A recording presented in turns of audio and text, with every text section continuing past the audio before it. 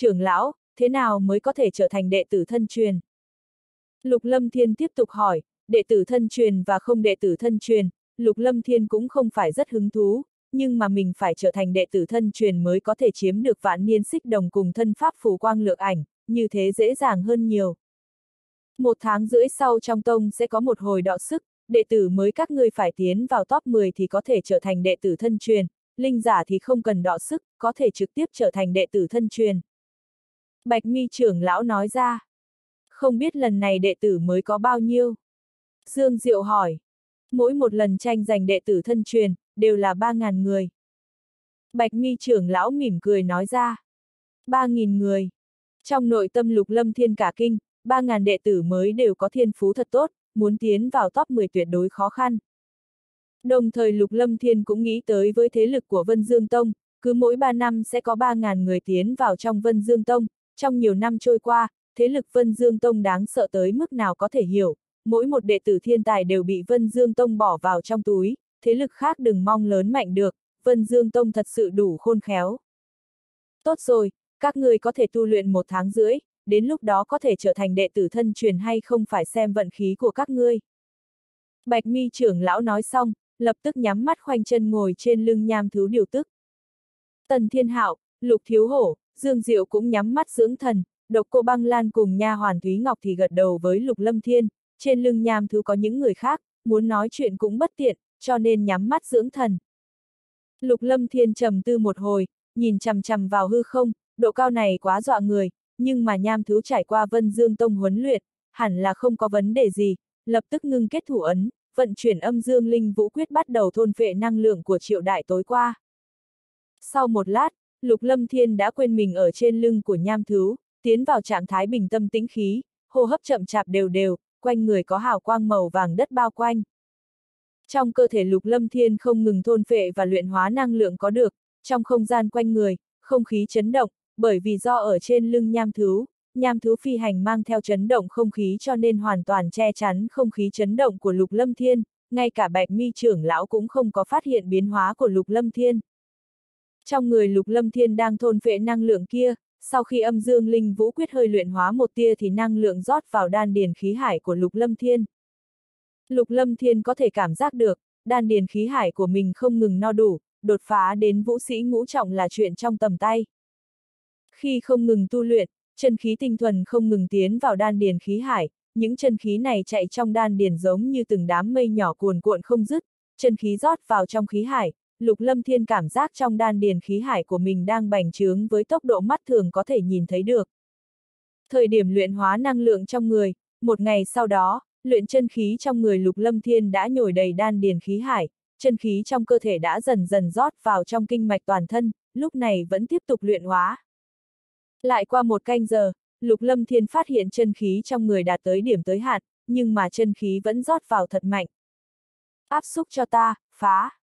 Trong nội tâm Lục Lâm Thiên quát lên, đan điền khí hải điều động một đám chân khí nổi lên sóng lớn, sinh ra chấn động mạnh. Lục Lâm Thiên đang nhắm mắt bỗng nhiên hai con mắt mở ra, trong hai mắt mang theo tinh quang sáng ngời, một lát sau tinh quang trong mắt thu liễm không thấy. Sốt cục đột phát vũ sĩ ngũ trọng. Cảm giác chân khí hùng hồn trong cơ thể, trong nội tâm lục lâm thiên kinh ngạc, thôn vệ chân khí hóa thành năng lượng, sau khi trải qua luyện hóa thì còn tốt hơn luyện hóa đan dược nhiều lắm. Nếu có thể trắng trợn thôn vệ năng lượng của người khác, thực lực đột phá nhất định sẽ cực kỳ đáng sợ. Lục lâm thiên nghĩ thầm trong lòng, lúc này mới một ngày một đêm hắn đã đột phá một trọng thực lực, chuyện này quá đáng sợ. Lâm thiên, người đột phá vũ sĩ ngũ trọng sao? Bạch mi trưởng lão mở hai mắt ra, kinh ngạc nhìn nhìn chằm chằm vào lục lâm thiên, vừa rồi lục lâm thiên đột phá sinh ra chấn động, tự nhiên không cách nào giấu giếm hắn được. Vốn đã ở biên giới đột phá, vừa rồi cứ tu luyện, không cẩn thận đột phá mất. Lục lâm thiên nói ra, trong nội tâm cũng sớm đã chuẩn bị ứng phó, thực lực của mình có thể che giấu, nhưng mà mình đột phá tự nhiên không cách nào che giấu bạch mi trưởng lão. Nghe được Lục Lâm Thiên và Bạch Mi trưởng lão nói với nhau, hiện tại đám người Tần Thiên Hạo, Dương Diệu, Lục Thiếu Hổ, Độc Cô Băng Lan cũng mở hai mắt ra, kinh ngạc nhìn chằm chằm vào Lục Lâm Thiên. Đang tu luyện, không cẩn thận đột phá. Bạch Mi trưởng lão trợn mắt há hốc mồm, nói. Vũ sĩ ngũ trọng, vũ giả tam hệ, thiên phú này muốn trở thành đệ tử thân truyền cũng không khó, chỉ sợ là sau khi vào tông sẽ có trưởng lão nội môn tìm hắn. Nhìn chằm chằm vào lục lâm thiên, trong mắt lục thiếu hổ mang theo lãnh ý, nhưng mà không thể làm khác được, bởi vì thực lực lục lâm thiên đã trên hắn. Mọi người ăn ít đồ sau đó tiếp tục tu luyện, thời gian còn rất sớm, chúng ta còn phải đi thời gian dài mới tới Vân Dương Tông. Bạch mi trưởng lão nói ra, lập tức lấy ra một ít lương khô, mọi người không có khả năng làm được chuyện hơn một tháng không ăn vì, theo đồn đãi, chỉ có đạt tới cấp độ vũ suất mới có thể không cần ăn uống, vũ phách, cùng vũ tướng tối đa chỉ mấy tháng không ăn uống mà thôi, nhưng mà ở cấp độ vũ sĩ thì không cách nào làm được điểm này. Mọi người ăn lương khô bạch mi trưởng lão lấy ra, lục lâm thiên nhìn chằm chằm bên kia, lục vô song cưỡi nham thứ khác cách đó không xa, mọi người trên nham thứ dưỡng như đang tu luyện. Sau khi ăn lương khô, mọi người tiếp tục vùi đầu vào trong tu luyện, nhìn thấy lục lâm thiên đột phá, trong lúc vô hình đã tạo áp lực cho mọi người, đệ tử thân truyền Vân Dương Tông chính là ai cũng muốn gia nhập vào. Lục lâm thiên lập tức vùi đầu vào trong luyện hóa năng lượng trong người, đột phá vũ sĩ ngũ trọng, năng lượng trong đan điền vẫn cần luyện hóa, nhất thời nửa khắc cũng không làm xong được. Một lát sau, trên người có hào quang sáng bóng quanh quẩn, chân khí cuồn cuộn không ngừng đỏ vào trong đan điền, thời gian chậm rãi trôi qua. Mỗi ngày trôi qua, tất cả mọi người chỉ ăn một bữa lương khô, xong rồi lập tức tiếp tục lâm vào tu luyện, Lục Lâm Thiên cũng nắm chắc thời gian luyện hóa năng lượng trong người. Bảy ngày sau đó, Bạch Mi trưởng lão cũng cho nham thứ dừng lại ở một sơn mạch không người, nham thứ chỉ là yêu thú cấp 2 mà thôi, cũng cần nghỉ ngơi lấy sức, không cách nào chịu tải mọi người liên tục phi hành đến Vân Dương Tông được. Mọi người đáp xuống một sơn mạch không người, Lục Lâm Thiên đánh giá chung quanh, khắp nơi đều là đại thụ che trời, ngẫu nhiên sẽ có vài tiếng thú giống không rõ truyền tới. Mọi người chú ý một chút, trong vùng núi này hẳn là không có yêu thú gì, nhưng dã thú vẫn không ít, còn có chút độc xà cần phải chú ý, nghỉ ngơi hai canh giờ chúng ta lại xuất phát. Bạch mi trưởng lão nói với mọi người. Mọi người ở trên lưng nham thứ bay suốt 7 ngày, lúc này xuống đất, tự nhiên cần giãn gân cốt. Lục lâm thiên thừa dịp không có người chú ý, một người đi tới neo hẻo lánh, móc tiểu long ra. Tính ra tiểu long đã 7 ngày không có ăn uống gì, ở trong tay lục lâm thiên, nó đang vẻ mặt ủy khuất nhìn qua lục lâm thiên. Tiểu long, người đi tìm chút gì ăn đi, nhớ rõ một lát phải quay về. Lục lâm thiên nói với tiểu long, lập tức bảo tiểu long tiến vào sâu trong sơn mạch, từ lần trước tiểu long bị hắc y nhân kia trọng kích hai lần cũng không có thương thế gì thì lục lâm thiên càng yên tâm với tiểu long. Nhìn thấy tiểu long đi xa, lục lâm thiên mới thở ra một hơi, hiện tại còn không có ai biết trên người mình có tiểu long, Nam Thúc đã thông báo, tiểu long thân phần đặc thù, nếu có cường giả nhận ra thì phiền toái. Ồ, là thỏ rừng sao? Vào lúc này trên đống cỏ dại trước mặt đong đưa, lập tức có một con dã thú cao nửa mét đi ra. Lợn rừng. Nhìn thấy con dã thú này xuất hiện, Lục Lâm Thiên kinh ngạc, đây là một con lợn rừng, cao nửa mét, có dài hơn một mét, da lông màu đen, ngoài miệng còn có hai cái răng nanh bén nhọn. Ụt! Con lợn rừng nhìn thấy Lục Lâm Thiên thì kêu ầm lên, rồi nó lao về phía Lục Lâm Thiên, lợn rừng có tính công kích còn mạnh hơn cả sói. Thần sắc Lục Lâm Thiên trầm xuống, con lợn rừng này không phải yêu thú cũng không phải linh thú, nó chỉ là dã thú bình thường mà thôi, thợ săn tốt một chút là bắt được, mình bây giờ không cần phải e ngại lợn rừng. Đến tốt. Lục Lâm Thiên cười cười, mấy ngày nay toàn ăn lương khô, miệng của hắn rất nhạt, bây giờ có một con lợn rừng đưa tới cửa, tuyệt đối là mỹ thực. Vận chuyển chân khí vào tay, trong tay ngưng tụ trưởng ấn màu vàng đánh ra. Phanh! Trưởng ấn mang theo khí kình cường hãn đánh thẳng vào người lợn rừng, lợn rừng bị đánh bay ra xa 10 mét, đậu upsilon.ng vào thân một cây đại thụ che trời, thân cây lay động, vô số lá rụng rơi xuống. Con lợn rừng kêu rên một tiếng, trong miệng nước bọt sen lẫn máu tươi chảy ra, té trên mặt đất, run rẩy hai cái sau đó không nhúc nhích. Xảy ra chuyện gì thế?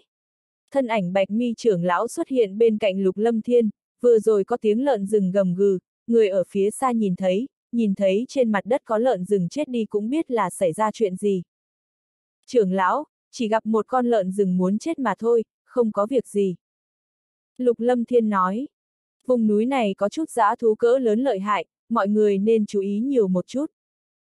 Bạch mi trưởng lão nói, lúc này độc cô băng lan, lục vô song, dương diệu và có mấy chấp sự vân dương tông cũng chạy tới.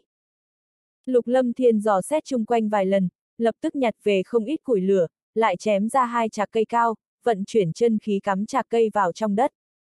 Lâm Thiên, đệ định làm gì thế? Nhìn thấy Lục Lâm Thiên làm tất cả thì mọi người nghi hoặc. Vô song tỷ, đưa thanh nguyệt kiếm cho ta mượn một chút. Lục Lâm Thiên mỉm cười nói ra. Đây. Lục vô song xuất thanh nguyệt kiếm đưa cho Lục Lâm Thiên. Keng. Lục Lâm Thiên đi tới trước lợn rừng, thanh nguyệt kiếm ra khỏi vỏ, kiếm quang lóe lên, thanh nguyệt kiếm đảo qua bụng con lợn rừng, tất cả nội tạng trào ra, thủ pháp rất nhanh nhẹn. Xong. Lục Lâm Thiên cầm lấy một cây côn dài đã chuẩn bị sẵn, trực tiếp xuyên qua miệng con lợn tới phần đuôi, gác lên trên hai chạc cây. Dưới chạc cây là củi khô, ngưng tụ hỏa hệ thuộc tính tụ hỏa diễm, lập tức đốt một đống củi khô bốc cháy. Lâm Thiên, ngươi làm cái gì vậy? Bạch mi trưởng lão không nhìn được hỏi. Trưởng lão, đây là đồ nướng, lát nữa lợn rừng chín chúng ta sẽ ăn. Lục Lâm Thiên mỉm cười, từ trong trí nhớ biết được, trên thế giới này dường như không có chuyện nướng thế này. Vốn muốn nướng chín con lợn rừng không khó, dùng linh lực ngưng tụ hỏa diễm một lát là xong, nhưng mà Lục Lâm Thiên từ nhỏ là đã khá tâm đắc với đồ nướng, biết rõ đồ nướng chỉ có dùng củi đốt lửa nướng ra mới là ngon nhất, những lửa khác không được, trong củi còn có mùi thơm cố hữu. Đồ nướng, như vậy có thể ăn ngon sao? Bạch nghi trưởng lão nghi ngờ nói, lúc này mọi người vô cùng nghi hoặc. Đợi tí nữa mọi người sẽ biết rõ. Lục Lâm Thiên nói nhỏ, ăn ngon tự nhiên không thể thiếu nguyên liệu, nhưng mà nơi này không có nơi mua nguyên liệu, ở kiếp trước Lục Lâm Thiên cũng nếm qua lợn rừng, trên người lợn rừng chính tông đều có một ít vị mặn, không cần cho thêm muối. Lục Lâm Thiên vừa mới nói xong, vận chuyển chân khí thả người bay ra sau một cây đại thụ, trong tay nắm một bó lá cây thật to, lập tức nhét vào trong bụng con lợn, Lục Lâm Thiên trong lúc vô tình phát hiện, cây này không phải cây bình thường, ở kiếp trước, đây là cây hương diệp, trong lá cây có mang theo hương thơm nhàn nhạt, dùng để làm đồ nướng là tốt nhất. Sau khi làm xong tất cả, Lục Lâm Thiên bắt đầu nướng lợn rừng, nhìn Lục Lâm Thiên làm tất cả, tất cả mọi người nghi hoặc và hiếu kỳ. Qua một lát sau, con lợn rừng đã nướng thành màu vàng, mỡ lợn chảy ra ngoài rơi vào trong ngọn lửa, trong khói bốc lên mang theo hương thơm nhàn nhạt.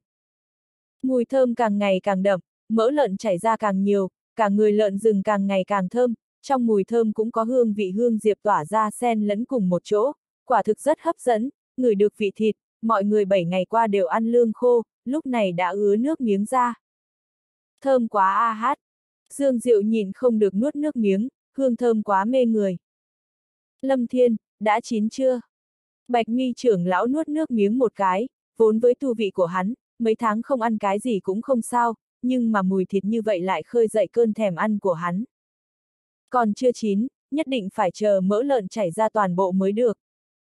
Lục Lâm Thiên nói ra, loại thịt này nếu có quá nhiều mỡ, hương vị sẽ giảm đi rất nhiều. Nhìn thấy Lục Lâm Thiên bị mọi người vây quanh, chỉ có Vương Lương cùng Lục Thiếu Hổ hai người khinh thường lườm Lục Lâm Thiên vài lần, nhưng ánh mắt không tự chủ được nhìn vào thịt lợn nướng vài lần.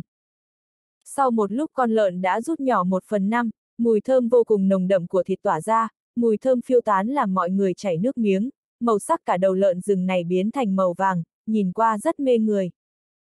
Lục Lâm Thiên lúc này cũng nuốt nước miếng, hôm nay ăn thịt lợn rừng hoang dại thật sự là tốt, kiếp trước nếu được ăn cũng không thể ăn được thứ tốt này. Xong, trưởng lão, ngài nếm thử xem. Lục Lâm Thiên nhìn qua bạch mi trưởng lão, kéo chân trước của con lợn xuống, mùi thơm của thịt tràn ngập mang theo khí nóng, làm cho không người nào có thể cự tuyệt. Chân trước của con lợn Lục Lâm Thiên muốn cho bạch mi trưởng lão, thân là trưởng lão ngoại môn Vân Dương Tông, hắn cũng có không ít quyền lực, nịnh bợ một chút cũng không có gì xấu. Tốt, ta nếm thử. Bạch mi trưởng lão sớm không nhịn được, lông mi trắng nhảy lên, cầm lấy chân lợn, chẳng quan tâm bị phỏng há miệng gặm một cái. Thịt lợn nướng vào miệng mang theo hương thơm, nhai một cái không tê răng, chất thịt dai mà không nát, một ngụm cắn xuống còn có nước, hai mắt bạch mi trưởng lão lập tức trợn tròn, nhìn không được nói. Hảo tiểu tử, không nghĩ tới người còn có ngón này, ăn ngon, ăn quá ngon. Chư vị chấp sự, mọi người cùng nếm thử đi. Lục Lâm Thiên nhìn bốn chấp sự Vân Dương Tông mời tiếp, lập tức kéo hai cái chân sau xuống, một cái đưa cho Lục Vô Song. Vô Song tỷ, tỷ cũng nếm thử đi, mùi vị không tệ đâu. Băng Lan tiểu thư, Thúy Ngọc, đây là của các ngươi. Một cái chân sau khác Lục Lâm Thiên đưa cho độc cô băng lan. Ta lần đầu tiên được ăn loại thức ăn này, tất nhiên là muốn nếm thử. Độc cô băng lan không có cự tuyệt, mỉm cười nói. Chư vị chấp sự, trực tiếp dùng tay A, ăn cái này phải dùng tay cầm mới tốt. Lục Lâm Thiên quay đầu lại, nhìn thấy bọn họ cầm xương sườn nhưng không biết ăn đường nào, mỉm cười nói ra, trực tiếp dùng tay nắm xương sườn lên gặm. Thịt vừa vào miệng lại đầy hương thơm, hương vị rất ngon, Lục Lâm Thiên lần đầu tiên cảm thấy tay nghề của mình không tệ. Bốn vị chấp sự nhìn thấy mọi người đều ăn, lúc này cũng không cố kỵ cái gì, nhao nhao dùng tay kéo một khối xuống, mùi thịt vào miệng thì toàn thân thoải mái. Ta cũng không khách khí. Tần Thiên Hạo mỉm cười, cũng tiến lên cầm một khối thịt nướng lên, lập tức mang theo mỡ đông chảy ra khỏi miệng, nói ra. Thật sự là không tệ, quá thơm. Vậy ăn nhiều một chút. Lục Lâm Thiên kéo một khối lớn cho Tần Thiên Hạo, Tần Thiên Hạo tuy không quá nói nhiều, nhưng Lục Lâm Thiên cũng nhìn ra, Tần Thiên Hạo là người ít nói không phải gian tà, có thật tình, ở chung với loại người này cũng không cần lo lắng bị tính kế. Đa tạ. Tần Thiên Hạo không có khách khí, bắt đầu gặp. Dương Diệu nhìn mọi người, trong bụng bắt đầu xì xào, nhưng mà không quen biết với Lục Lâm Thiên, cũng xấu hổ tiến lên, Dương Mạn cùng Lục Vô song quan hệ tương đối gay gắt, lúc này tự nhiên là càng không có ý tiến lên, nhưng ánh mắt hai nữ vẫn không nhịn được nhìn qua thịt thơm ngon. Đây, thử xem đi, mùi vị không tệ. Lục Lâm Thiên xem vào trong mắt, lập tức kéo một tảng thịt lợn xuống đưa cho Dương Diệu. Dương Diệu và Dương Mạn tuy là hai tỷ muội, nhưng tính cách hoàn toàn bất đồng, Lục Lâm Thiên cũng không có bao nhiêu phản cảm, ngược lại có chút thưởng thức thẳng thắn của Dương Diệu. Đa tạ. Dương Diệu tiếp nhận tảng thịt lợn của Lục Lâm Thiên ném tới, trong ánh mắt mang theo cảm ơn, lập tức đến bên người Dương Mạn, Dương Mạn cũng không có cự tuyệt, hai cô nàng bắt đầu nếm thử, miếng thịt vào miệng lập tức không bận tâm tới hình tượng, gặm lấy gặm để, mải ăn tới nỗi mỡ lợn chảy đầy miệng. Lục Lâm Thiên mỉm cười, bảy ngày ăn lương khô, bây giờ có thể ăn thịt nướng, quả thực chính là đưa than sưởi ấm trong ngày tuyết rơi, ánh mắt nhìn qua Lục Thiếu Hổ cùng Vương Lương, Lục Lâm Thiên cười lạnh, cũng không để ý đến hai người này. Thiếu Hổ, nhiều như vậy, ta ăn không hết, người ăn giúp ta một chút. Lục vô song dường như chú ý tới điểm này, đến trước người lục thiếu hổ kéo nửa chân sau đưa cho lục thiếu hổ, chân sau vốn khá lớn, lục vô song cũng thật ăn không hết, tăng thêm chuyện giữa hai người lục thiếu hổ cùng lục lâm thiên, lục vô song tuy không hoàn toàn rõ ràng nhưng cũng biết phân nửa. Nhưng bất kể thế nào, lục thiếu hổ cũng là đường đệ của nàng, đứng ở một góc độ, nàng cũng muốn chiếu cố một hai, không thể bỏ qua. Lục lâm thiên liếc mắt nhìn, cũng không nói gì thêm, ngồi dưới đất gặm thịt nướng trong tay, đối phó với lục thiếu hổ, cũng không phải vào thời điểm này. Đa tạ vô song tỷ. Lục thiếu hổ nhìn lục lâm thiên, nhìn thấy lục lâm thiên ở phía xa không để ý đến, người thấy hương thơm ngào ngạt, cuối cùng cũng không cách nào cự tuyệt, tiếp nhận thịt nướng gặm. Hương khí bắn ra bốn phía, nhưng lại đưa tới không ít dã thú, sau một lát chung quanh tụ tập không ít dã thú, âm thanh dã thú vang lên không dứt, nhưng những dã thú này thấy có người thì không dám tới. Mỹ vị a hát, rất lâu rồi ta không có được ăn ngon như vậy. Bạch mi trưởng lão ở một cái, vỗ bụng thỏa mãn nói ra. Đúng là mỹ vị, xem ra thời gian kế tiếp chúng ta thoải mái hơn nhiều rồi. Nữ chấp sự trung niên Vân Dương Tông mỉm cười nói. Lúc này tất cả mọi người ăn no bụng, cả đám miệng đầy mở đông, liếc nhìn qua cũng chỉ có Vương Lương vẫn đứng ở một bên, cũng không có ý tứ đi lên ăn, trong bụng đầy tiếng xì xào. Tốt rồi, chúng ta cũng nên đi. Bạch mi trưởng lão nói ra. Trưởng lão, ta đi tiểu tiện một chút. Lục Lâm Thiên nói, lập tức lách mình đi vào rừng cây. Lục Lâm Thiên đi tới phía sau một đại thụ che trời, một đạo hào quang màu vàng lóe lên nhảy lên vai Lục Lâm Thiên, đúng là Tiểu Long. Nghe thấy hương vị thịt trên miệng Lục Lâm Thiên, Tiểu Long ngửi ngửi, loại mùi thơm này không thể giấu được Tiểu Long. Đừng tìm, cho người đây. Lục Lâm Thiên mỉm cười, trong tay xuất ra một khối thịt nướng. Suy suy, Tiểu Long mở miệng nhỏ nhắn trực tiếp nuốt khối thịt nướng lớn như lòng bàn tay vào bụng, thân hình của nó nhỏ hơn khối thịt, Lục Lâm Thiên hơi hoài nghi Tiểu Long rốt cuộc tiêu hóa hết thế nào. Chúng ta đi thôi. Lục Lâm Thiên nói xong, Tiểu Long hiểu ý bỏ vào tay áo của hắn. Lục Lâm Thiên trở lại bên cạnh mọi người, nham thú đã bay lên không trung, mọi người nhảy lên nham thú, lập tức tiếp tục xuất phát, một con lợn rừng kia mọi người cũng không có ăn hết, nhưng cũng không cách nào mang theo, số thịt còn lại sau khi mọi người rời đi, đám dã thú đã lao ra sâu xé sạch sẽ. Trên lưng nham Thú, mọi người tiếp tục ngồi xuống, Lục Lâm Thiên cũng tiếp tục bắt đầu luyện hóa năng lượng trong người thành chân khí, một tia năng lượng bị âm dương linh vũ quyết luyện hóa biến thành chân khí rót vào trong đan điền. Thời gian như thế chậm rãi mà qua, trên lưng nham thứ mọi người đã quen rồi, một tầng hào quang sáng người bao phủ Lục Lâm Thiên, trong cơ thể không ngừng hấp thu luyện hóa chân khí. Khi năng lượng chuyển hóa chân khí ngày càng ít, trong đan điền khí hải Lục Lâm Thiên, chân khí cũng càng ngày càng nhiều, loại tốc độ này vượt qua xa luyện hóa đan dược có thể so sánh. Trong nội tâm lục lâm thiên thầm nghĩ, thôn vệ chân khí đối phương so về thôn vệ đan dược, ít nhất cũng mạnh hơn gấp 2, nếu có thể thôn vệ chân khí như thế, tốc độ tăng tu vị của mình sẽ cực kỳ khủng bố, nhưng mà chuyện này cũng không dễ dàng, nếu bạo lộ công pháp của mình, như vậy sẽ có phiền toái lớn. Thời gian 7 ngày trôi qua nhanh chóng, lúc này hắn luyện hóa một tia năng lượng cuối cùng biến thành chân khí, trong đan điền khí hải lục lâm thiên, chân khí vô cùng hùng hậu, đã tới điểm tới hạn, chỉ cần đột phá một tia là có thể đạt tới vũ sĩ lục trọng. Vậy mà không có đột phá tới vũ sĩ lục trọng. Lục lâm thiên mở hai mắt ra, hắn phun ra một ngụm trào khí, trong nội tâm rất kinh ngạc, năng lượng cần thiết độ phá vũ sĩ lục trọng còn lớn hơn suy nghĩ của mình nhiều. Lục lâm thiên cũng không có thất vọng quá lớn, hiện tại chân khí của mình đã là vũ sĩ ngũ trọng đỉnh phong, chỉ cần ăn một viên tăng nguyên đan thì có thể dễ dàng đột phá vũ sĩ lục trọng. Trước không vội vàng đột phá A. Lục lâm thiên nghĩ trong lòng, nếu lần nữa đột phá đến vũ sĩ lục trọng, đến lúc đó ở trước mặt bạch mi trưởng lão chẳng biết phải giải thích thế nào, không tới nửa tháng lại đột phá tiếp, đến lúc đó khiến cho phiền toái của hắn không ít. Mà lục lâm thiên lúc này cũng nghĩ tới điểm này, chính mình phải như thế nào mới có thể tăng cường tu vị linh khí, linh vũ cùng đột phá mới được, cho dù hiện tại mình tu luyện vũ giả đạt tới vũ sĩ cửu trọng, cấp độ linh giả vẫn chỉ là linh sĩ nhất trọng, đến lúc đó càng không cách nào đột phá. Mọi người tiếp tục nghỉ ngơi một hồi a. À. Bạch mi trưởng lão mở hai mắt ra, trong miệng thổi một tiếng, hai con nham thú lập tức kêu to, chậm rãi đáp xuống một sơn mạch. Trong vùng núi này có không ít dã thú, mọi người vất vả một chút, tìm chít món ăn dân dã, chúng ta ăn no ra lại xuất phát. Bạch mi trưởng lão nói ra, ánh mắt nhìn qua phía lục lâm thiên. Mọi người lập tức phân tán ra, lục lâm thiên tìm một nơi không người, lại thả tiểu long đi ra ngoài kiếm ăn, sau đó bắt một con thỏ rừng nặng mấy cân trở về.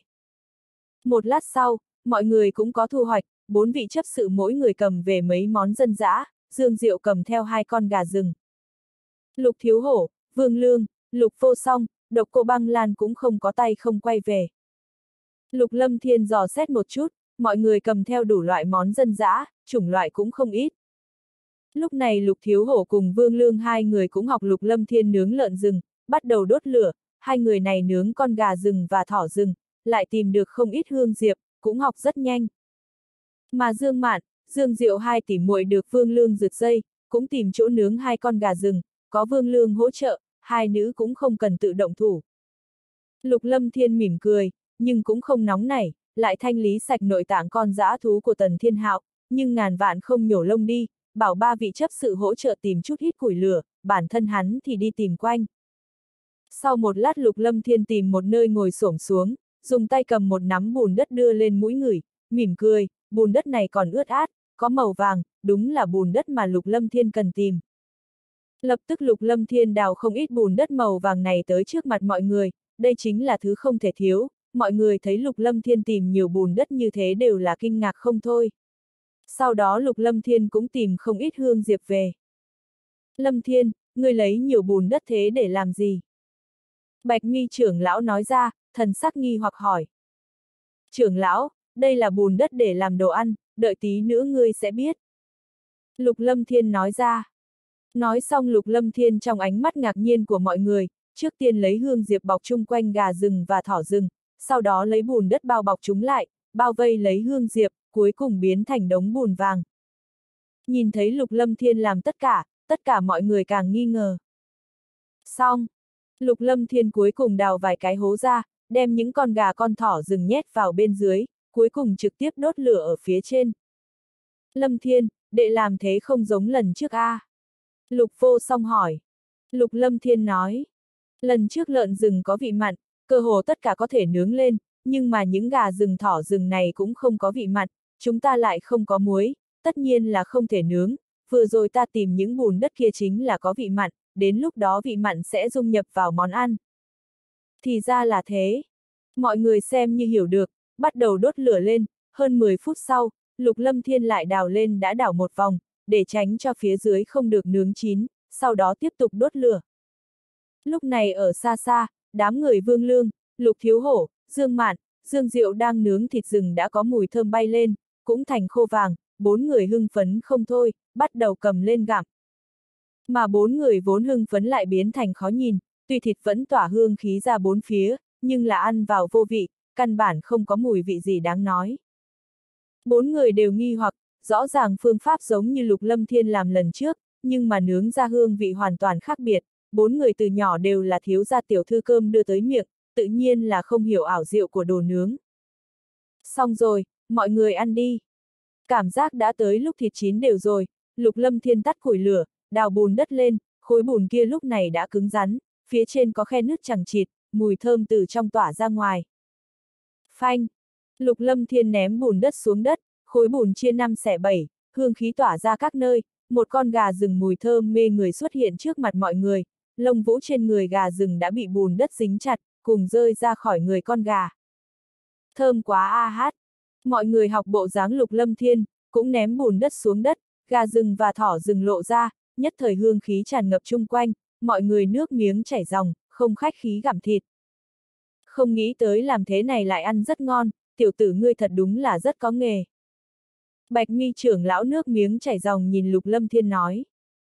Mấy chấp sự cũng không có khách khí, lần này mọi người đều xuất lực, bắt đầu ăn càng không khách khí ngay cả độc cô băng lan, Lục vô song, Thúy Ngọc ba người cũng chẳng quan tâm dáng vẻ, ăn tới mức mỡ vàng dính đầy quanh miệng. Sau một lát, mọi người ăn căng bụng, bộ dáng nuốt không trôi, mà đám người vương lương, lục thiếu hổ, dương mạn sau khi ăn món ăn vô vị của mình vài miếng thì thật sự ăn không trôi. Hừ! Dương mạn nhìn vương lương hừ lạnh một tiếng, trong mắt bắn ra tia lửa, nếu không phải vương lương rượt dây, nàng làm sao phải chịu đói. Sau khi ăn xong, Lục Lâm Thiên tìm cơ hội thu Tiểu Long thu vào trong tay áo, Tiểu Long mỗi lần đi ra ngoài đều có thể tự kiếm ăn. Tốt, chúng ta nên xuất phát thôi, nửa tháng rồi, tiếp qua một tháng chúng ta sẽ tới Vân Dương Tông. Bạch mi trưởng lão nói ra. Bạch trưởng lão, phía trước chính là thành vụ đô, chúng ta có nên vào thành nghỉ ngơi một chút hay không, cũng để chuẩn bị vượt qua sơn mạch vụ đô. Nữ chấp sự nhìn bạch mi trưởng lão nói ra. Không, chúng ta không có nhiều thời gian, trực tiếp đi qua sơn mạch vụ đô thôi. Bạch mi trưởng lão nói. Bạch trưởng lão, trực tiếp đi qua có thể gặp nguy hiểm. Nữ chấp sự trung niên kia tiếp tục hỏi. Vân Dương Tông chúng ta không người nào dám chọc, không có việc gì, thành vụ đô những năm này cũng không xảy ra chuyện gì. Bạch mi trưởng lão nói xong, lập tức gọi hai nham thứ bay lên. Mọi người nhảy lên nham thứ, tiếp tục xuất phát về phía Vân Dương Tông. Bạch mi trưởng lão vừa nói sơn mạch vụ đô, Lục Lâm Thiên lại tò mò, liền nhớ chấp sự Vân Dương Tông nói nơi đó có nguy hiểm, sơn mạch vụ đô rốt cuộc là nơi nào. Trưởng lão, sơn mạch vụ đô là địa phương nào? Lục Lâm Thiên hỏi. Sơn mạch vụ đô là sơn mạch nằm cạnh cổ vực, tại biên giới sơn mạch có một tòa thành gọi là thành vụ đô, chính là địa bàn của Vân Dương Tông, nhưng mà diện tích sơn mạch vụ đô cực lớn, tình huống cũng hỗn loạn, ngẫu nhiên còn có có yêu thú xuất hiện, người bình thường là không dám đi vào sơn mạch vụ đô. Bạch mi trưởng lão nói ra. Thì ra là thế. Trong nội tâm lục lâm thiên cũng đã có nghe nói qua về cổ vực, tại tàng vũ các của lục gia có ghi lại, chung quanh đại lục linh vũ còn có bốn đại lục khác, diện tích so với đại lục linh vũ cũng không chênh lệch nhiều. Phía đông đại lục linh vũ có Đông Hải thành Ma Vân, phía tây có Tây Xuyên cổ vực, phía nam có Nam Nguyên tổ yêu lâm, đó là địa bàn của yêu thú, nhân loại tiến vào tuyệt đối khó mà còn sống rời đi, phương Bắc có linh hoàng nhai, chỗ đó chính là địa bàn của linh thú, nhân loại đi qua cũng giữ nhiều lành ít. Mà trong đó, lớn nhất đại lục linh vũ, Phân Dương Tông chính là một trong tam tông tứ môn của đại lục linh vũ, tuy thế lực tam tông tứ môn vô cùng cường đại, nhưng cũng không cách nào va chạm với thành ma vân và cổ vực. Về phần tổ yêu lâm và linh hoàng nhai, tam tông tứ môn không cần nghĩ, những yêu thú và linh thú kia không dễ chọc. Bang bang! Phía trước không xa đột nhiên có hai âm thanh nổ tung, lập tức hai cột khói lửa bắn lên trời, rơi là tả ở phương xa, tuy là ban ngày nhưng nhìn rất chói mắt. Trưởng lão, là tín hiệu cầu viện của Vân Dương Tông chúng ta. Trên nham thứ khác, một chấp sự lớn tiếng nói, lúc này sắc mặt mấy chấp sự, Bạch Mi trưởng lão, Lục Vô Song, Vương Lương, Dương Mạn biến hóa. Là ở phía trước, có người trong tông gặp phiền toái, chúng ta lập tức đi qua. Bạch Mi trưởng lão lớn tiếng nói, khống chế nham thứ bay đi, vội vàng tiến về tới trước mặt, thần sắc ngưng trọng, đây chính là địa bàn của Vân Dương Tông, nếu như không gặp đại sự, người trong tông sẽ không dễ dàng phóng tín hiệu cầu viện. Gặp phải phiền toái sao? Trong nội tâm lục lâm thiên suy tư, nhìn thấy thần sắc bạch mi trưởng lão thì phiền toái này không nhỏ, chính mình đến lúc đó cũng phải cẩn thận một chút mới được. Trong sơn mạch, gió nhẹ thổi qua cành cây cứng rắn, giống như u hồn đang khoe nanh vuốt của mình, ngẫu nhiên có lá khô phiêu linh trong gió. Trung quanh nơi này là một vách núi dốc đứng, mùi máu tươi nồng đậm phiêu đắng các nơi, trên mặt đất đã có thi thể hơn 30 người, vết máu loang lổ, từ ăn mặc có thể nhìn ra là hai thế lực. Vương Minh Nguyệt, người cho rằng sẽ có người Vân Dương Tông đến sao, giao thiên tàm bảo giáp ra, ta tha cho ngươi một mạng. Trên một sườn núi, một lão giả chừng 50 tuổi nhìn qua nam nhân chừng 40 trước mặt, lão giả 50 tuổi mặc áo đen, trên trán có nếp nhăn thật sâu, hốc mắt hõm sâu vào, ánh mắt đầy lăng lệ âm lãnh. Mà nam tử trung niên mặc áo bào màu trắng, lúc này vết máu loang lổ, phân không rõ ràng là máu của mình hay máu của người bị mình giết lưu lại, trong tay có một cây đại đao, phía trên còn có tơ máu chảy dài, khí tức toàn thân suy yếu nhìn chằm chằm vào lão giả áo đen trước mặt. Sau lưng của hai người đều có người, sau lưng lão giả áo đen có ba nam tử trung niên, đều là một thân trang phục màu đen, trong mắt đầy lăng lệ, toàn thân sát khí cuồn cuộn, khí tức tỏa ra là do giết chóc quanh năm lưu lại, người bình thường tuyệt đối sẽ không có loại khí tức này. Sau lưng nam tử trung niên còn có bảy thanh niên và một trung niên, khí tức suy yếu, rõ ràng là trải qua một hồi đại chiến. Nam tử trung niên này, nếu ở trong thành vụ đô thì ai cũng nhận ra hắn, chính là ngoại môn trưởng lão của Vân Dương Tông, Vương Minh Nguyệt thành chủ thành vụ đô, sau lưng chính là đệ tử Vân Dương Tông. Hỏa âm quái, đây là địa bàn Vân Dương Tông của ta, đoạt đồ của Vân Dương Tông, Vân Dương Tông sẽ không bỏ qua cho ngươi, thức thời thì rời đi, ta có thể không truy cứu việc này. Trong mắt Phương Minh Nguyệt bắn tinh quang nhìn qua lão giả áo đen. khạc khạc dùng Vân Dương Tông tới dọa ta, Ngươi đừng quên, trong cổ vực cũng không phải là địa bàn của Vân Dương Tông, cho dù nơi này là Sơn Mạch Vũ Đô, Vân Dương Tông ngươi được coi là cái gì? Lão giả áo đen cười lạnh nói. Thiên tàm bảo giáp cũng không phải là vật của Vân Dương Tông các ngươi, ai đạt được chính là của người đó, ngươi thức thời thì giao ra đây, nếu không chỉ có chết. Muốn thiên tàm bảo giáp, nằm mơ đi, trừ phi ta chết. Vương Minh Nguyệt lạnh nhạt nói, trường đao trong tay quét ngang, chân khí run run, thiên tàm bảo giáp này hắn không buông tha. Kiệt, vậy đi chết hết đi. Lão giả áo đen cười lạnh một tiếng, trong mắt bắn ra hào quang lăng lệ, trong tay có chân khí nóng bỏng bắn ra ngoài, lập tức lao thẳng tới Vương Minh Nguyệt. Sau khi lão giả áo đen phát động công kích, sau lưng lão giả áo đen có ba nam tử trung niên cũng sát khí cuồn cuộn, tấn công mấy đệ tử Vân Dương Tông, trong lúc nhất thời chân khí kích động, mấy đệ tử Vân Dương Tông đều có thực lực vũ sư, nhưng mà thực lực của ba nam tử trung niên thì mạnh hơn nhiều. Nhìn thấy hỏa âm quái đánh tới, Vương Minh Nguyệt đột nhiên bay lên không, vừa lúc tránh né công kích của hỏa âm quái.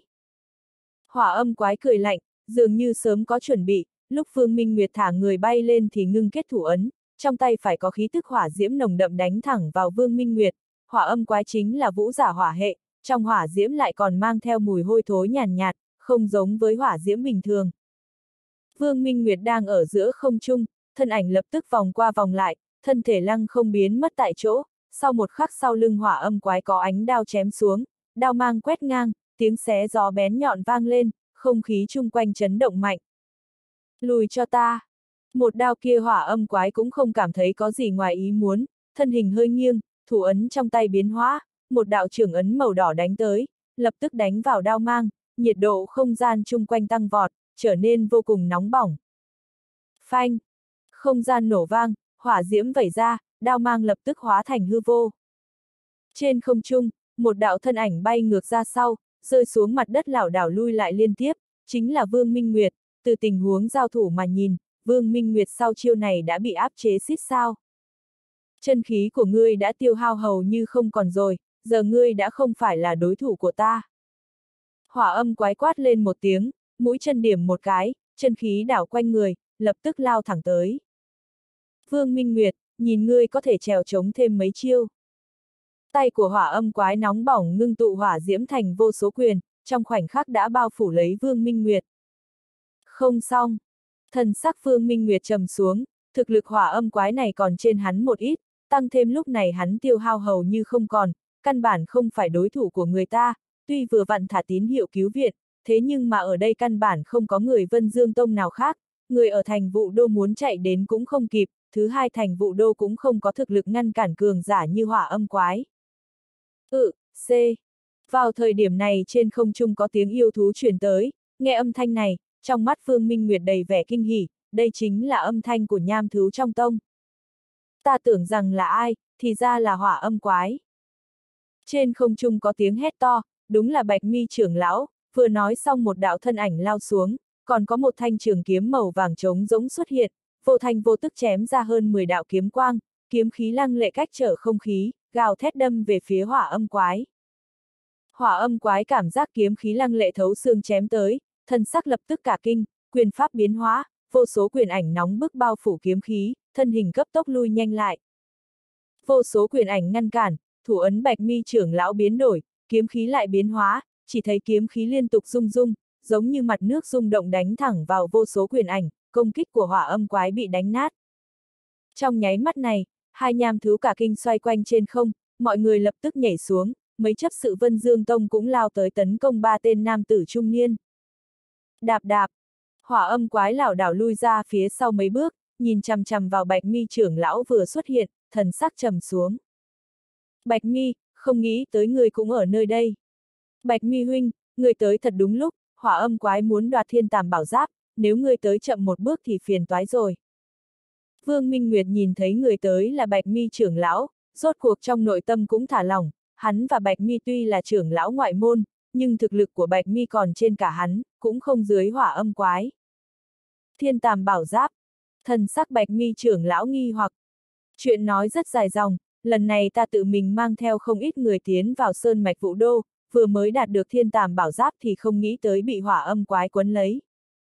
Vương Minh Nguyệt nói. Nói nhảm, thiên tàm bảo giáp người có thực lực thì đạt được, ta vì cái gì không thể có được.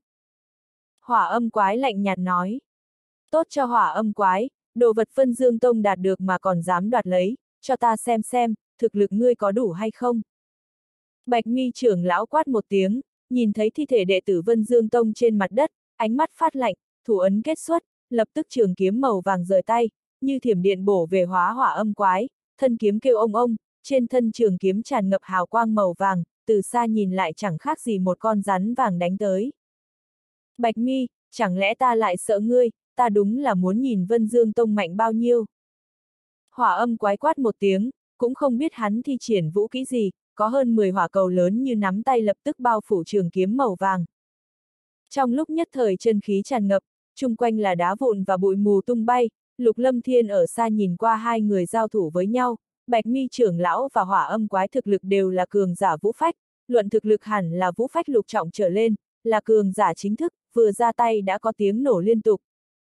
Mọi người đã sớm được Bạch Mi trưởng lão phân phó, không có tùy tiện tới gần, chỉ có thể đứng ở xa xa quan sát. Mà bốn chấp sự Vân Dương Tông nhanh chóng giao chiến với ba đại hán kia, bốn chấp sự Vân Dương Tông chiếm cứ thượng phong, thực lực của bốn chấp sự trừng vũ sư bát trọng, vũ sư cửu trọng, mà ba đại hán trang phục màu đen kia yếu hơn một chút, nhân số cũng ít hơn nên tràn đầy nguy cơ. Lục Lâm Thiên cảm thấy hứng thú chính là Bạch Mi trưởng lão giao thủ với hỏa âm quái, hai người này mới là cường giả, hai người này giao thủ mới kịch liệt. Lập tức, hỏa âm quái ngưng tụ hơn 10 hỏa cầu bị Bạch Mi trưởng lão thúc dục trường kiếm màu vàng đánh ra một bóng kiếm, kiếm khí lăng lệ lướt qua đánh nát hỏa cầu, trường kiếm nhanh chóng lướt ngang. Bạch mi trưởng lão tá trợ thân pháp trùng kích và thủ ấn biến ảo liên tục, vài đạo kiếm khí phong nhận thật nhỏ đã rời kiếm bay ra, cắt vào cổ của hỏa âm quái. Thần sắc hỏa âm quái trầm xuống, thân ảnh không chậm chút nào, nhanh chóng lùi lại, cương khí bao phủ toàn thân, mấy đạo kiếm khí phong nhận kia đỡ upsilon.ng vào cương khí phòng hộ của hắn, tiêu tán trong vô hình. Mà sau khi chống cự kiếm khí phong nhận, thần sắc hỏa âm quái ngưng trọng lên, cánh tay biến hóa, khí kình mang theo quyền kình đánh thẳng tới, nện thẳng vào bạch mi trưởng lão, khí kình áp bách làm không khí nổ vang không ngớt. Dường như bạch mi trưởng lão cũng không dám khinh thường, cảm nhận được khí kình ép tới, thủ ấn nhanh chóng biến đổi, trường kiếm màu vàng đánh ra, trường kiếm lưu lại vòng cung màu vàng trong không khí, mũi kiếm sắc bén như xuyên thủng tất cả va chạm với quyền đầu của hỏa âm quái. Cả hai chạm vào nhau, công kích mạnh mẽ làm cho mặt đất sinh ra gợn sóng và đá vụn bay tứ tung, không khí thừa nhận áp lực to lớn, cuối cùng không chịu nổi đã nổ tung. Bang bang! Không gian sinh ra tiếng nổ cực kỳ to lớn, trong phạm vi mấy chục mét đá vụn bắn tứ tung, phạm vi này biến thành hố sâu, hai đạo thân ảnh đồng thời lui ra sau. Bạch Mi, thực lực quả nhiên không tệ, nhưng mà thiên tàm bảo giáp ta phải đạt được, giao thiên tàm bảo giáp ra, ta lập tức đi ngay. Hỏa âm quái nói. Chê cười, người có thực lực kia sao? Bạch mi trưởng lão nói. Khắc khắc, vậy thì tốt, đó là mấy đệ tử mới của Vân Dương Tông A, thiên phú có lẽ không tệ, chết rất đáng tiếc, không giao thiên tàm bảo giáp ra, ta không làm gì được ngươi, nhưng mà chặn đánh bọn chúng, ngươi cảm thấy ta có thể làm được hay không? Hỏa âm quái cười âm trầm, ánh mắt nhìn chằm chằm vào đám người lục lâm thiên, lục vô song, dương mạn. Hỏa âm quái ngươi dám, đến lúc đó cho dù ngươi chạy trốn vào trong cổ vực, Vân Dương Tông cũng không bỏ qua cho ngươi. Bạch mi trưởng lão lập tức quát to, trong lòng tự nhiên biết rõ, thực lực hỏa âm quái không kém hơn hắn nhiều lắm, nếu hỏa âm quái một lòng muốn đối phó những đệ tử mới, bọn họ không cách nào làm được. Ta hỏi các ngươi lần cuối cùng, giao thiên tàm bảo giáp ra hay không? Hỏa âm quái nói. Nằm mơ, bảo vật như thiên tàm bảo giáp ngươi còn chưa có tư cách có được. Bạch mi trưởng lão lạnh nhạt nói một tiếng. Vậy đừng trách ta không khách khí. Hỏa âm quái âm lệ vừa quát, thân ảnh quát lên, lập tức lướt tới đám đệ tử mới lục lâm thiên bên kia. Ngươi dám! Bạch mi trưởng lão hét lớn một tiếng, Vương Minh Nguyệt thân ảnh như điện, hai người một đao một kiếm trực tiếp bổ vào hỏa âm quái, hai công kích xé rách không khí sinh ra tiếng nổ ầm ầm. Hỏa âm quái nhíu mày, bàn chân khẽ dậm vào hư không, một đạo chân khí nóng bỏng từ chân truyền ra ngoài, thân ảnh lập tức nhanh hơn mấy phần, đồng thời vung tay đánh ra hỏa cầu to 2 mét vào người bạch mi trưởng lão cùng Vương Minh Nguyệt. Phá! Hai người một đao một kiếm dễ dàng đánh xuyên qua hỏa cầu, nhưng mà chỉ trong tích tắc này, thân ảnh hỏa âm quái đã lao thẳng tới đám người lục lâm thiên. Các ngươi cẩn thận, đi mau. Bạch mi trưởng lão hét lớn một tiếng, thân ảnh lao tới, thủ ấn biến hóa, không gian tràn ngập chân khí, bảo kiếm màu vàng rời tay hóa thành một đạo hào quang màu vàng, như thiểm điện đâm về phía hỏa âm quái. Kiếm khí mang theo âm thanh xé gió, không khí chung quanh chấn động mạnh mẽ, một kiếm này đã là toàn lực của bạch mi trưởng lão. Đi mau, chúng ta không phải đối thủ. Lục vô song lớn tiếng nói, tất cả người bên này đều nhìn thấy, lập tức chạy trốn thật nhanh. Lục lâm thiên cũng không ngoại lệ, không nghĩ tới hỏa âm quái lại chọn ra tay với đệ tử mới của Vân Dương Tông, thân ảnh nhanh chóng lao đi bỏ trốn, nếu rơi vào trong tay hỏa âm quái, kết cục có thể nghĩ, nhất định không phải là kết quả tốt gì. Hỏa ảnh chỉ, nhìn thấy một kiếm của bạch mi trưởng lão ở sau lưng, hỏa âm quái khẽ quát một tiếng, mũi chân điểm nhẹ hư không, một đạo chân khí rung động truyền vào chân, thủ ấn biến hóa, bấm tay bắn ra, năm đạo năng lượng mạnh mẽ bắn ra ngoài, bắn thẳng vào kiếm quang của bạch mi trưởng lão. Ngay vào lúc này, hỏa âm quái nhanh chóng lao tới trước, năm chỉ mạnh mẽ bắn xuyên qua hư không, thoáng cái đã đỡ upsilon.ng vào kiếm quang của bạch mi trưởng lão. Keng keng. Trong thời gian cực ngắn, kiếm quang bị năm chỉ ngăn cản, tuy năm chỉ không cách nào phá vỡ kiếm quang nhưng vẫn đánh nó giạt ra, không cách nào tiếp tục công kích hỏa âm quái. Trước bắt người khai đao A. Thân ảnh hỏa âm quái xuất hiện sau lưng tần thiên hạo, trong mọi người tần thiên hạo thân là linh giả, ở phương diện tốc độ chậm nhất cho nên rơi lại sau cùng. Một trường ngưng tụ trước người hỏa âm quái, đánh thẳng xuống. Phá! Cũng vào thời điểm này, một đạo đao quang của Vương Minh Nguyệt cũng chém tới, bảo hộ trước người Tần Thiên Hạo. Ta xem ngươi có thể bảo hộ mấy người. Hỏa âm quái cười âm trầm, thủ ấn lập tức ngưng kết đánh ra mấy đạo công kích, trưởng ấn mang theo hỏa diễm xé rách không gian, lại công kích vào lục thiếu hổ cách Tần Thiên Hạo không xa. Cẩn thận! Thủ ấn của bạch mi trưởng lão biến hóa, trường kiếm màu vàng vạch phá không khí đánh thẳng vào hỏa âm quái. Hừ! Hỏa âm quái hừ lạnh một tiếng, thủ ấn biến hóa, năm đạo chỉ quang nóng bỏng đánh ra, thân ảnh của hắn nhanh chóng lui lại, mà năm đạo chỉ ấn kia ngăn cản bốn đạo kiếm quang của bạch mi trưởng lão đánh ra, dây dưa với nhau, thừa một đạo cắt qua mặt ngoài thân thể lục thiếu hổ, khí kình nóng bỏng này làm làn da lục thiếu hổ đau đớn, hắn lảo đảo lui ra phía sau, lập tức ngã nhào trên đất lên, bị dọa đổ mồ hôi lạnh. Khắc khắc, bạch mi, ta xem ngươi có thể cứu bao nhiêu người. Hỏa âm quái cười âm trầm, thân ảnh của hắn xoay tròn trên không trung, giống như một cơn gió mang theo chân khí màu đỏ, thân hình vô cùng nhẹ nhàng đạp xuống đất, chân khí dồn vào chân, dựa thế lao đi lần nữa, thân ảnh của hắn như quỷ mi lao thẳng về phía trước, mục tiêu của hỏa âm quái lúc này là Lục Lâm Thiên. Lục Lâm Thiên đã sớm thừa cơ lùi lại thật nhanh, lúc này thấy hỏa âm quái phóng tới chính mình, thân sắc kinh hãi, trong lòng rất rõ thực lực bản thân, dùng thực lực của mình bây giờ, căn bản không cách nào chống lại cường giả như hỏa âm quái. Chân khí tuôn ra tới mức tận cùng, Lục Lâm Thiên chỉ có lựa chọn duy nhất là bỏ trốn. Lâm Thiên cẩn thận. Cách đó không xa, Lục vô song thất sắc, không có do dự chút nào, thân hình uyển chuyển xẹt qua, chân khí tuôn trào, bàn tay như vung ra, thanh nguyệt kiếm nhanh chóng chém thẳng về phía hỏa âm quái. Không biết tự lượng sức mình. Hỏa âm quái lạnh quát một tiếng, khóe mắt nhìn qua kiếm quang đang lao tới, thân ở giữa không trung, chân khí đột nhiên tăng vọt, một đạo năng lượng cực nóng phóng ra ngoài, ngưng tụ vào ngón tay, một chỉ mạnh mẽ đánh thẳng vào thanh nguyệt kiếm. Bành! Cả hai tiếp xúc, trên không trung có tiếng nổ vang xuất hiện, thanh nguyệt kiếm rơi xuống đất, cũng trong nháy mắt này, thân ảnh hỏa âm quái cũng không tiếp đất, phất tay đánh ra một hỏa cầu về phía lục vô song. Vô song tỷ coi chừng. Sắc mặt lục lâm thiên kinh hãi, lục vô song là vì cứu mình mà gặp phiền toái, thực lực lục vô song tuyệt đối không cách nào chống lại hỏa âm quái. Thanh linh khải giáp. Lục lâm thiên hiện tại không có thời gian do dự, lập tức bố trí thanh linh khải giáp, quanh thân xuất hiện vô số lân phiến màu vàng che đậy thân thể, hắn lao tới. Khai sơn trưởng. Chân khí tuôn trào, một đạo trưởng ấn màu vàng nhạt đánh ra ngoài, tuy khí kình mang theo tiếng xé gió, nhưng so với công kích của hỏa âm quái, bạch mi trưởng lão thì khí thế kém đi rất nhiều. Hỏa âm quái đột nhiên cảm thấy sau lưng có công kích, quay đầu lại cười lạnh, căn bản cũng không có để ý nhiều, đối phương chỉ là một vũ sĩ mà thôi, ở trước mặt hắn chẳng khác gì con kiến, không cần quan tâm. Sắc mặt hỏa âm quái trầm xuống, sau lưng lục lâm thiên, bạch mi trưởng lão đã lao tới trước. Hừ, tiểu tử, tới đây cho ta. Thần sắc hỏa âm quái trầm xuống, thân ảnh như thiểm điện biến mất tại chỗ. Lục lâm thiên ngưng tụ khai sơn trưởng đánh tới, trong nội tâm lập tức cảm giác được không tốt, đang muốn lui lại thật nhanh, một giọng nói đã vang lên bên tai. Tiểu tử, thành thật một chút. Cũng vào lúc này, Lục Lâm Thiên cảm giác hỏa âm quái đánh vài chỉ vào người của mình, chân khí toàn thân lập tức bị ngăn cản, thân hình đã không cách nào nhúc nhích. Hỏa âm quái, ngươi mau thả người ra, nếu không Vân Dương Tông ta sẽ không để yên cho ngươi. Bạch mi trưởng lão hét lớn một tiếng, thần sắc ngưng trọng lên. Lâm Thiên, Lục vô song thất kinh, hoa dung thất sắc.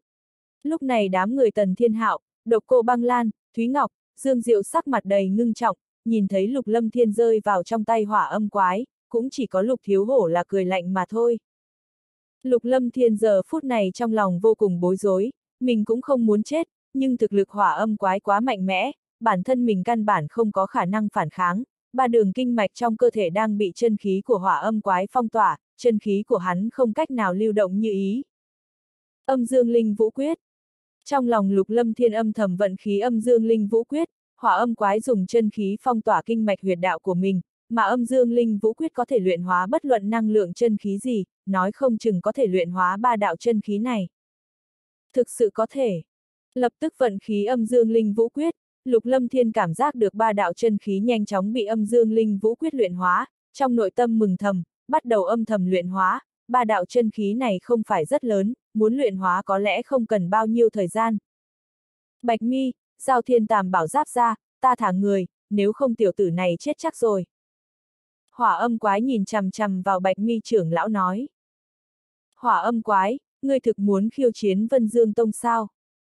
Bạch mi trưởng lão lạnh nhạt nói một tiếng, muốn giao thiên tàm bảo giáp ra, đây là không có khả năng, thiên tàm bảo giáp không phải vật bình thường, làm gì dễ dàng giao ra, thế nhưng mà lục lâm thiên là vũ giả tam hệ, lần này vào Vân Dương Tông, muốn trở thành đệ tử thân truyền cũng tuyệt đối không phải việc khó gì.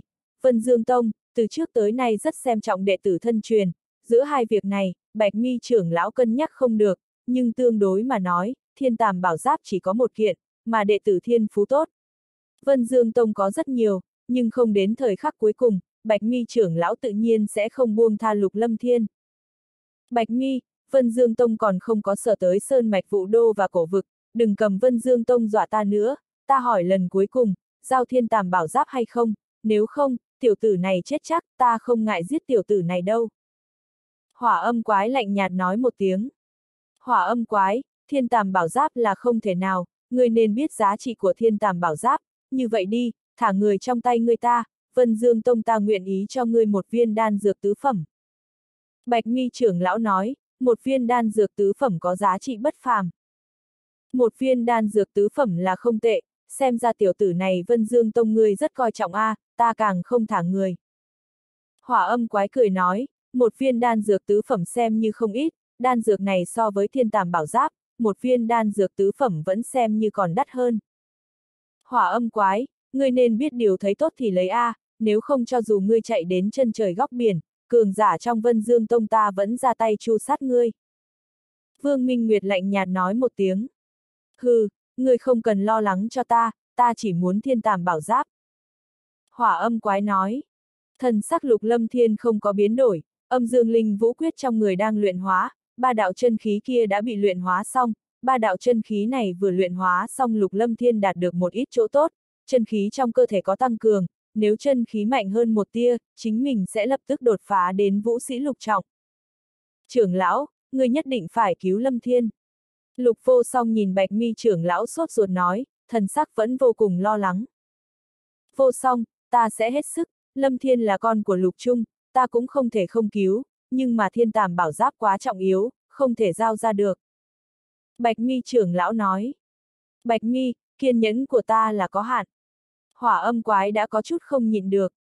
Hỏa âm quái, người của ngươi cũng trong tay chúng ta, chúng ta đổi người chứ. Lúc này sau lưng bạch mi trưởng lão, bốn chấp sự đã bắt được một đại hán áo đen, hai tên còn lại đã bị người Vân Dương Tông đánh chết. Hỏa âm huynh, cứu ta. Đại hán áo đen cầu khẩn, ai cũng không muốn chết. Hừ, thực lực không đủ, còn sống dùng làm gì? Hỏa âm quái đạm mạc nói, trong tay ngưng tụ khí kình lập tức lướt tới đại hán bị Vân Dương Tông bắt. Xuy! Trước ngực đại hán này có hỏa diễm lướt tới, một lỗ máu hiển hiện, tên đại hán áo đen này nhìn chằm chằm vào hỏa âm quái, trong mắt không cam lòng té trên mặt đất. Thật ác độc! Người Vân Dương Tông cũng không ngờ hỏa âm quái lại ra tay hung ác với người mình như thế, vốn còn muốn dùng người này để áp chế hỏa âm quái, không nghĩ tới hỏa âm quái căn bản không đặt trong lòng. Không thể tiếp tục, nếu không sẽ chết chắc, phải mạo hiểm thử một lần. Bạch mi trưởng lão nhìn chằm chằm vào hỏa âm quái, lúc này cũng vô kế khả thi, đột nhiên bạch mi trưởng lão nhìn thấy lục lâm thiên đang nháy mắt, dường như đang nói gì đó với mình. Bạch mi, ta không có kiên nhẫn, nếu không giao thiên tàm bảo giáp ra, ta liền giết tiểu tử này, sau đó người ở đây ta chậm rãi đánh chết, nhìn ngươi có thể bảo vệ mấy người. Hỏa âm quái lạnh nhạt nói. Nộ diễm quyền. Hỏa âm quái còn chưa dứt lời, ngay trong nháy mắt này chân khí của lục lâm thiên chấn động, chân khí nóng bỏng lao ra ngoài, hỏa âm quái vẫn đang áp chế mình nên ở gần trong gang tấc, nộ diễm quyền đánh ra sau đó thân hình lui nhanh. Hỏa âm quái căn bản cũng không có nghĩ đến người bị mình phong bế kinh mạch lại có thể khôi phục nhanh chóng, mặc dù nói một vũ sĩ công kích không cách nào trọng thương hắn, nhưng nếu gần trong gang tấc chúng một quyền này tự nhiên cũng không dễ chịu, thân hình lui lại né tránh, đồng thời hét lớn một tiếng. Thì ra là vũ giả song hệ, tiểu tử muốn chết. Sắc mặt hỏa âm quái biến hóa, mũi chân điểm vào mặt đất, thân thể giống như trượt dài, lùi ra sau 10 mét, vừa mới tránh né một quyền của lục lâm thiên. Oanh! Nộ diễm quyền của lục lâm thiên nện vào vị trí đặt chân của hỏa âm quái, lập tức một tiếng vang xoát hiện, đá vụn bay lên, từng đạo khe hở lan tràn ra chung quanh, hỏa diễm bắn ra ngoài, một quyền này lục lâm thiên đã dùng toàn lực, nhưng không thể làm gì được hỏa âm quái. Mà cũng trong nháy mắt này, thân hình hỏa âm quái lướt tới, lao thẳng tới lục lâm thiên, trong mắt của hắn đầy sát ý. Hỏa âm quái, ăn một trưởng của ta. Cũng vào lúc này, Bạch mi trưởng lão sớm chú ý tới lục lâm thiên nháy mắt, Tuy kinh ngạc Lục Lâm Thiên làm sao có thể giải kinh mạch bị phong bế, nhưng mà hắn vẫn lao tới thật nhanh, trưởng phong lăng lệ đánh ra, quét qua mặt đất, cát đá bay tứ tung, đem tầng đất đá bị quét bay lên cao. Trong thời gian này, đồng tử bạch mi trưởng lão hơi co lại, chân khí toàn thân đột nhiên tăng vọt, một đạo thủ ấn ngưng tụ trưởng ấn màu vàng đánh thẳng vào hỏa âm quái. Bạch mi, hôm nay ta muốn giết tiểu tử này. Dường như hỏa âm quái đã bị lục lâm thiên chọc giận, cười lạnh xông lên, không ngờ lại không thèm để ý sau lưng bị bạch mi trưởng lão công kích, thân ảnh đột nhiên lao nhanh tới, tốc độ khủng bố như điện quang lóe lên, mấy bóng dáng hư ảo hiển hiện, nhanh chóng tiếp cận lục lâm thiên, hắn đánh ra một trường, trực tiếp đập vào người lục lâm thiên. Lục lâm thiên căn bản không thể tránh né, bởi vì thực lực chênh lệch quá lớn, tốc độ cũng kém nhau quá xa, vốn tưởng rằng có thể thừa cơ đào thoát, không nghĩ tới tốc độ của hỏa âm quái lại còn khủng bố như vậy, mà xui xẻo nhất là, nếu lui ra phía sau là vách núi, căn bản không có đường lui nữa. Xíu, yêu yêu. Không do dự, lục lâm thiên hất tay áo lên, một đạo thiểm điện màu vàng nhạt lóe lên, đạo hào quang màu vàng nhạt này không biết là cái gì lại xuyên qua trường ấn của hỏa âm quái, lập tức bắn thẳng vào hỏa âm quái. Yêu thú.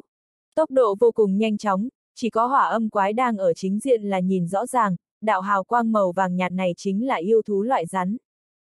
Có thể trực tiếp xuyên thấu qua trường ấn của mình, thần sắc hỏa âm quái hoảng hốt, yêu thú này tuyệt đối không phải thứ tầm thường, hắn không dám chủ quan, đánh ra một trường, một đạo hỏa diễm đánh tới công kích yêu thú kia.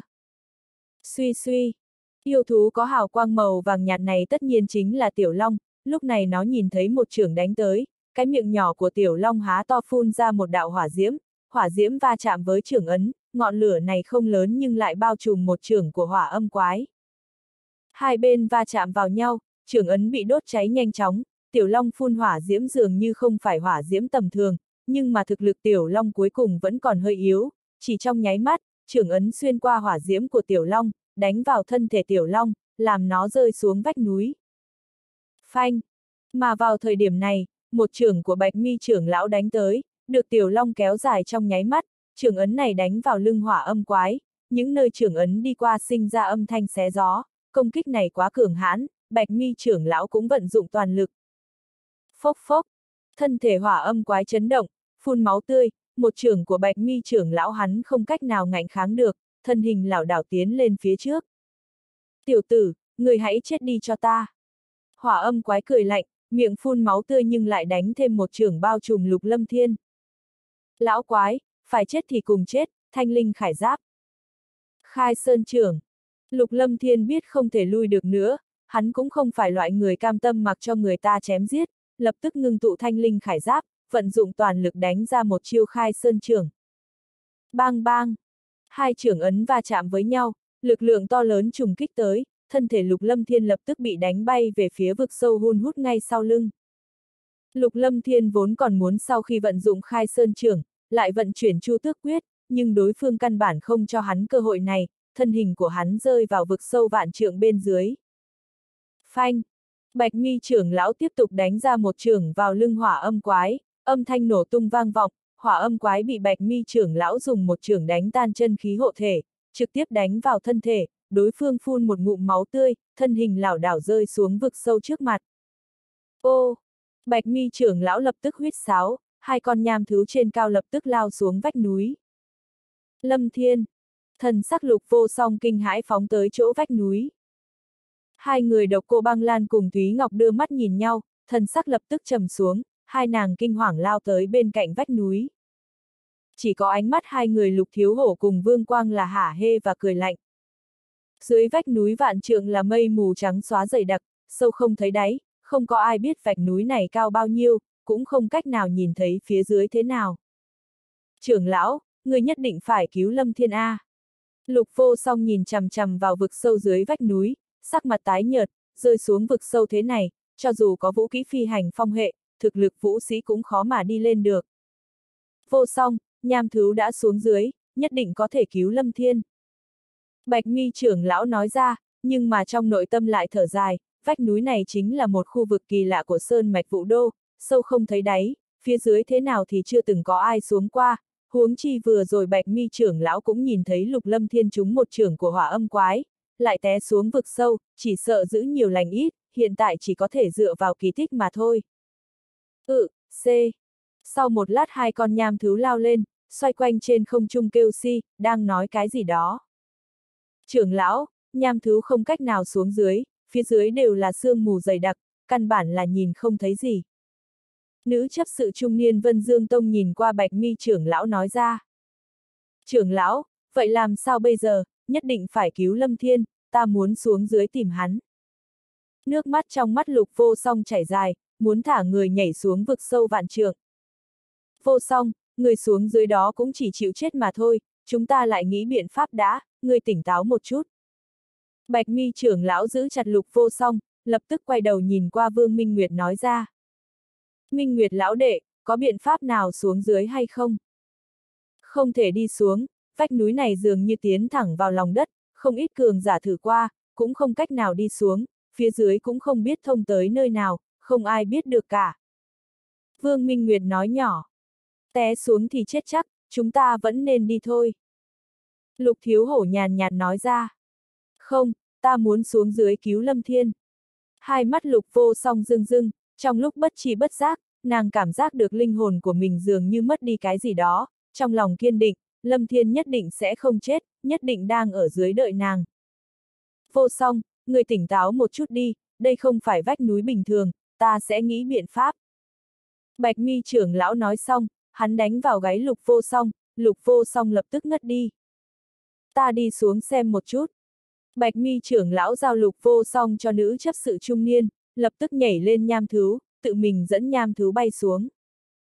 Dưới vách núi, sau khi xâm nhập trăm mét thì sương mù màu trắng dày đặc càng nồng đậm, dùng với tu vị của bạch mi trưởng lão, hắn chỉ nhìn thấy vài mét mà thôi, mà yêu thú nham thú thì hoàn toàn không nhìn thấy rõ ràng, trong sương mù dày đặc thế này không phân rõ chung quanh, căn bản là không cách nào tiến thêm nửa thước. Bạch mi trưởng lão nhìn chung quanh, vẫn là sương mù nồng đậm, trừ sương mù ra không còn có thứ gì khác. Lâm Thiên.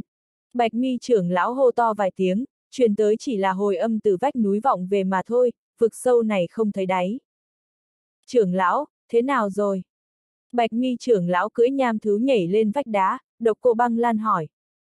Không có biện pháp, phía dưới căn bản nhìn không được rõ ràng, nham thứ cũng không cách nào xuống dưới, chỉ sợ là giữ nhiều lành ít. Bạch mi trưởng lão thở dài một hơi rồi nói. Vũ giả tam hệ, thiên phú đỉnh cấp, phân dương tông chúng ta mất đi một đệ tử thân truyền rồi. Một gã chấp sự thở dài, vũ giả tam hệ, cả vân dương tông cũng chỉ có một người mà thôi. Thiếu niên vừa rồi là vũ giả tam hệ sao? Vương Minh Nguyệt kinh ngạc nói. Chúng ta đi thôi, hy vọng kỳ tích xuất hiện, Lâm Thiên có thể tìm được đường sống trong chỗ chết, nếu không lần sau nhìn thấy lục trung, ta cũng không biết nên bản giao thế nào. Bạch mi trưởng lão nói. Bạch mi, chẳng lẽ hắn là con của lục trung? Thần sắc Vương Minh Nguyệt đầy kinh ngạc. Không sai. Bạch mi trưởng lão than nhẹ một tiếng, khẽ lắc đầu, lập tức nói. Chúng ta đi thôi, nơi này không an toàn, tránh dẫn cường giả khác bị thu hút tới, chúng ta đi trước đi. Chúng ta đi thôi. Bên cạnh vách núi, độc cô băng lan nhìn Thúy Ngọc nói. Người nói hắn có cơ hội tìm được đường sống trong chỗ chết không? Thúy Ngọc nhìn chằm chằm vào vực sâu, nói. Hắn không giống như người chết non, nhất định sẽ tìm được đường sống trong chỗ chết. Độc cô băng lan nói. Chỉ mong như thế. Thúy Ngọc nói nhỏ một tiếng, lập tức thu liễm thần sắc, mỉm cười nói. Chúng ta đi thôi.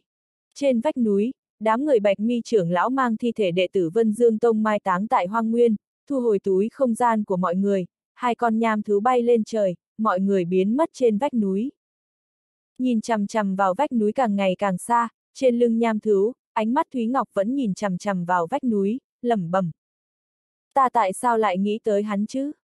Lại nói lục lâm thiên ngã xuống vách núi thì trong lòng tuyệt vọng, trong cơ thể bị một trưởng của hỏa âm quái trùng kích, máu tươi phun ra, hắn bị trọng thương, khí huyết nhộn nhạo, thân hình không ngừng rơi xuống trong mây mù. Lục lâm thiên nghe được tiếng gió gào thét bên tai, hắn đang rơi xuống, trái tim của hắn đập loạn giống như muốn xé tan LIG ngực lao ra ngoài. Làm sao bây giờ, chết chắc rồi. Lục lâm thiên nghĩ thầm trong lòng, bản thân mình sẽ không chết đâu, còn có mẫu thân phải chiếu cố, hắn nghĩ nếu như mình có vũ khí phi hành, nói không chừng còn có thể có cơ hội chạy trốn, bằng không hắn chết chắc rồi. Siêu siêu. Vào lúc này âm thanh xé gió bén nhọn truyền tới, tiểu long lại xuất hiện bên người, thân hình của nó không ngừng rơi xuống. Tê tê. Tiểu long cũng cảm giác được tình huống của lục lâm thiên, nhả lưỡi ra rung động tê tê, nhưng căn bản không có chút biện pháp nào. Đó là cái gì? Trong lúc hoảng sợ, trong ánh mắt lục lâm thiên nhìn thấy một nơi không có sương mù dày đặc che phủ, địa phương khác đều là sương mù trắng xóa, đây là nơi kỳ lạ, nhưng mà khu vực đó còn cách vị trí hắn rơi xuống một khoảng cách. Ở đó có chút cổ quái, nói không chừng có cơ hội sống sót. Lục lâm thiên không do dự, cũng không biết lực lượng to lớn sinh ra từ đâu, con người lâm vào tuyệt cảnh, có chút thời điểm sẽ bộc phát tiềm năng lớn nhất, một trường chụp vào hư không, lục lâm thiên mượn một tia phản lực, thân hình hơi dừng lại. Nhưng vào lúc này, khí lực toàn thân lục lâm thiên tụ tập lại, đột nhiên bật về phía trước, trong chốc lát, lục lâm thiên lại rơi xuống lần nữa, nhưng mà nhờ cú nhảy này hắn đã tiến vào khu vực không có sương mù. Đã xảy ra chuyện gì? Trong lòng lục lâm thiên vô cùng kinh ngạc, rốt cục biết rõ vì cái gì nơi này không có sương mù che đậy, thì ra nơi này không biết có gió lốc sinh ra từ đâu, giống như một vòng xoáy sinh ra lực bài xích cực lớn, mây mù chung quanh tán đi, mà ở bên trong lại sinh ra lực hút cực mạnh, thân hình của hắn bị lực hút này kéo vào. Thân thể không bị khống chế không ngừng xoay tròn trong gió, tuy tốc độ rơi xuống chậm lại không ít, nhưng mà xoay tròn làm mắt lục lâm thiên nổ đom đóm, đầu óc hỗn loạn chóng mặt. Lần này chết chắc rồi, đây rốt cuộc là nơi nào? Lục lâm thiên nghĩ thầm trong lòng, trên người bố trí thanh linh khải giáp đã càng ngày càng mờ nhạt, lực hút này cực kỳ khổng lồ, giống như lưỡi đao gọt qua thân thể, nếu không phải trên người có thanh linh khải giáp gia trì, chỉ sợ bản thân mình hiện tại đã biến thành đống xương trắng. Trong lực hút khổng lồ ở nơi này, Lục Lâm Thiên cảm giác được bản thân mình không kiên trì nổi, thanh linh khải giáp trên người không thể tiếp tục trèo trống, thanh linh khải giáp tiêu tán, bản thân hắn sắp hóa thành xương trắng. Đúng lúc này, Lục Lâm Thiên đột nhiên cảm giác lực hút dường như tiêu tán không còn, thân hình của mình rơi xuống nhanh chóng. Phanh! Lục Lâm Thiên cảm giác bản thân mình rơi thẳng xuống đất, miệng phun máu tươi, lập tức hôn mê. Lâm Thiên, Lâm Thiên! Trên lưng nham thú, Lục Vô Song chậm rãi tỉnh lại, mở hai mắt ra nhìn chung quanh không thấy thân ảnh Lục Lâm Thiên, lập tức sốt ruột hỏi. Trưởng lão, Lâm Thiên đâu rồi, có cứu được Lâm Thiên không? Vô Song tỷ, Lục Lâm Thiên đã chết rồi, tỷ không cần nghĩ tới hắn nữa, rớt xuống vách núi thì chết chắc. Lục Thiếu Hổ nói. Không đâu, Lâm Thiên sẽ không chết, ta muốn đi cứu hắn, ta làm sao bàn giao với Tam Di đây? Lục vô song thất thần nói, bắt đầu dõu dụa ra khỏi tay nữ chấp sự trung niên. Vô song, người tỉnh táo một chút, ta tự mình xuống dưới xem qua, Lâm Thiên là giữ nhiều lành ít, nếu như có thể tìm được đường sống trong chỗ chết, ngày nào đó ngươi sẽ gặp được hắn, ngươi như vậy cũng không giúp được cái gì đâu. Bạch mi trưởng lão nói, trong lòng của hắn cũng không quá tin tưởng có người rớt xuống vách núi đó còn tìm được đường sống trong chỗ chết, tăng thêm thực lực lục lâm thiên chỉ là vũ sĩ mà thôi. Lâm thiên, lục vô song khóc giống lên, nhưng cũng không có chút biện pháp nào, nghĩ đến đường đệ bởi vì cuối cùng cứu mình khi bị hỏa âm quái uy hiếp, trong nội tâm càng bi thương và tự trách. Cũng không biết trôi qua bao lâu, lục lâm thiên tỉnh lại từ trong hỗn loạn, cảm giác chân khí trong cơ thể tán loạn, huyết khí cuồn cuộn, toàn thân khó chịu nói không nên lời. Suy suy, có cái gì đó đang láp mặt của mình, lục lâm thiên mở hai mắt ra, phát hiện tiểu long đang ở bên cạnh mình, chung quanh là một sơn động đá không lớn không nhỏ. Tiểu long, ta không có chết. Lục lâm thiên nhìn thấy tiểu long, lập tức ý thức được bản thân mình không chết, hắn vẫn còn sống. Đánh giá chung quanh, lục lâm thiên nhìn sơn động này chỉ lớn chừng 10 mét, trên mặt đất đều là hòn đá gập ghềnh, không có một tia bụi đất, nhưng trên mặt đất phủ kín không ít xương cốt vỡ nát. Lục lâm thiên lập tức giật mình, lập tức giấy dụa ngồi xuống, trong sơn động này có không ít xương cốt, thi khí um toàn, toàn thân khẽ run rẩy. Hỏa âm quái. Cũng vào lúc này, Lục Lâm Thiên nhìn thấy cách mình không xa chính là hỏa âm quái nằm trên mặt đất, cũng không biết sống hay chết. Lục Lâm Thiên không biết hỏa âm quái làm sao lại rơi xuống đây, nhưng trong nội tâm biết rõ, hỏa âm quái nếu không chết thì hắn sẽ không may.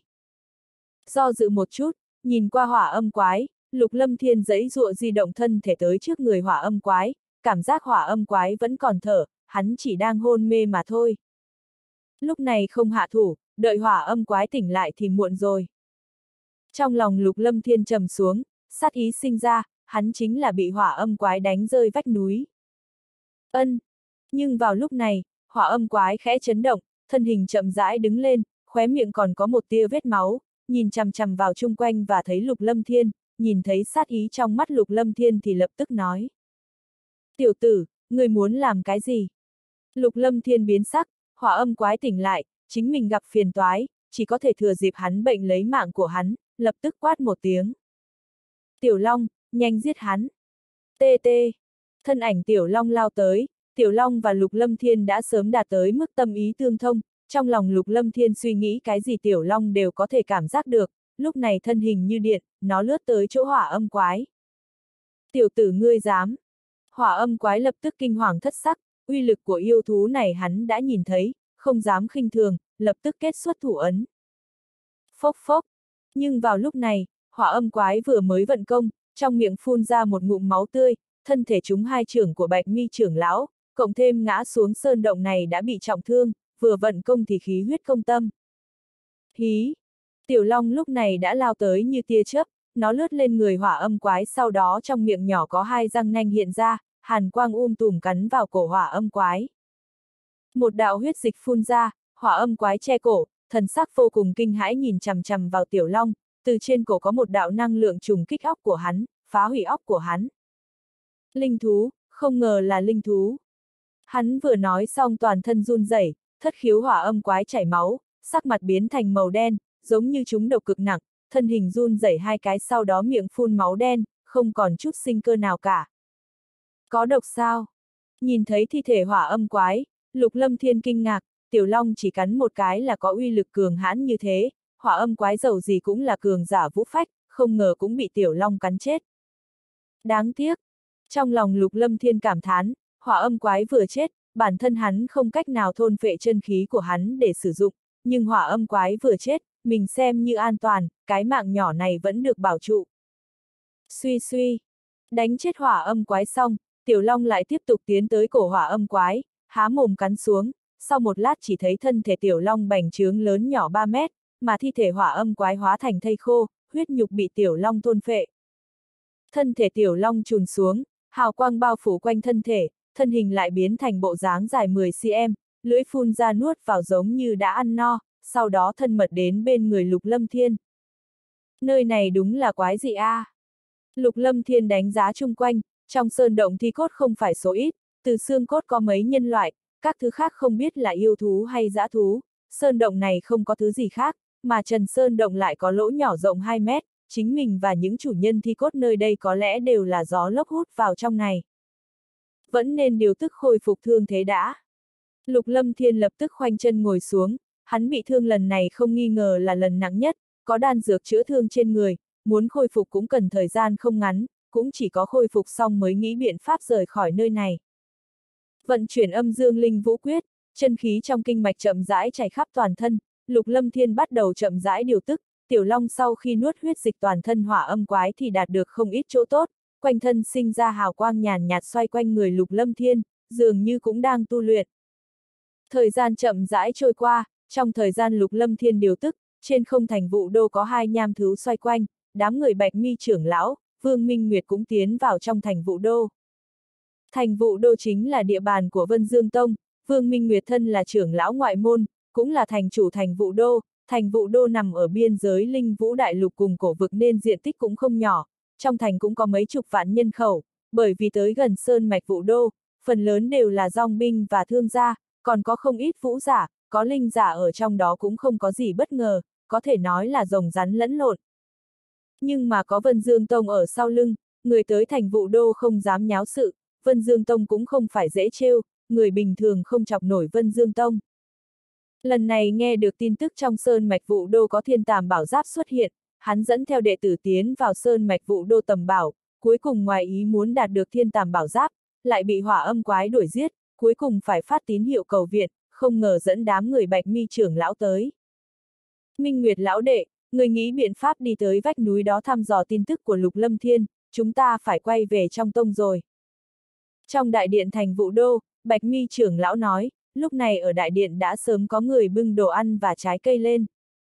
Yên tâm đi, Lục Lâm Thiên là con của Lục Trung, ta tự nhiên sẽ chú ý nhiều, lần này Lục Lâm Thiên gặp chuyện ngoài ý muốn, lần sau nếu nhìn thấy Lục Trung, chúng ta cũng không dễ bàn giao.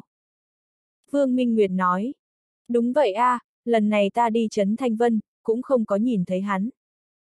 Bạch mi trưởng lão nói. Vương Minh Nguyệt nói, lần này quay trở lại Vân Dương Tông, Bạch mi huynh mang theo thiên tàm bảo giáp về trong tông đi, miễn cho có người nhớ thương, đưa vào trong tông rồi, kẻ nào cũng không dám suy nghĩ tới. Vương Minh Nguyệt nói, cũng tốt, Minh Nguyệt lão đệ ngươi lần này xem như lập công, đến lúc đó nói không chừng có cơ hội triệu hồi về tông đấy. Bạch mi trưởng lão nói, mọi người nghỉ ngơi một chút, lại cưỡi nham thứ đi về Vân Dương Tông, phải mau chóng đưa đệ tử mới về Vân Dương Tông, Bạch mi trưởng lão cũng không dám chỉ hoãn, lần này có một vũ giả tam hệ chết đi, trở lại trong tông không tránh được trách phạt, chỉ mong đạt được thiên tàm bảo giáp yêu khuyết điểm bù nhau, có thể miễn trừ xử phạt. Ba ngày sau, trong sơn động, hòa quang màu vàng nhạt quấn quanh người lục lâm thiên, hào quang co rút lại chui vào lỗ chân lông toàn thân, miệng hắn phun ra một ngụm máu bầm, trên mặt đã xuất hiện một chút hồng nhuận phơn phớt, ba ngày điều tức, thương thế đã tốt ba thành, đi lại đã không thành vấn đề. Nhất định phải mau chóng tăng cường thực lực mới được. Trong nội tâm lục lâm thiên nói thầm, nếu như trước đó mình có đầy đủ chiến lực, cũng sẽ không xuất hiện tình huống này, hiện tại mình có thể tìm được đường sống trong chỗ chết, tiếp theo có cơ hội như thế không còn khó nói, tất cả phải dựa vào thực lực của mình mới được. Tiểu Long leo lên đầu gối Lục Lâm Thiên, Lục Lâm Thiên nhìn qua thân thể Tiểu Long, so với ba ngày trước thân thể của nó dài hơn một chút, đã dài tới 15 cm.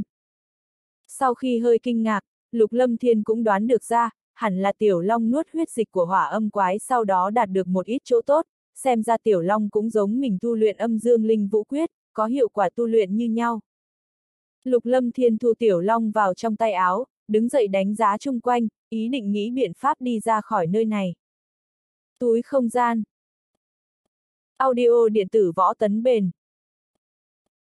Lục Lâm Thiên nhìn chằm chằm, vào thân thể khô héo của hỏa âm quái, ở đó có túi nhỏ màu xanh đen, đây chính là túi không gian, là túi không gian của cường giả vũ phách, hẳn là hắn sẽ có thu hoạch thật kinh người. Nghĩ đến đây, mặc dù lục lâm thiên cầm túi không gian của hỏa âm quái vào trong tay, nếu hỏa âm quái không chết, tự nhiên là không cách nào đạt được vật phẩm trong túi không gian của đối phương, giống như vật phẩm trong chữ vật giới chỉ của hắn, cho dù người khác đạt được cũng không mở ra được, trải qua chính mình nhỏ máu nhận chủ, trên chữ vật giới chỉ có khí tức linh hồn của hắn, trừ phi là thực lực mạnh hơn hắn quá nhiều mới có thể phá vỡ cấm chế trong chữ vật giới chỉ để tiến vào trong đó thôi.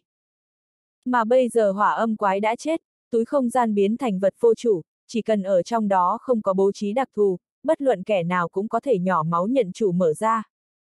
Lục Lâm Thiên cầm lấy túi không gian của hỏa âm quái sau đó nhỏ máu tươi nhận chủ, túi không gian này bắn ra hào quang sáng ngời, tâm niệm tiến vào trong túi không gian thăm dò, túi không gian này không có thủ đoạn bảo vệ đặc biệt nào, dễ dàng tiến vào trong kiểm tra. Không hổ là cường giả vũ phách, đồ vật trong túi không gian này quả nhiên phong phú.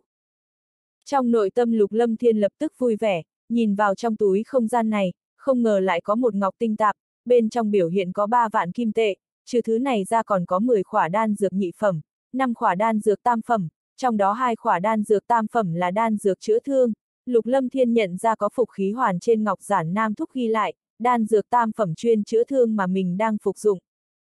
Ngoài ra có ba viên đan dược tam phẩm tăng chân khí, có ba viên đan dược này Lục Lâm Thiên ý thức được mình có thể đột phá lên vũ sĩ cửu trọng, thậm chí là có thể đột phá đến vũ sư.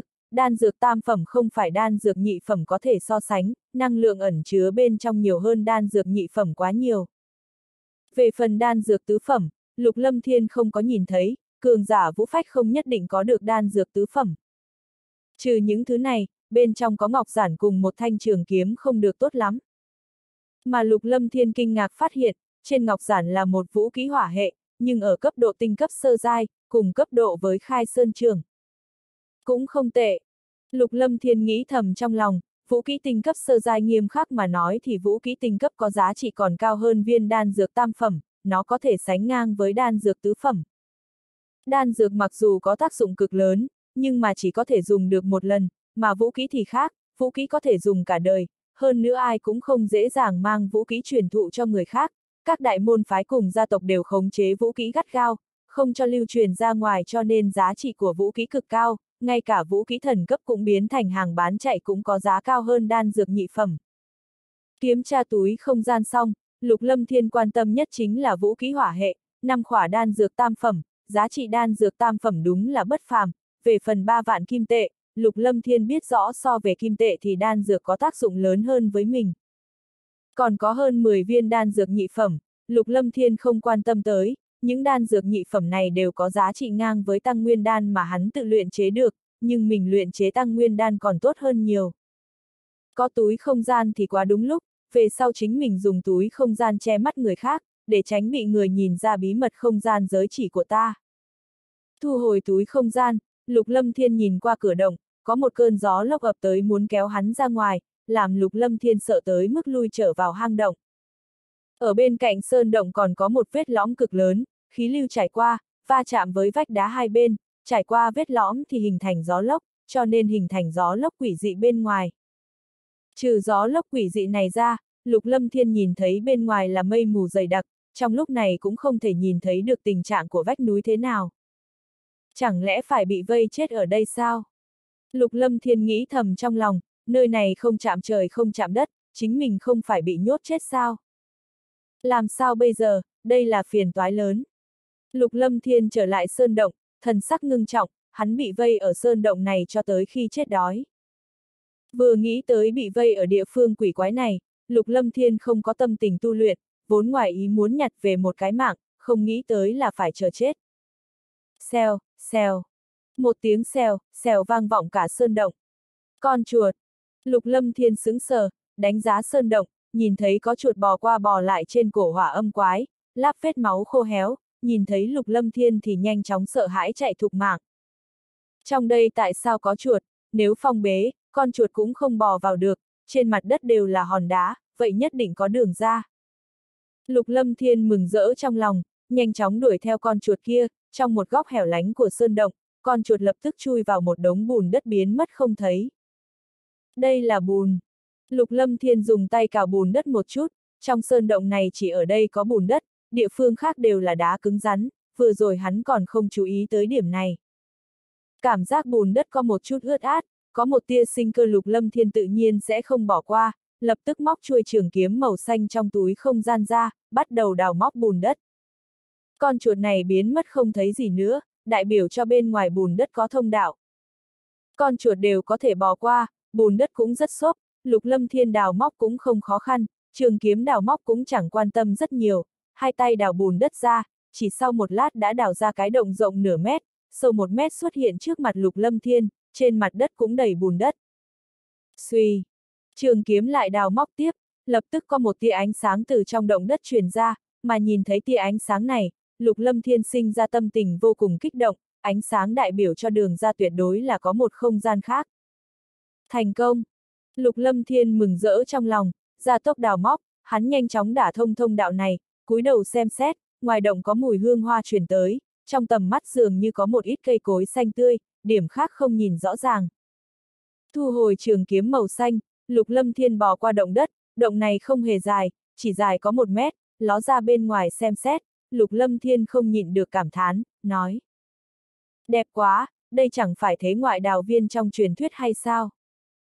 Xuất hiện trước mặt Lục Lâm Thiên chính là một sơn cốc bao la, trong sơn cốc là một đám đại thụ che trời, rừng cây vô cùng yên tĩnh, còn có vài tiếng kêu kỳ lạ truyền tới. Lục Lâm Thiên nhanh chóng leo ra khỏi động đất, bò qua đám cây rậm rạp kia, không khí hơi lạnh bao phủ cả thân thể, làm cho toàn thân cảm thấy thanh tịnh. Dưới chân có hoa cỏ xanh tươi mơn mởn, ở xa xa có một ít loài hoa kỳ lạ đua nở, lúc này đang là mùa xuân, hương hoa dày đặc thấm vào ruột gan. Vài ánh mặt trời xuyên qua kẽ lá chiếu xuống mặt đất, hình thành từng cột ánh sáng màu vàng, sáng tối giao thoa nhau. Xuyên qua cột sáng nhìn thấy cảnh tượng sáng ngời trước mặt, nó ảm đạm trong chốc lát, giống như đang ở không gian khác, tràn ngập khí thức thần bí và tiếng động vật nô đùa nhau. Tất cả cảnh vật trong rừng cây lờ mờ, mùi hương hoa cỏ giao nhau, nghe thấy bắt đầu đặc biệt thoải mái, thỉnh thoảng có thành từng mảnh lá rụng lẳng lặng rơi xuống. ngẩng đầu nhìn qua xa xa, bốn phía của rừng cây bị bao phủ trong sơn cốc, mà bên ngoài rừng cây lại có núi cao mọc lên. Nhìn chằm chằm vào cảnh trước mặt, Lục Lâm Thiên kinh ngạc, nơi này hẳn là chưa từng có người đi qua, hoàn toàn là bộ dáng thế ngoại đào viên, trọng yếu nhất là, trong sơn cốc này còn có linh khí chỉ có linh giả mới có thể cảm nhận được, nếu như linh giả tu luyện ở đây chắc chắn sẽ được lợi rất lớn. Không biết có đường ra khỏi đây hay không? Trong lòng lục lâm thiên phỏng đoán, cẩn thận đánh giá chung quanh, lúc này cũng không biết nên đi đâu.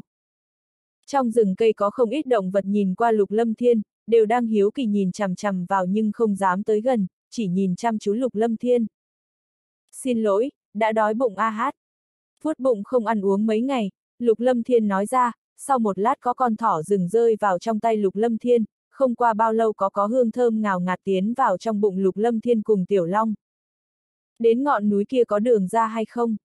Lục lâm thiên nhìn chằm chằm vào ngọn núi nằm bên ngoài bìa rừng, trong rừng cây tầm mắt bị che khuất, muốn tìm được đường ra thì không dễ dàng, từ trên cao nhìn xuống chắc sẽ dễ dàng hơn. Sau khi thu thập một phen, Lục Lâm Thiên tiến về ngọn núi trước mặt, xuyên qua rừng cây, trong rừng cây không có yêu thú gì cả, đều là một ít dã thú bình thường, tại đại lục linh vũ, yêu thú linh thú cũng không nhiều lắm, chỉ có ở tổ yêu lâm cùng linh hoàng nhai mới có yêu thú và linh thú khắp nơi, ở đây là địa bàn của chúng. Rừng cây nhìn cũng không rộng bao nhiêu, ngọn núi phía trước nhìn thì gần, nhưng lục lâm thiên đi thì không phải như thế, hắn đi cho tới đêm kia vẫn không ra khỏi rừng cây. Lúc này trên bầu trời sơn cốc đã có trăng khuyết mọc lên. Đi lại suốt đêm, phía chân trời sáng lên, chậm rãi, mặt trời xua đuổi ánh trăng rời đi, mà lúc này lục lâm thiên cũng mệt mỏi quá mức khiến hai chân chết lặng. Rốt cục đi tới. Sau khi dừng lại ở bìa rừng, lục lâm thiên rốt cục ra khỏi bìa rừng này, nhìn thấy ngọn núi dựng đứng mọc trên mặt đất, xuyên thẳng mây xanh, làm cho người ta sợ hãi thán phục và ngạc nhiên. Ngọn núi này khổng lồ, lục lâm thiên đoán chừng diện tích ít nhất cũng vài dặm, có uy vũ khí thôn sơn hà, vách đá như búa bổ ra, nhìn qua rất khó tưởng tượng đây chính là thiên nhiên hình thành. Đi lên xem xét một chút. Lục lâm thiên nhìn chằm chằm chung quanh, trên ngọn núi này không có đường đi, chỉ có dọc theo các hòn đá lồi lõm chung quanh leo lên. Nhìn qua ngọn núi này, Lục Lâm Thiên suy nghĩ chỉ cần lên cao 30 mét là nhìn thấy toàn bộ sơn cốc, tuy ngọn núi này dốc đứng, nhưng mà độ cao 30 mét lại không thể làm khó hắn được. Trên người đã khôi phục một ít chân khí, chân khí run run, mượn nhờ chân khí thân ảnh Lục Lâm Thiên nhảy lên, hắn như thằn lằn bám tường, một đường bay lên, xoay vòng vài cái đã lên cao mười mấy mét. Những cây đại thụ che trời trong rừng cây đều cao hơn 20 mét, Lục Lâm Thiên ngưng lại trên vách đá một lát, lập tức lướt lên cao hơn, hắn nhanh chóng tới độ cao cần thiết. Rừng cây đã hiện ra trước mắt, nhìn ra xa xa thì thấy sơn cốc diện tích không nhỏ, quả thật là một địa phương thế ngoại đào viên, bốn phía là dãy núi quay chung quanh, chỉ có ở bên trái là có một con sông nhỏ chảy qua. Đó nhất định là lối ra. Có nước sông lưu động, tất nhiên sẽ có lối ra, Lục Lâm Thiên vẫn hiểu điểm này, trong nội tâm vui vẻ, chính mình cuối cùng vẫn tìm được lối ra. Lục Lâm Thiên đang muốn xuống dưới, nhưng mà hơi nghi ngờ nhìn qua phía sau mình, đó là một hang động, trong động có tiếng gió gào thét, xem ra có lẽ rất sâu. Nhìn qua dấu vết sơn động này, Lục Lâm Thiên cảm giác nhìn chung quanh sơn động, bốn phía bóng loáng, hẳn là có người mở ra. Chẳng lẽ có người đã từng tới đây? Lòng hiếu kỳ cho phép Lục Lâm Thiên nên chân khí run run, hắn dựa thế nhảy vào sơn động, trong sơn động này bốn phía đều sáng bóng.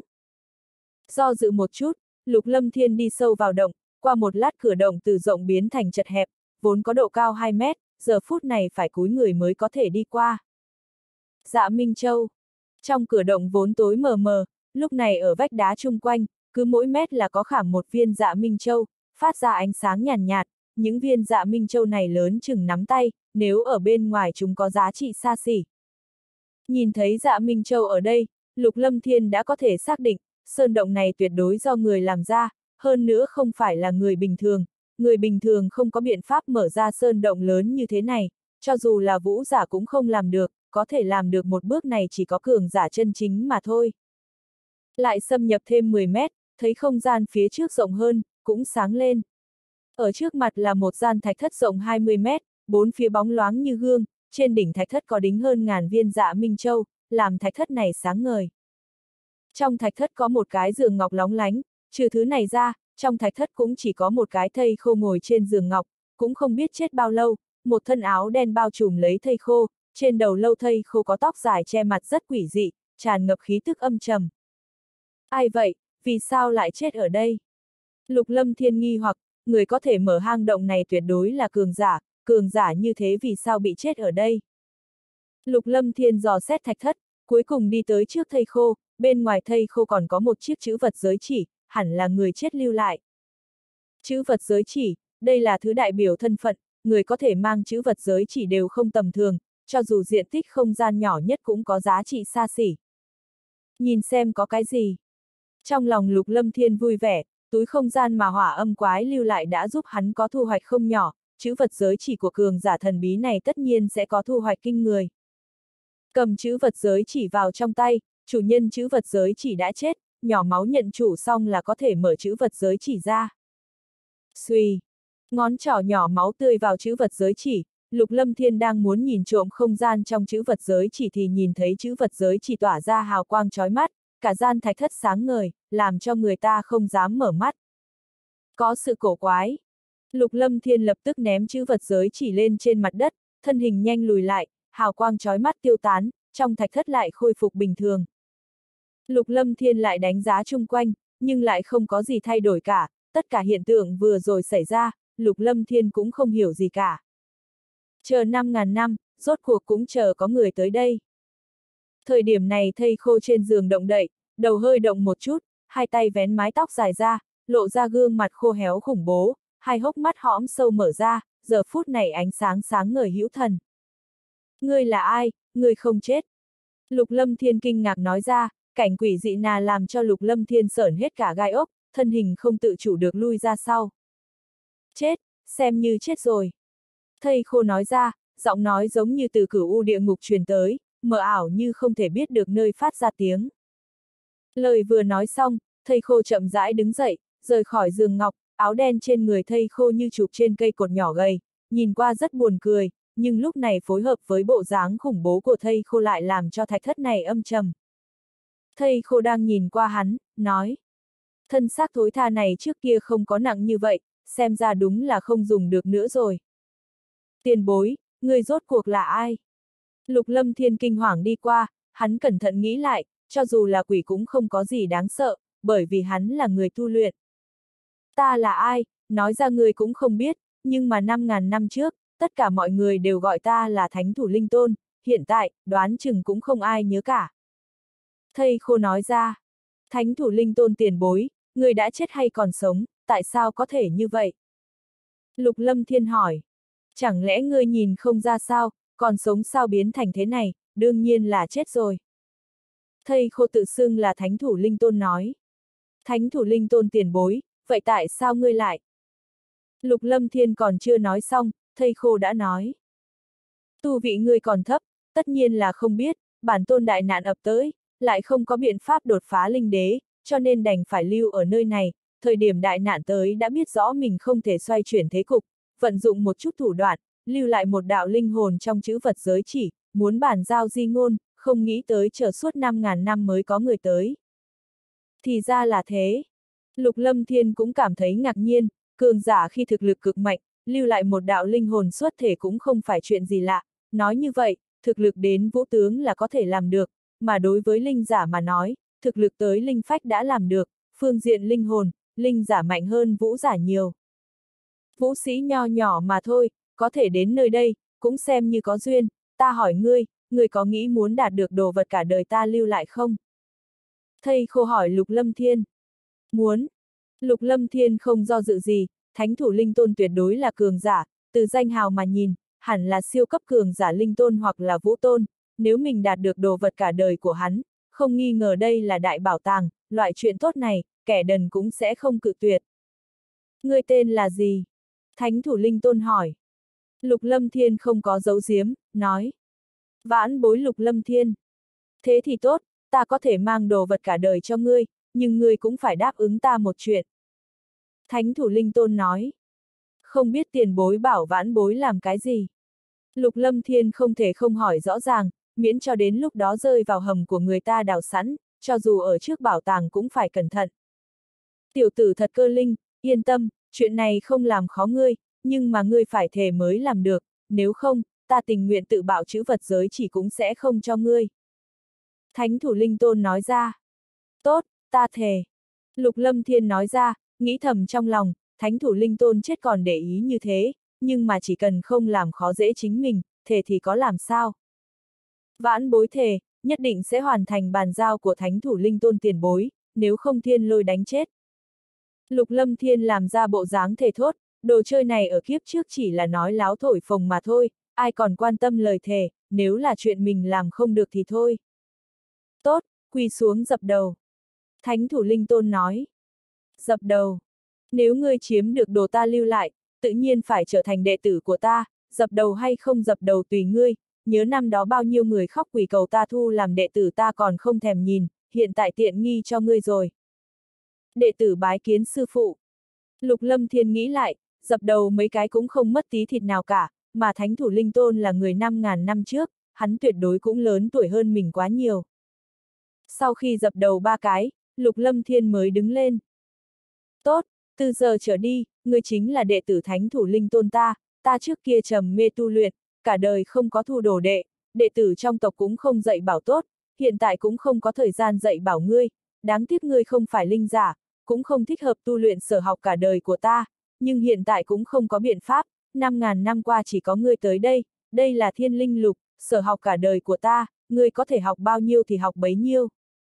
Thánh thủ linh tôn nhặt chữ vật giới chỉ lên, lập tức móc ra một ngọc giản giao cho lục lâm thiên, lập tức tại nói. Ta muốn người đáp ứng chính là đi tới thành Ma Vân tại Đông Hải, tìm kiếm gia tộc đoan mộc, nếu gia tộc đoan mộc tình cảnh không tệ, người có thể giao thiên linh lục cho họ là tốt rồi, nếu gia tộc đoan mộc tình cảnh không tốt lắm, nếu tương lai ngươi có thành tựu, ngươi phải nghĩ biện pháp chiếu cố gia tộc đoan mộc một chút. Là điều kiện này. Lục Lâm Thiên tiếp nhận Ngọc Giản hỏi, điều kiện này đúng là không làm khó mình. Đúng vậy, điều kiện là thế, cả đời ta, đối với đệ tử trong tộc cực kỳ ít quan tâm chỉ điểm, thời điểm ta còn sống thì không ai dám đối phó gia tộc đoan mộc, ta không còn thì cây cao đón gió, gia tộc đoan mộc lúc trước cũng không có bao nhiêu cường giả, chỉ sợ hiện tại tình cảnh cũng không tốt bao nhiêu. Thánh thủ linh tôn thở dài, trong gương mặt khô héo, ánh mắt hõm sâu ảm đạm xuống. Đệ tử nhất định làm được, đệ tử tương lai sẽ giao thiên linh lục cho gia tộc đoan mộc. Lục lâm thiên nói, nhưng mà trong lòng hắn hiểu, thành ma vân cách đại lục linh vũ cũng không gần, muốn tới thành ma vân cũng không phải chuyện dễ dàng. Đạo tàn hồn này của ta không trèo chống được bao lâu, chữ vật giới chỉ này ngươi vừa mới nhận chủ, trong đây còn có linh kỹ mà linh giả tu luyện, tuy là linh kỹ huyền cấp sơ giai, ngươi có được cũng vô dụng, còn có một tấm lệnh bài, ngươi thu trong tay, nói không chừng về sau có chút công dụng, về phần khác, chữ vật giới chỉ cũng chẳng có gì. Thánh thủ linh tôn nói. Sư phụ, đệ tử hiện tại tốt xấu gì cũng là đồ đệ của ngươi, ngươi không có đan dược hoặc dược liệu, yêu đan, linh đan gì đó lưu lại cho đệ tử sao? Lục lâm thiên mở to mắt, cường giả như thế, trong chữ vật giới chỉ lại không có chút đan dược nào cả. Hình như không có, lúc trước đan dược bình thường thì ta không xem vào mắt, đan dược dùng tốt thì ta dùng đột phá cảnh giới, tất cả không có cái gì. Thánh thủ linh tôn nói. Lục lâm thiên thiếu chút nữa sụp đổ, vốn cho rằng còn có đại bảo tàng đấy, ai cũng không tin một cường giả như thế không cất chứa thứ gì trong chữ vật giới chỉ.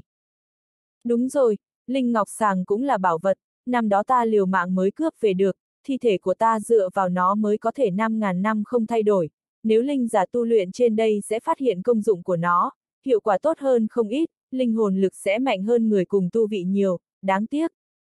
Thánh thủ linh tôn khẽ thở dài. Lục lâm thiên tu luyện âm dương linh vũ quyết, hắn nhìn qua, cũng chỉ có thể nhìn ra lục lâm thiên là vũ giả, tất nhiên không ngờ lục lâm thiên cũng là linh giả, tăng thêm hắn lúc này chỉ là một đám linh hồn thể không có thực lực, âm dương linh vũ quyết vô cùng thần dị, dĩ nhiên càng không cách nào nhìn ra thân phận linh giả của lục lâm thiên, nếu hắn ở thời kỳ toàn thịnh, tăng thêm tu vị lục lâm thiên cũng không cao, muốn xem chi tiết lục lâm thiên không khó khăn gì. Lục lâm thiên cũng không có ý nói toạc ra, có chút chuyện cần che giấu cũng tốt, nên có tâm phòng bị người.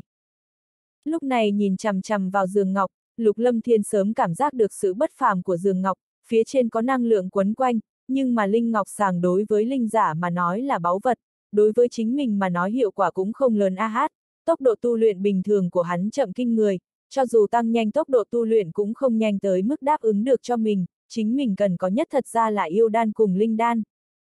Sư phụ, vậy ngươi sao tới đây, ngươi trước kia, thực lực tới cấp độ nào? Lục Lâm Thiên nói. Ha ha! Thánh thủ linh tôn mỉm cười, nhưng mà thân hình khô gầy như thế này mà mỉm cười ngược lại tăng thêm một phần khủng bố.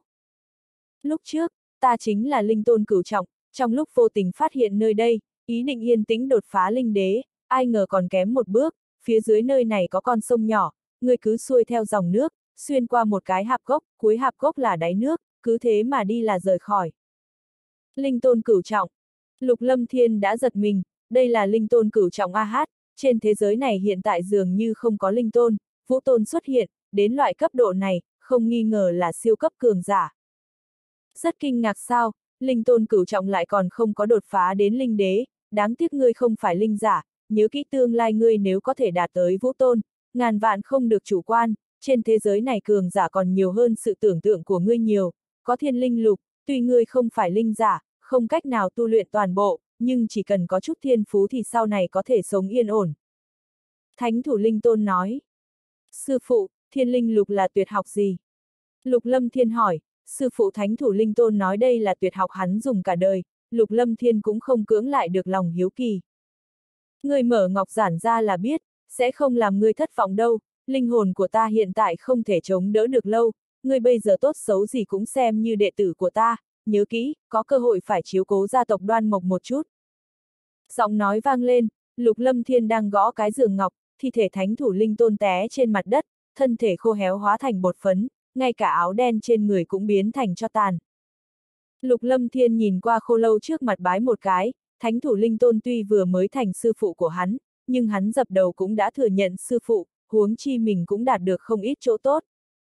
Lập tức thu hồi bột phấn thi cốt thánh thủ linh tôn, Lục Lâm Thiên đi ra khỏi sơn động, đào hố dưới chân núi an táng, trong nội tâm cũng cảm thán, cường giả như thế cũng khó tránh có ngày đại nạn, dưới thiên địa quy tắc dù ngươi phong hoa tuyệt đại cỡ nào, sau khi chết cũng chỉ có thể biến thành đất vàng, trong đồn đãi khi vũ đạo đỉnh phong linh đạo cực hạn có thể phá toái hư không, tiến vào cảnh giới trường sinh bất tử.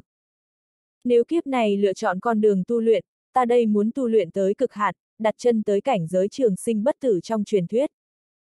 Lục Lâm Thiên nhìn chằm chằm vào mộ địa thánh thủ linh tôn, trong nội tâm nói thầm. Sau một lát, Lục Lâm Thiên đi vào trong sơn động, cũng không đi tới dòng sông để kiếm lối ra, hắn không nóng nảy rời đi, thương thế của hắn chưa khỏi hẳn, ít nhất cũng phải chờ tới khỏi hẳn mới rời đi, như thế mới ít đi nguy hiểm.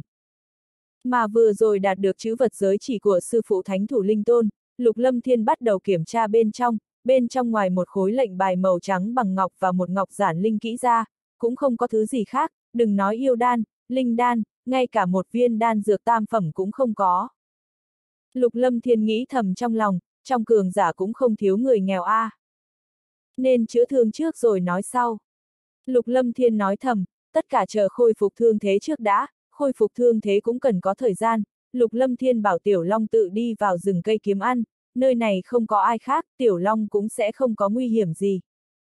Linh Ngọc Sàng Lục Lâm Thiên nhìn chằm chằm vào Linh Ngọc Sàn mà sư phụ thánh thủ Linh Tôn lưu lại, trong lòng cao hứng khoanh chân ngồi lên Linh Ngọc Sàng, Lục Lâm Thiên lập tức cảm giác được có năng lượng thần dị bao phủ thân thể, trong người sinh ra khí tức ấm áp, chân khí của hắn chuyển động chậm rãi, thoải mái nói không nên lời. Đúng là báu vật. Lục Lâm Thiên đại hỉ, Linh Ngọc Sàng là báu vật trong mắt Linh Tôn đúng là không kém, mình ngồi trên Linh Ngọc Sàng còn chưa có tu luyện, nhưng mà lại như tu luyện bình thường, đặc biệt là trong đầu có lực lượng gì đó đang dẫn dắt linh khí, làm cho thân thể thoải mái nói không nên lời.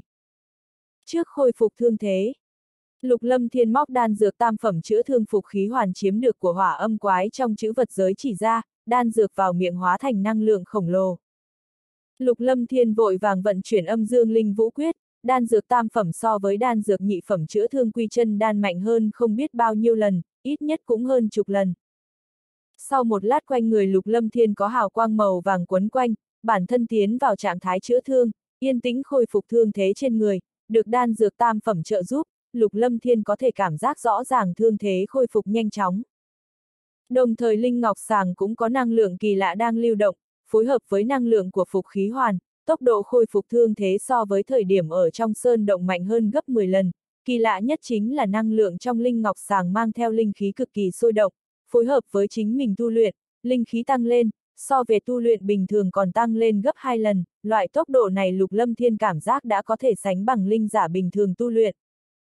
Cảm giác tác dụng của linh ngọc sàng, Lục Lâm Thiên thầm than, nếu như linh giả bình thường tu luyện trên hàn ngọc sàng, có được tốc độ nhanh gấp hai lần, đây là chuyện khủng bố bực nào, khó trách sư phụ thánh thủ linh tôn nói, lúc trước hắn cũng liều mạng giả mới cướp được. Thời gian chậm rãi trôi qua, Lục Lâm Thiên đang tu luyện, thương thế trên người đang tiếp tục tốt hơn.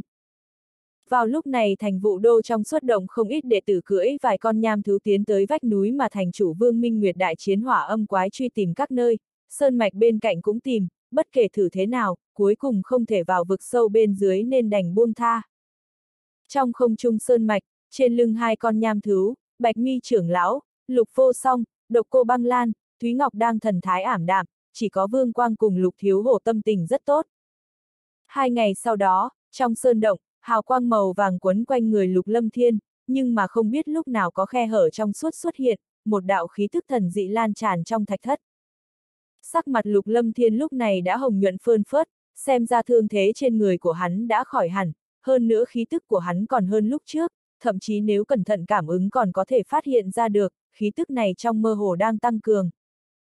Thời điểm khe hở tầng ngoài không quá ổn định, có chút phập phồng bất định, linh khí trong đầu lục lâm thiên sinh ra dao động cực nhanh.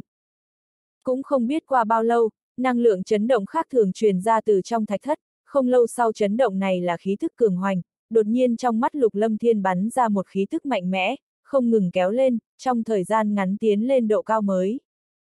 Khe hở trong suốt vô hình quanh người lục lâm thiên không ngừng xuất hiện khi khí tức này tăng lên, thần dị nhất là Linh Ngọc sàng dường như cảm ứng cái gì đó, tràn ngập các hào quang nhàn nhạt, phối hợp với khe hở vô hình quanh người lục lâm thiên, nó biến thành cực kỳ thần dị.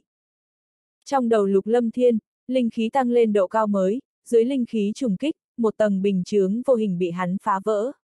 Khí tức đột nhiên tăng lên, sau đó năng lượng vô hình khuếch tán ra ngoài. Năng lượng vô hình này như hóa thành sóng âm thực chất, cuối cùng đỡ upsilon.ng vào vách đá cứng rắn, làm vách đá run lên, giống như có lực lượng vô hình quét qua. Thời điểm này năng lượng biến hóa, hào quang quanh người lục lâm thiên thu liễm lại, khí tức trở nên vững vàng. Hô!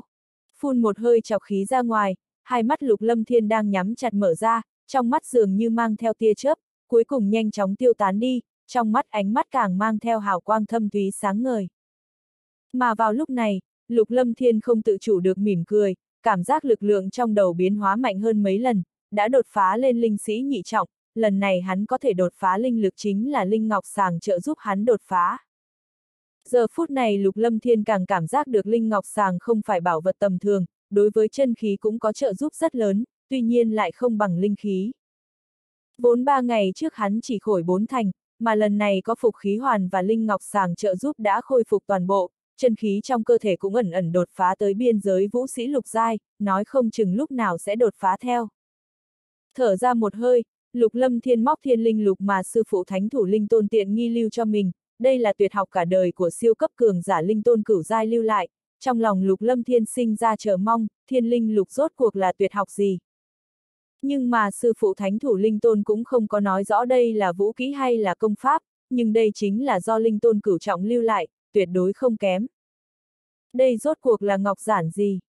Lục lâm thiên cắt ngón trỏ, một giọt máu tươi nhỏ vào ngọc giản.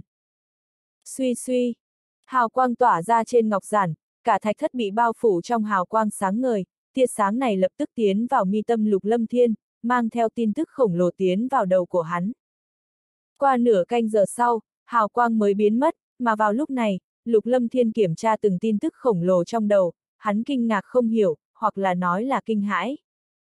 Thiên linh lục không phải vũ kỹ, cũng không phải linh kỹ, làm cho lục lâm thiên không thể tưởng được là, thiên linh lục chính là một loại kỹ năng ngoài vũ kỹ, linh kỹ, trong thế giới vũ giả và linh giả là chủ lưu, thiên linh lục đã đi lệch, lệch không thể tưởng tượng nổi. Trong thiên linh lục ghi lại không ít trận pháp, bí pháp luyện chế khôi lỗi và binh khí, đối với đan dược nói không nhiều, trừ chuyện đó ra, trong thiên linh lục có ghi lại không ít thứ kỳ lạ, nói thí dụ như siêu linh thuật, có thể điều tra trí nhớ trong đầu đối phương.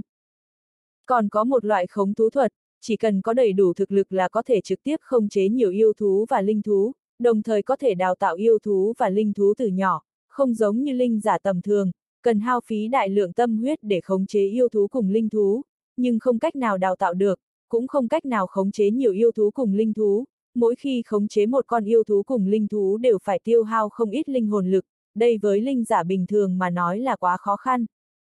Cho nên linh giả bình thường chỉ khống chế một con yêu thú hoặc linh thú mà thôi, khống chế yêu thú hoặc linh thú càng nhiều thì càng tiêu hao linh hồn lực, linh thú cũng rất khó khống chế. Linh hồn lực tiêu hao quá nhiều, đối với linh giả mà nói là tối kỵ, trực tiếp ảnh hưởng đến tu vị sau này, hoặc làm ảnh hưởng tới căn cơ về sau, quả thực chính là tự hủy tiền đồ, cho nên bất cứ linh giả nào cũng không tùy tiện khống chế yêu thú và linh thú.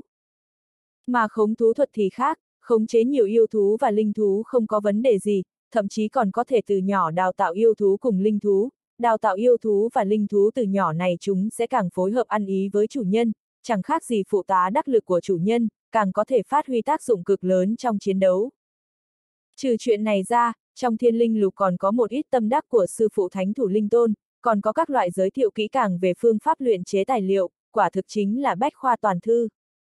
Nhìn kỹ thiên linh lục này, đại bộ phận thủ đoạn trong đó phải là linh giả mới có thể nắm giữ, giống như siêu linh thuật, muốn điều tra linh hồn lực đối phương, đầu tiên phải có linh hồn lực mạnh hơn người ta, hoặc có thể áp chế tuyệt đối linh hồn đối thủ, loại điều kiện này linh giả chiếm ưu thế hơn vũ giả nhiều.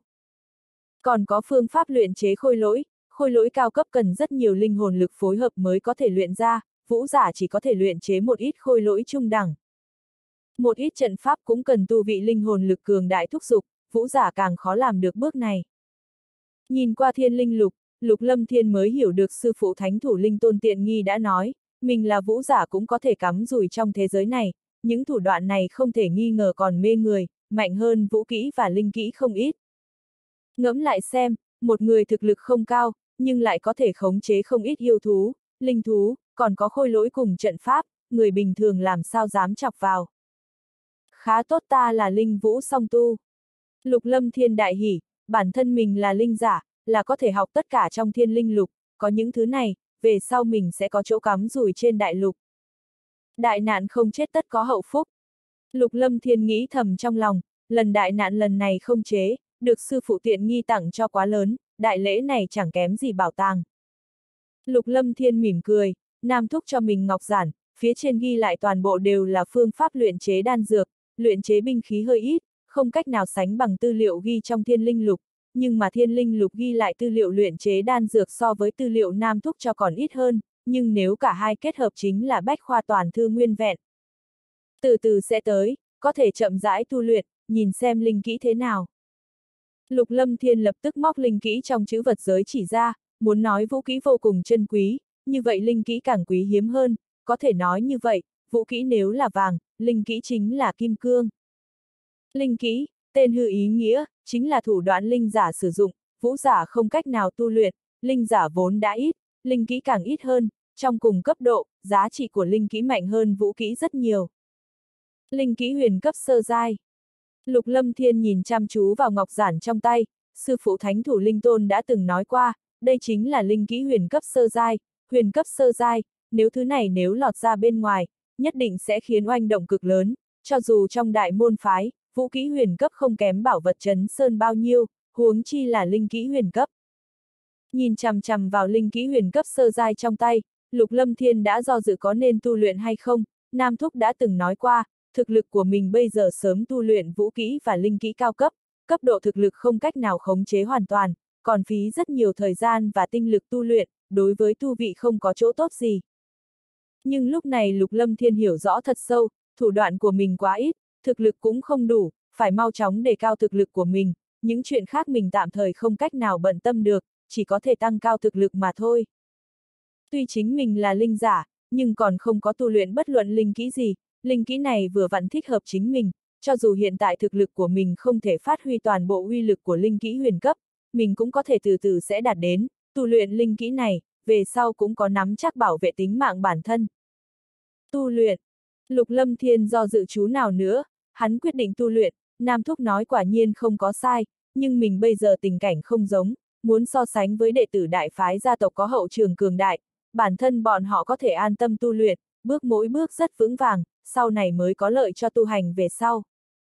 Có thể bản thân mình thì khác, chính mình một thân một người, không ai có thể giúp mình, dù có một tiểu gia tộc lục gia, nhưng trong lục gia còn có người muốn hãm hại mình, cho nên thực lực mới là căn bản, không có thực lực thì nói gì tới bước mỗi bước vững vàng. Hắn nhỏ máu vào ngọc giản, trên ngọc giản xuất hiện hào quang sáng ngời, cũng vào lúc này thủ ấn của lục lâm thiên biến đổi, hắn ngưng tụ linh lực trong tay rót vào ngọc giản.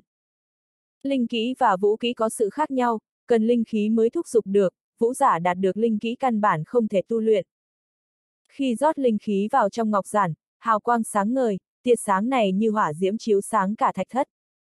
Nhưng vào lúc này tia sáng run rẩy, lập tức hào quang hóa thành đại đao màu vàng dài mấy mét, đại đao không ngừng co rút lại, hào quang cũng càng chói mắt, cuối cùng hóa thành thanh đao dài nửa mét đột nhiên bổ vào mi tâm Lục Lâm Thiên.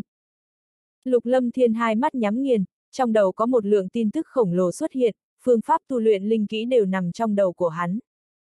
Linh kỹ huyền cấp sơ giai đao hồn kỹ.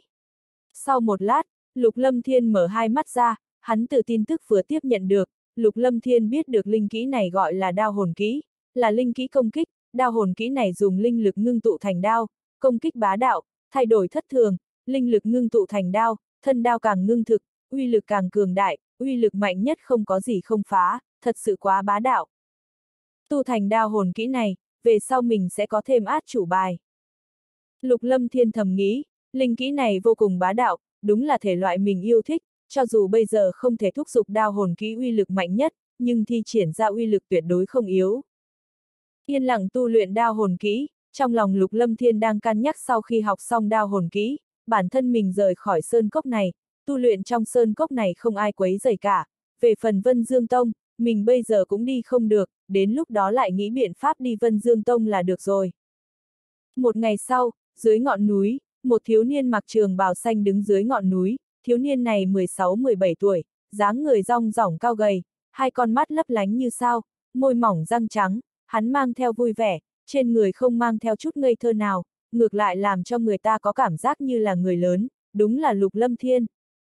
Đao hồn kỹ. Lục Lâm Thiên lẳng lặng đứng trước ngọn núi, bỗng hét lớn một tiếng sau đó ngưng kết thủ ấn, linh khí tràn ngập hư không, tay phải duỗi ra, bàn tay mở rộng, đại đao màu vàng xuất hiện trước mặt. Bổ cho ta. Kim đao trong tay bổ mạnh một nhát, ầm ầm bổ vào một tảng đá cao 5-6 mét trên ngọn núi. Xuy. Tảng đá sinh ra tiếng vang thật nhỏ, nhưng đại đao màu vàng đã biến mất. Nhìn thấy loại hiện tượng này, Lục Lâm Thiên không khỏi xứng sở hắn ngây ngốc đánh thủ ấn ra lần nữa, đại đao màu vàng lại ngưng tụ, đánh ra một đao. Xuy. Kết quả không có gì khác biệt, đại đao màu vàng không ngừng tiêu tán, điều này đại biểu Lục Lâm Thiên tu luyện đao hồn kỹ còn chưa thành. Kháo, ta cũng không tin không cách nào tu luyện thành công. Lục Lâm Thiên bị đả kích, không có nhụt chí, ngược lại ký tính tình bướng bỉnh của hắn, thủ ấn biến hóa, tiếp tục ngưng tụ đại đao màu vàng chém vào tảng đá. Suy! Bồn công tử cũng không tin tu luyện không thành ngươi. Lại đến! Suy! Lại đến, bồn công tử cũng không tin ta. Suy! Mẹ kiếp, liều! Trong sơn cốc, lục lâm thiên quát to liên tục, trên một tảng đá nhỏ phía sau, tiểu long mở to mắt ra quan sát lục lâm thiên, ngẫu nhiên ngẩng đầu nhìn qua phương xa. Nửa canh giờ sau, lục lâm thiên hô quát càng ngày càng nhỏ, sắc mặt tái nhợt, linh lực đã tiêu hao hầu như không còn, hắn đã không thể tiêu hao tiếp, bởi vì tiêu hao nữa sẽ ảnh hưởng tới căn cơ. Linh kỹ huyền cấp sơ giai đúng là khó tu luyện A. Lục lâm thiên hư thoát ngồi dưới đất, đao hồn kỹ còn khó tu luyện hơn chu tước quyết nhiều, chu tước quyết tuy vô cùng phức tạp, nhưng mà tu luyện rất dễ dàng, thế nhưng mà đao hồn kỹ thì quá khó tu luyện. Lục Lâm Thiên nhớ tới Nam Thúc nói nhiều việc, vũ kỹ cùng linh kỹ càng cao cấp thì điều kiện tu luyện cũng càng khó khăn, thực lực thấp, cho dù có vũ kỹ thiên cấp hoặc là linh kỹ thiên cấp bày ra trước mặt cũng không cách nào tu luyện được.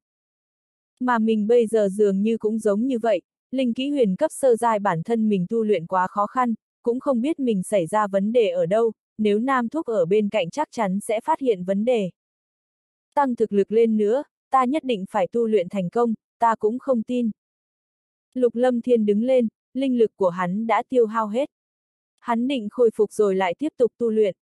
Leo lên sơn động, Lục Lâm Thiên khoanh chân ngồi trên linh ngọc sàn, chậm rãi điều tức, có linh ngọc sàng phụ trợ, linh lực tiêu hao không ngừng khôi phục lại. Cứ thế tới nửa ngày sau, Lục Lâm Thiên cảm giác linh lực trong đầu khôi phục không kém bao nhiêu, tiêu hao hết rồi lại tu luyện, Lục Lâm Thiên cảm giác linh khí trong đầu của mình ngưng thực hơn một ít.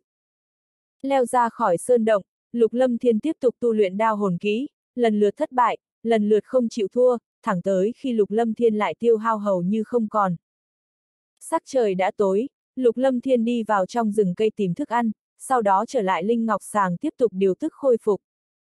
Sáng sớm hôm sau, sắc trời còn sớm, Lục Lâm Thiên đã tiếp tục xuống núi tu luyện, lần nữa thất bại, lần nữa tiêu hao hầu như không còn, lần nữa điều tức khôi phục. Cứ thế năm ngày qua đi, Lục Lâm Thiên trước sau tiếp tục như thế, liên tục thất bại, lại lần lên lại xuống, Lục Lâm Thiên tin tưởng mình có ngày sẽ tu luyện thành công.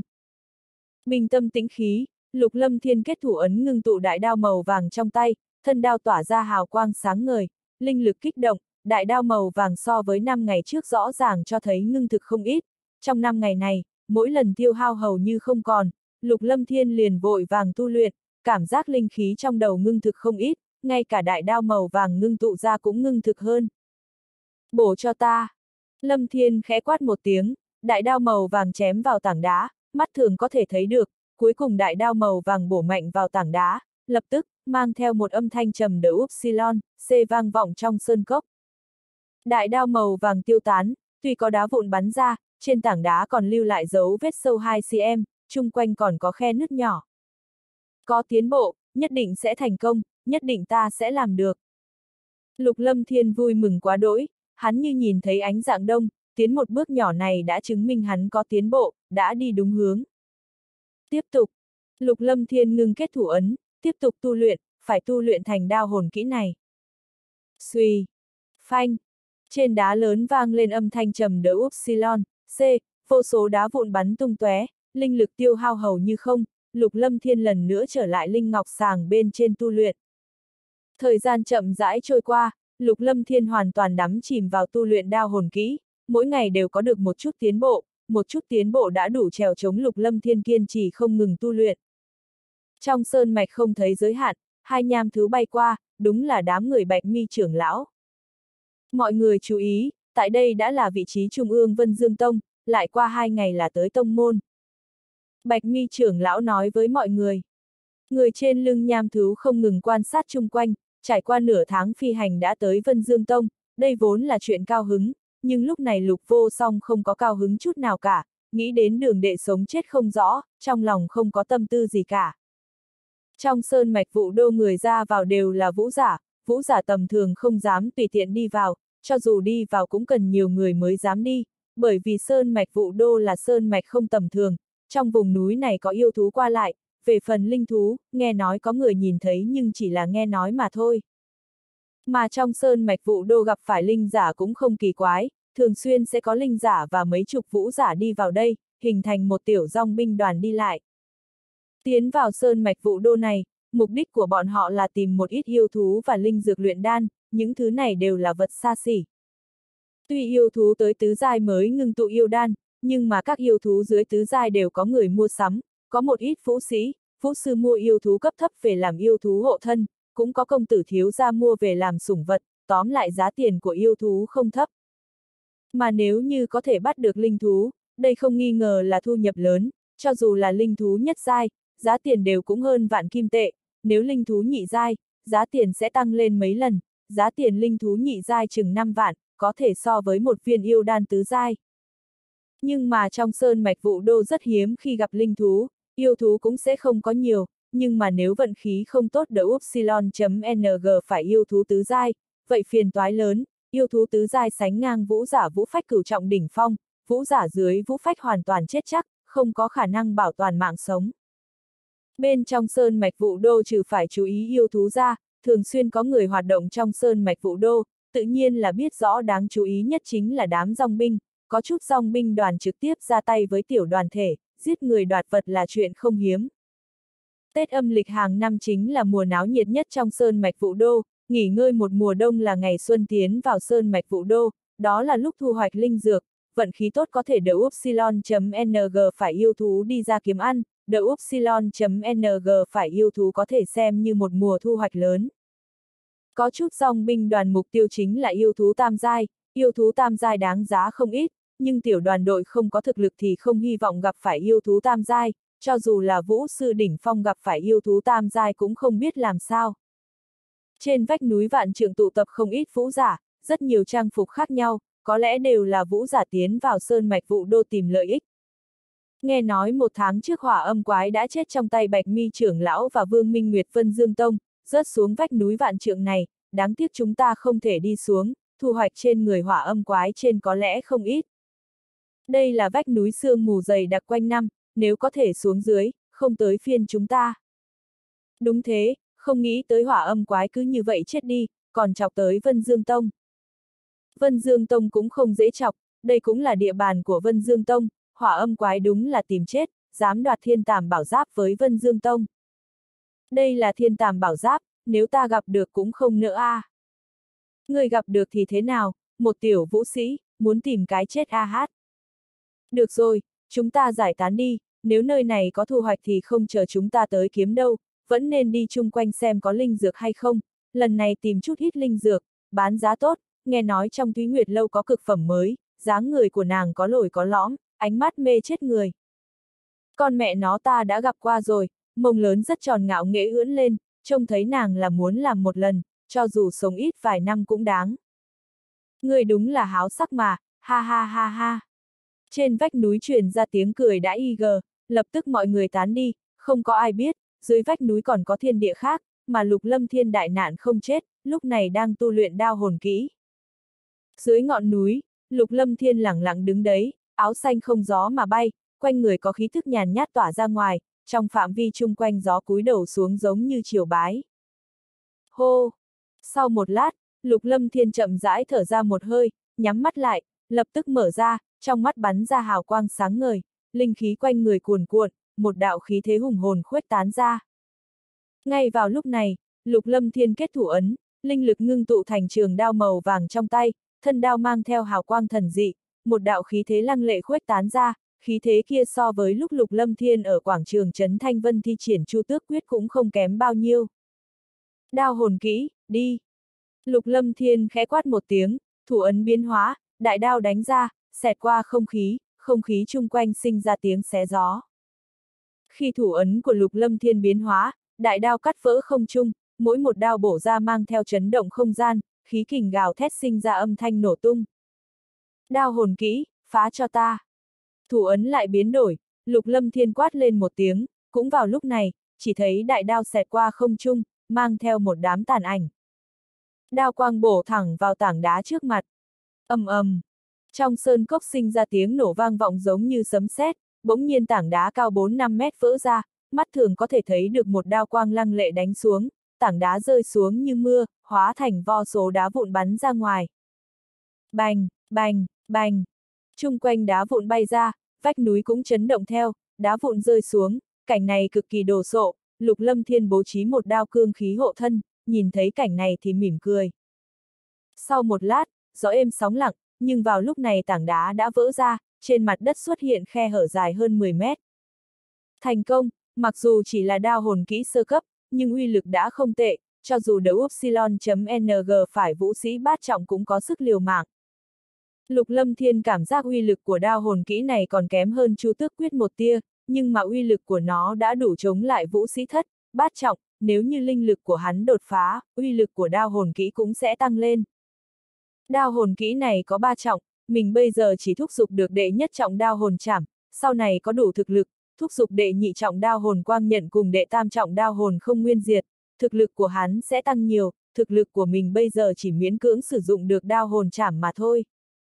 Nhìn khe nứt và tảng đá vỡ nát trên đất, Lục Lâm Thiên hưng phấn lên, một tháng tu luyện đã có thành tựu, uy lực của đao hồn chảm này vô cùng to lớn, vô cùng bá đạo, không hỗ là linh kỹ huyền cấp. Về sau sẽ có thêm một loại thủ đoạn. Lục Lâm Thiên nghĩ thầm trong lòng. Thử hỏa ảnh chỉ nữa. Lục Lâm Thiên nói nhỏ một tiếng, chân khí quanh người tuôn ra, thủ ấn biến hóa, tay phải của hắn có hào quang màu đỏ hiện ra, năm ánh hào quang màu đỏ mang theo khí tức nóng bỏng, mang theo khí thế cường hãn xé tan không khí bắn ra ngoài. Siêu, siêu, siêu, siêu, xíu, yêu yêu. Trên vách đá có đá vụn rơi xuống, năm ngón tay hiện ra trên vách đá, và xuất hiện năm lỗ thủng sâu hun hút. Hỏa ảnh chỉ, đây chính ngọc giản vũ kỹ tinh cấp sơ giai hỏa hệ mà Lục Lâm Thiên thu được của hỏa âm quái. Lúc trước hỏa âm quái đấu với Bạch Mi trưởng lão đã sử dụng hỏa ảnh chỉ, uy lực bất phàm.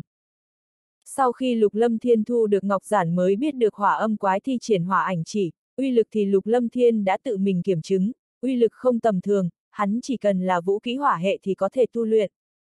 Có được vũ kỹ tinh cấp này, tu luyện dễ dàng hơn đao hồn kỹ không ít, trong thời gian một tháng này, Lục Lâm Thiên chỉ tu luyện đao hồn kỹ còn rút thời gian tu luyện hỏa ảnh chỉ, lúc này cũng có chút thành tựu. Tuy hỏa ảnh chỉ cùng đao hồn kỹ đều có chút thành tựu, Lục Lâm Thiên lại biết, muốn chính thức khống chế một vũ kỹ cũng không phải tu luyện dễ dàng như thế, mỗi một cường giả tu luyện vũ ca đều trải qua mấy chục năm hoặc cả đời mới có thể phát huy uy lực lớn nhất của vũ kỹ. Đã hơn một tháng rồi, có lẽ bọn họ đã tới Vân Dương Tông. Lục Lâm Thiên nhìn lên bầu trời sơn cốc, nếu không phải rớt xuống vách núi, mình bây giờ cũng có thể đến Vân Dương Tông. Nhưng mà ngẫm lại, Lục Lâm Thiên hiện tại cũng cảm thấy may mắn chính mình rớt xuống vách núi, bằng không mình cũng không cách nào nhìn thấy thánh thủ linh tôn, cũng không chiếm được thiên linh lục. Trong lòng Lục Lâm Thiên đang tính toán, hiện tại cũng chỉ có thể tự nghĩ biện pháp đi tới Vân Dương Tông, Nam Thúc muốn chính mình đạt được vạn niên xích đồng cùng vũ kỹ thân pháp phù quang lược ảnh, bản thân mình phải làm tốt, nhưng mà trước đó phải ra khỏi sơn cốc này. Tu luyện hơn một tháng qua, chính mình trừ thành công tu thành đao hồn kỹ cùng hỏa ảnh chỉ ra, Lục Thiếu Du còn có thu hoạch khác, được sự trợ giúp của Linh Ngọc Sàng, trong một tháng này hắn đã đạt tới linh sĩ nhị trọng đỉnh phong, mà phương diện chân khí tùy thời đột phá. Trong một tháng qua, Lục Thiếu Du cũng cân nhắc thiên linh lục một chút, những phương pháp luyện chế khôi lỗi, trận pháp và khống thú thuật trong thiên linh lục vô cùng thâm ảo, không phải thời gian ngắn có thể học được, cần từ từ tham ngộ, chút tính nhẫn nại này Lục Thiếu Du vẫn có. Chỉ cần có thời gian, Lục Thiếu Du cũng sẽ tìm hiểu thiên linh lục, khi hiểu càng nhiều thì càng thấy thiên linh lục minh mông thâm ảo. Tới lúc đi ra ngoài rồi.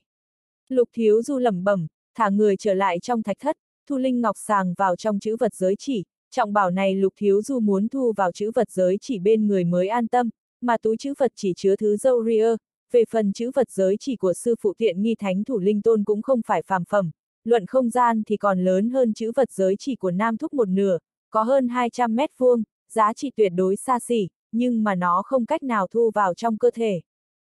Cái chữ vật giới chỉ này Lục Thiếu Du cũng không tính dùng, hắn cũng thu vào trong chữ vật giới chỉ của mình, rời khỏi thạch thất, Lục Thiếu Du thu toàn bộ dạ Minh Châu xuống, đây chính là vật xa xỉ, hôm nào bán cũng tốt, Lục Thiếu Du tất nhiên sẽ không bỏ qua, những dạ Minh Châu này có hơn ngàn viên, thêm vào với nhau cũng là con số không nhỏ.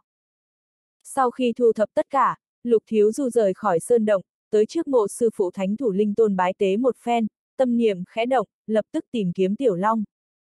Tiểu Long trong một tháng này đã trở thành ác mộng của các động vật trong sơn cốc, từ khi Tiểu Long đến sơn cốc thì động vật trong đây không dám xuất hiện, xuất hiện sẽ biến thành bữa ngon của Tiểu Long. Đối với Tiểu Long, Lục Thiếu Du hiện tại hiểu không nhiều, không biết Tiểu Long là cấp độ nào, dựa theo Lục Thiếu Du đoán chừng, lần trước Tiểu Long thay ra, Lục Thiếu Du đoán Tiểu Long có phải đột phá lên linh thú nhị giai hay không, nhưng mà lực phòng ngự của Tiểu Long quá không thể tưởng tượng nổi ngay cả hỏa âm quái cũng không cách nào làm bị thương, lại nói trong lòng Lục Thiếu Du càng hiếu kỳ về Tiểu Long nhiều hơn. Siêu siêu. Trong rừng cây có một đạo thiểm điện xé rách không gian lao tới, lập tức thân mật rơi vào trong tay Lục Thiếu Du, đúng là Tiểu Long. Ngươi ăn no rồi sao, chúng ta nên đi ra ngoài thôi. Lục Thiếu Du thân mật vuốt ve đầu nhỏ của Tiểu Long. Tiểu Long dường như hiểu chuyện nhìn qua Lục Thiếu Du, lưỡi phun ra nuốt vào, lập tức gật gật đầu, giống như nghe hiểu Lục Thiếu Du nói cái gì, bộ dáng cực kỳ đáng yêu. Trước chặt cây làm bè. Lục Thiếu Du nói xong đã tiến vào rừng cây, móc trường kiếm màu xanh ra, chặt bỏ tám cây to như chén ăn cơm, sau đó lại tìm một ít dây mây rừng chế thành cái bè, không có bè gỗ thì không thể xuôi dòng được. Tiểu Long, chúng ta đi. Làm xong tất cả, Lục Thiếu Du nói, Tiểu Long hiểu ý, lập tức xoay quanh vai Lục Thiếu Du, không có lệnh của Lục Thiếu Du, Tiểu Long cũng không muốn vào trong tay áo, tự nhiên còn ưa thích ở bên ngoài hơn. Thả bè gỗ vào trong nước, Lục Thiếu Du thả người nhảy lên, cầm trường côn dài đây mạnh, bè gỗ lập tức xuôi dòng mà đi.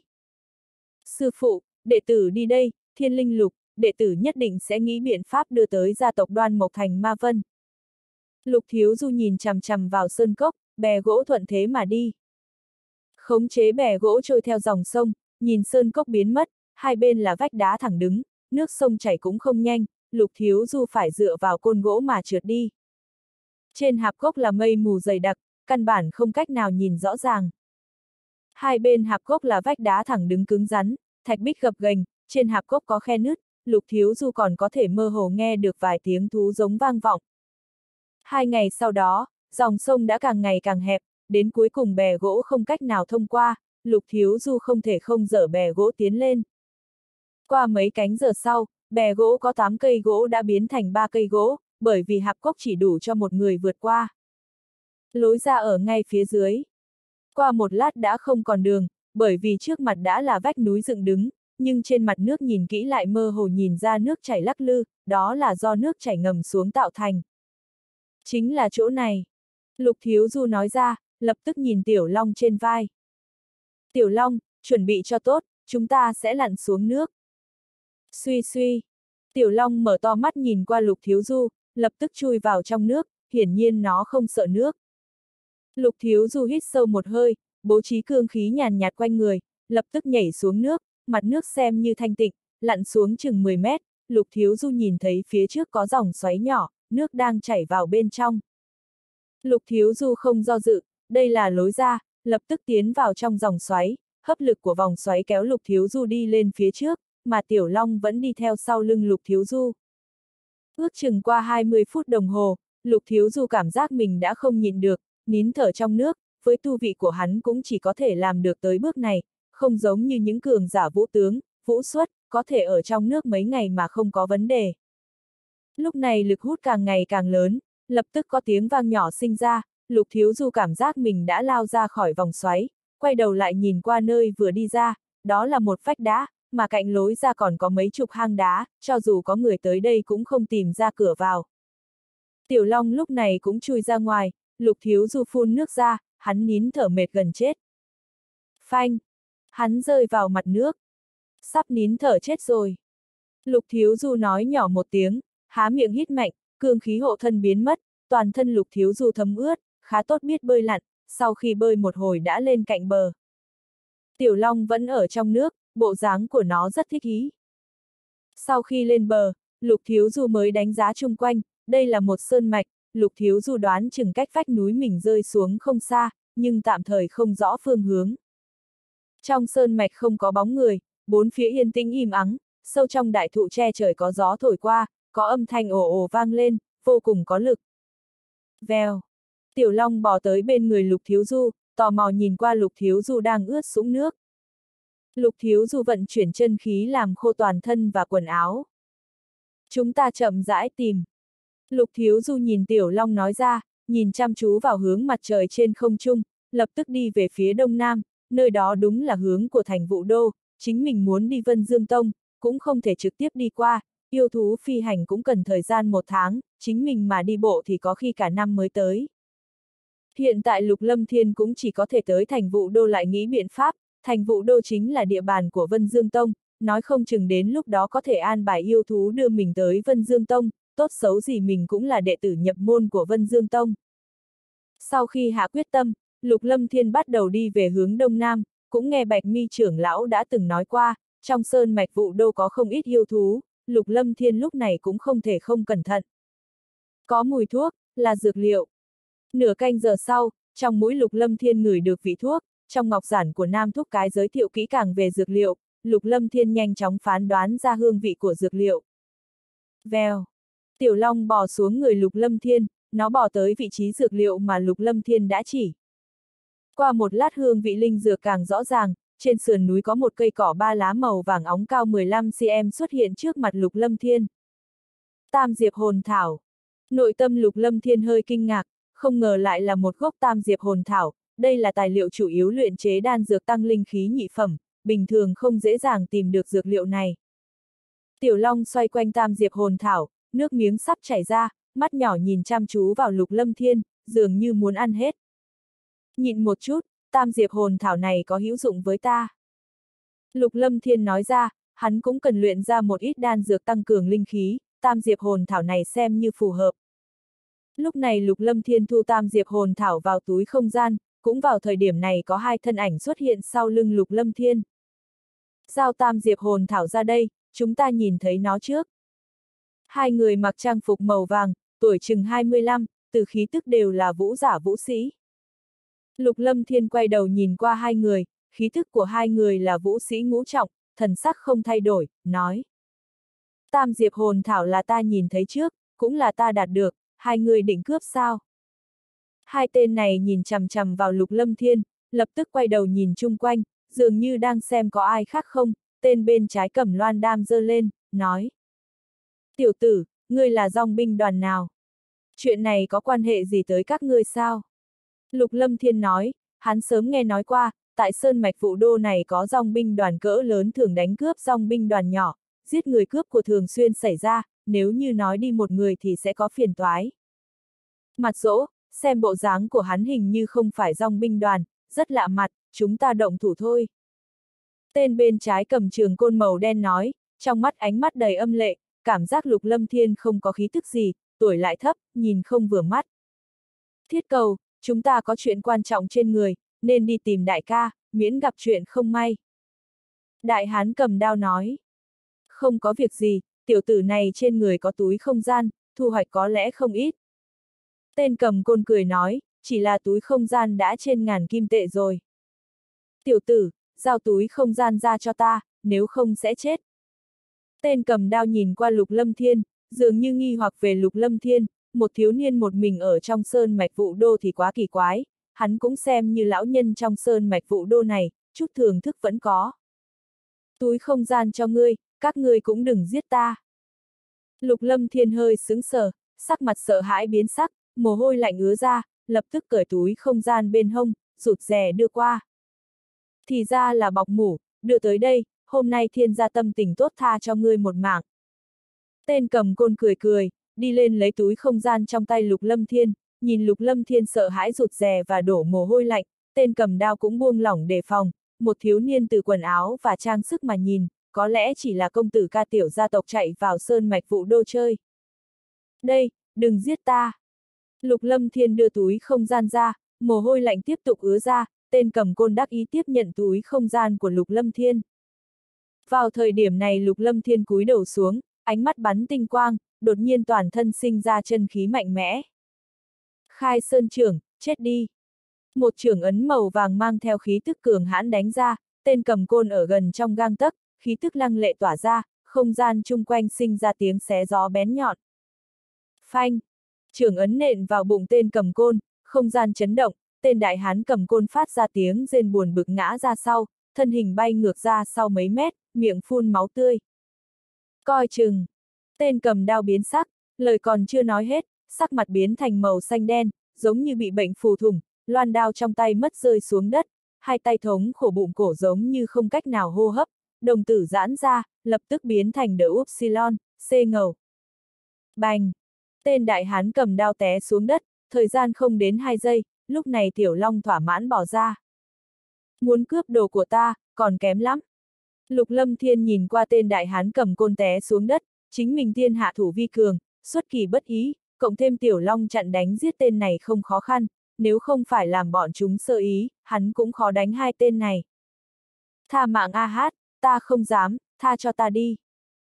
Tên này bị khai sơn trưởng của Lục Lâm Thiên đánh bị thương, sắc mặt tái nhợt, khóe miệng chảy máu tươi, từ thực lực hắn là vũ sĩ ngũ trọng, mà Lục Lâm Thiên đã là vũ sĩ ngũ trọng đỉnh phong, tăng thêm suốt kỳ bất ý hắn bị thương nặng, nhìn qua đồng bạn té xuống đất, trong nội tâm đã sợ hãi rồi, vốn tưởng rằng gặp phải đồ vô tích sự, không ngờ là một tên sát tinh.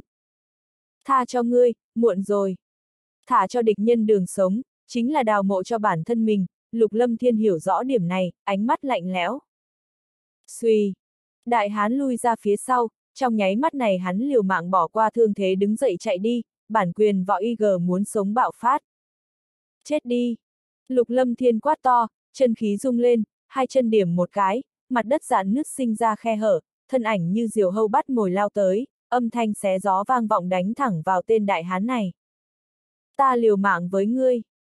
Cảm giác sau lưng có tiếng xé gió, cũng chỉ có thể buông tay đánh cược một lần, đột nhiên quay người, quanh người có cương khí hộ thân hiện ra, đánh ra một quyền, nhưng mà uy lực không mạnh, hắn bị thương nặng, có thể ngưng tụ ra một quyền đã rất không dễ dàng.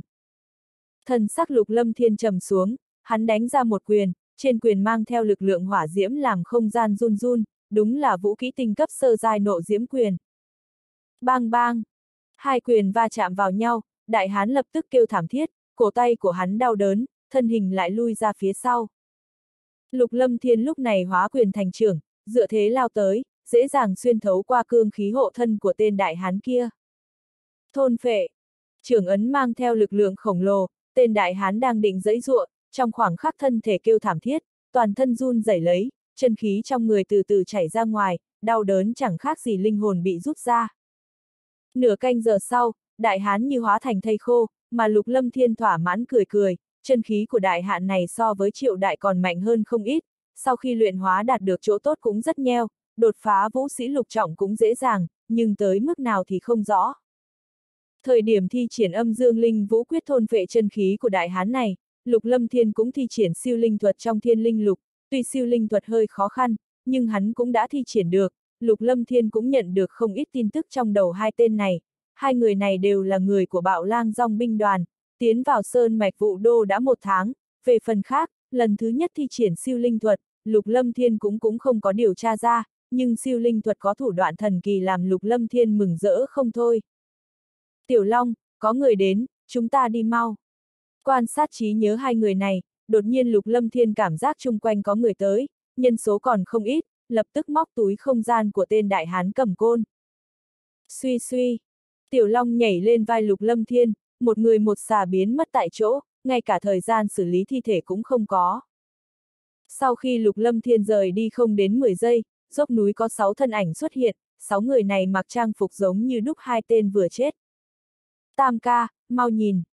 Một tên đại hán hoảng sợ hô lên thất thanh, nhìn thấy hai thây khô trên đất.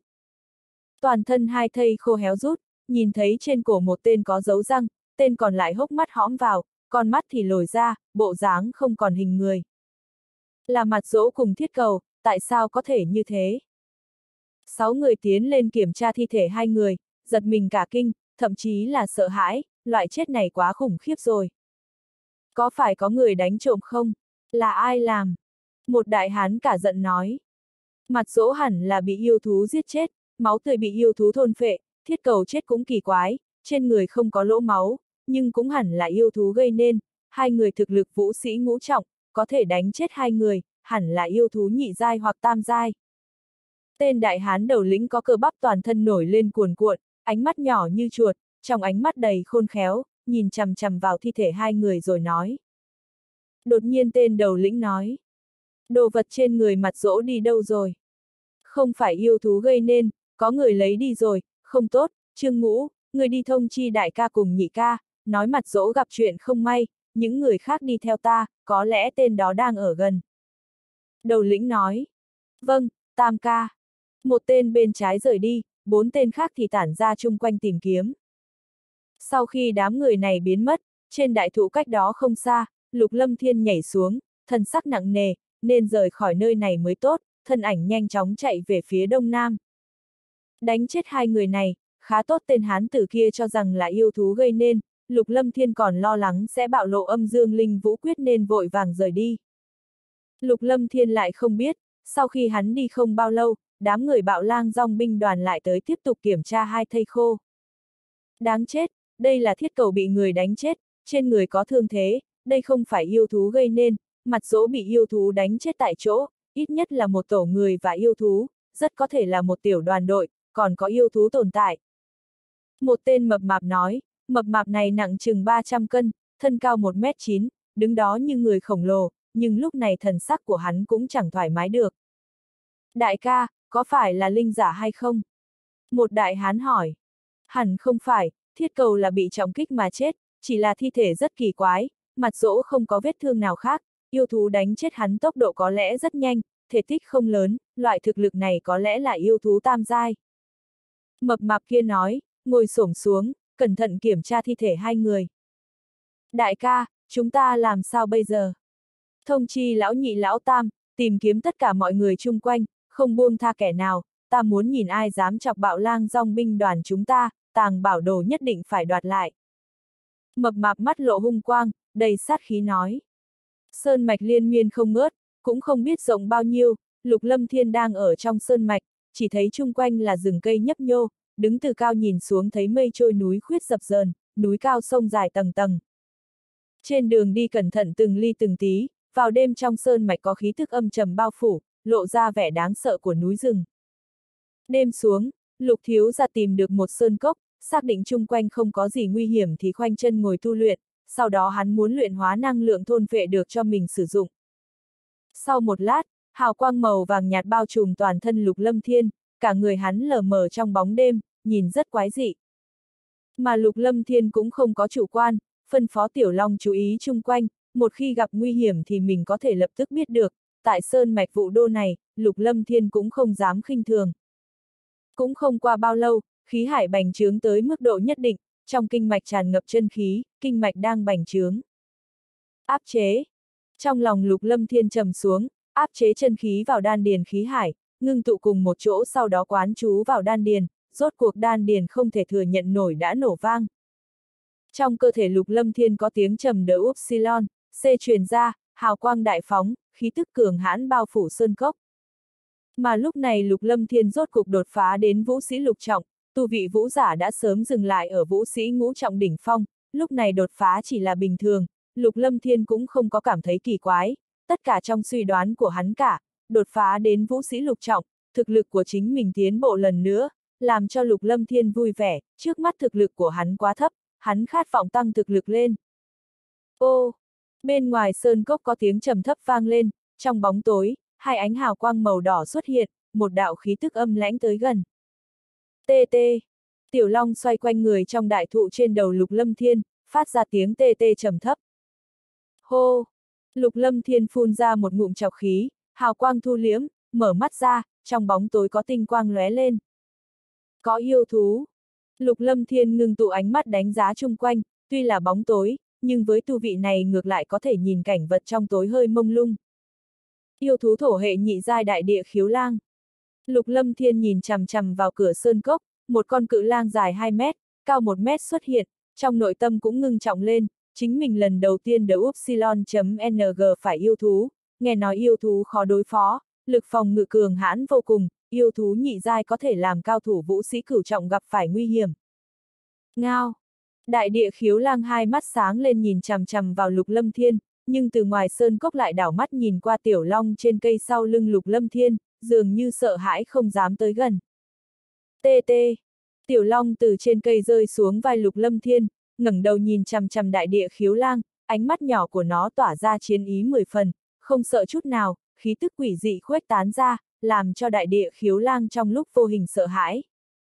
Tiểu Long đúng là lợi hại, đại địa khiếu lang đã bị áp chế. Lục Lâm Thiên nhìn ra khí thức Tiểu Long biến hóa, đại địa khiếu lang cũng không dám tới gần, linh hoàng thú quá cường hãn, đối với thân phận Tiểu Long, Lục Lâm Thiên cũng càng thêm hiếu kỳ, chỉ là đáng tiếc nam thúc cùng ngọc giản của thánh thủ linh tôn không có tư liệu của linh thú hoàng. Ngao! Đại địa khiếu lang trầm thấp gầm thét, bắt đầu có ý lui. Tại đây, chính là đại địa khiếu lang, chúng ta đồng loạt ra tay. Nhưng vào lúc này mấy đạo thân ảnh xuất hiện, một giọng dịu dàng quát. Đừng để đại địa khiếu lang chạy. Trong lòng lục lâm thiên trầm xuống, vốn còn muốn luận bàn với đại địa khiếu lang một chút, nhìn xem yêu thú nhị giai mạnh cỡ nào, không nghĩ tới còn có người đang đuổi giết đại địa khiếu lang. Tiểu Long.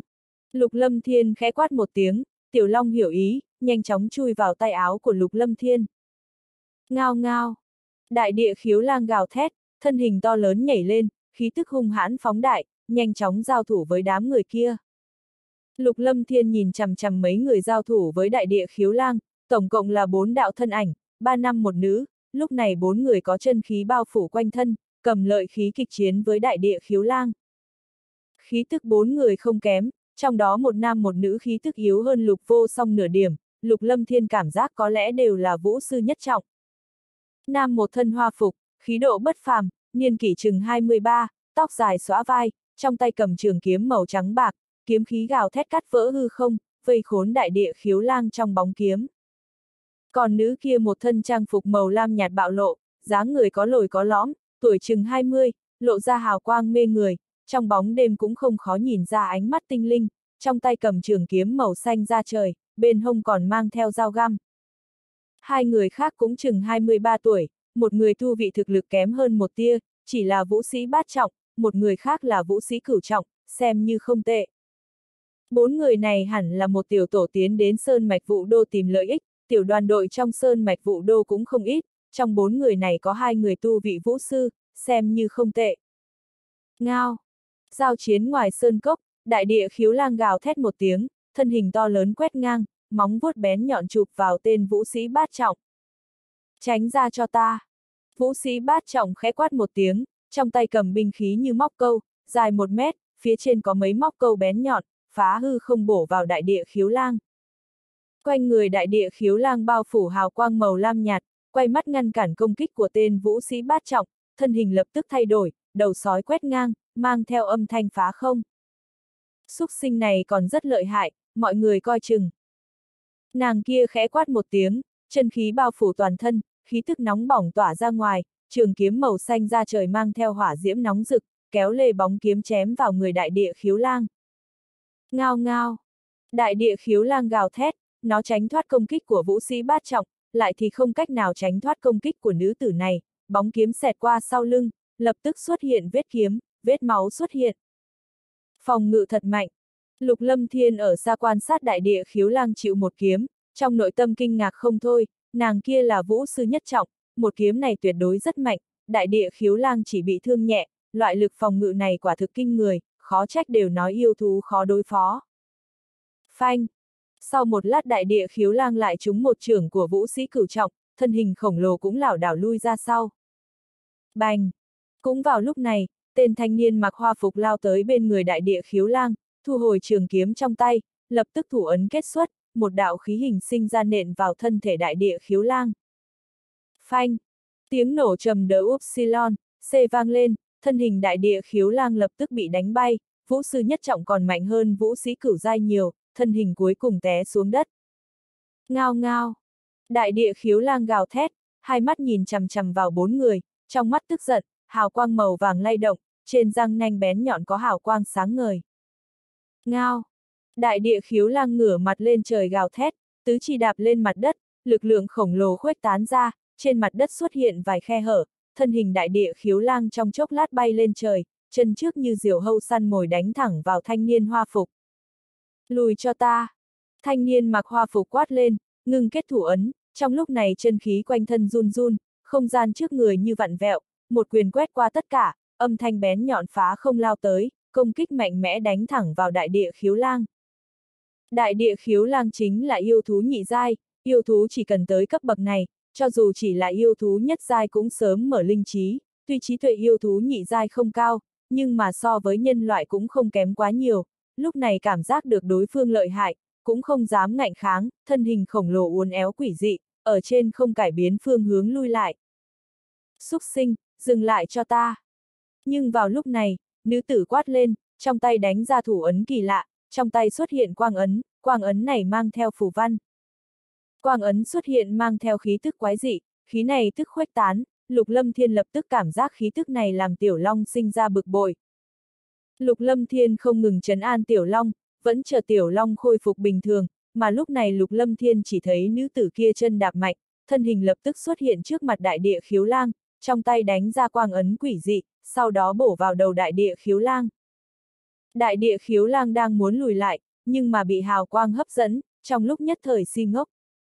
Trong tích tắc này, trong quang ấn quỷ dị bắn ra lực lượng kỳ lạ, quang ấn bắn ra hào quang sáng ngời, cuối cùng tiến vào trong đầu đại địa khiếu lang. Lập tức, thân hình đại địa khiếu lang mềm nhún, bất tỉnh nằm trên đất. Ngự thú ấn của sư muội lại có tiến bộ, chúc mừng. Nhìn nữ tử đánh bại đại địa khiếu lang thì nam tử mặc hoa phục nói. Đại địa khiếu lang nổi danh phòng ngự cường đại, đúng là khó đối phó.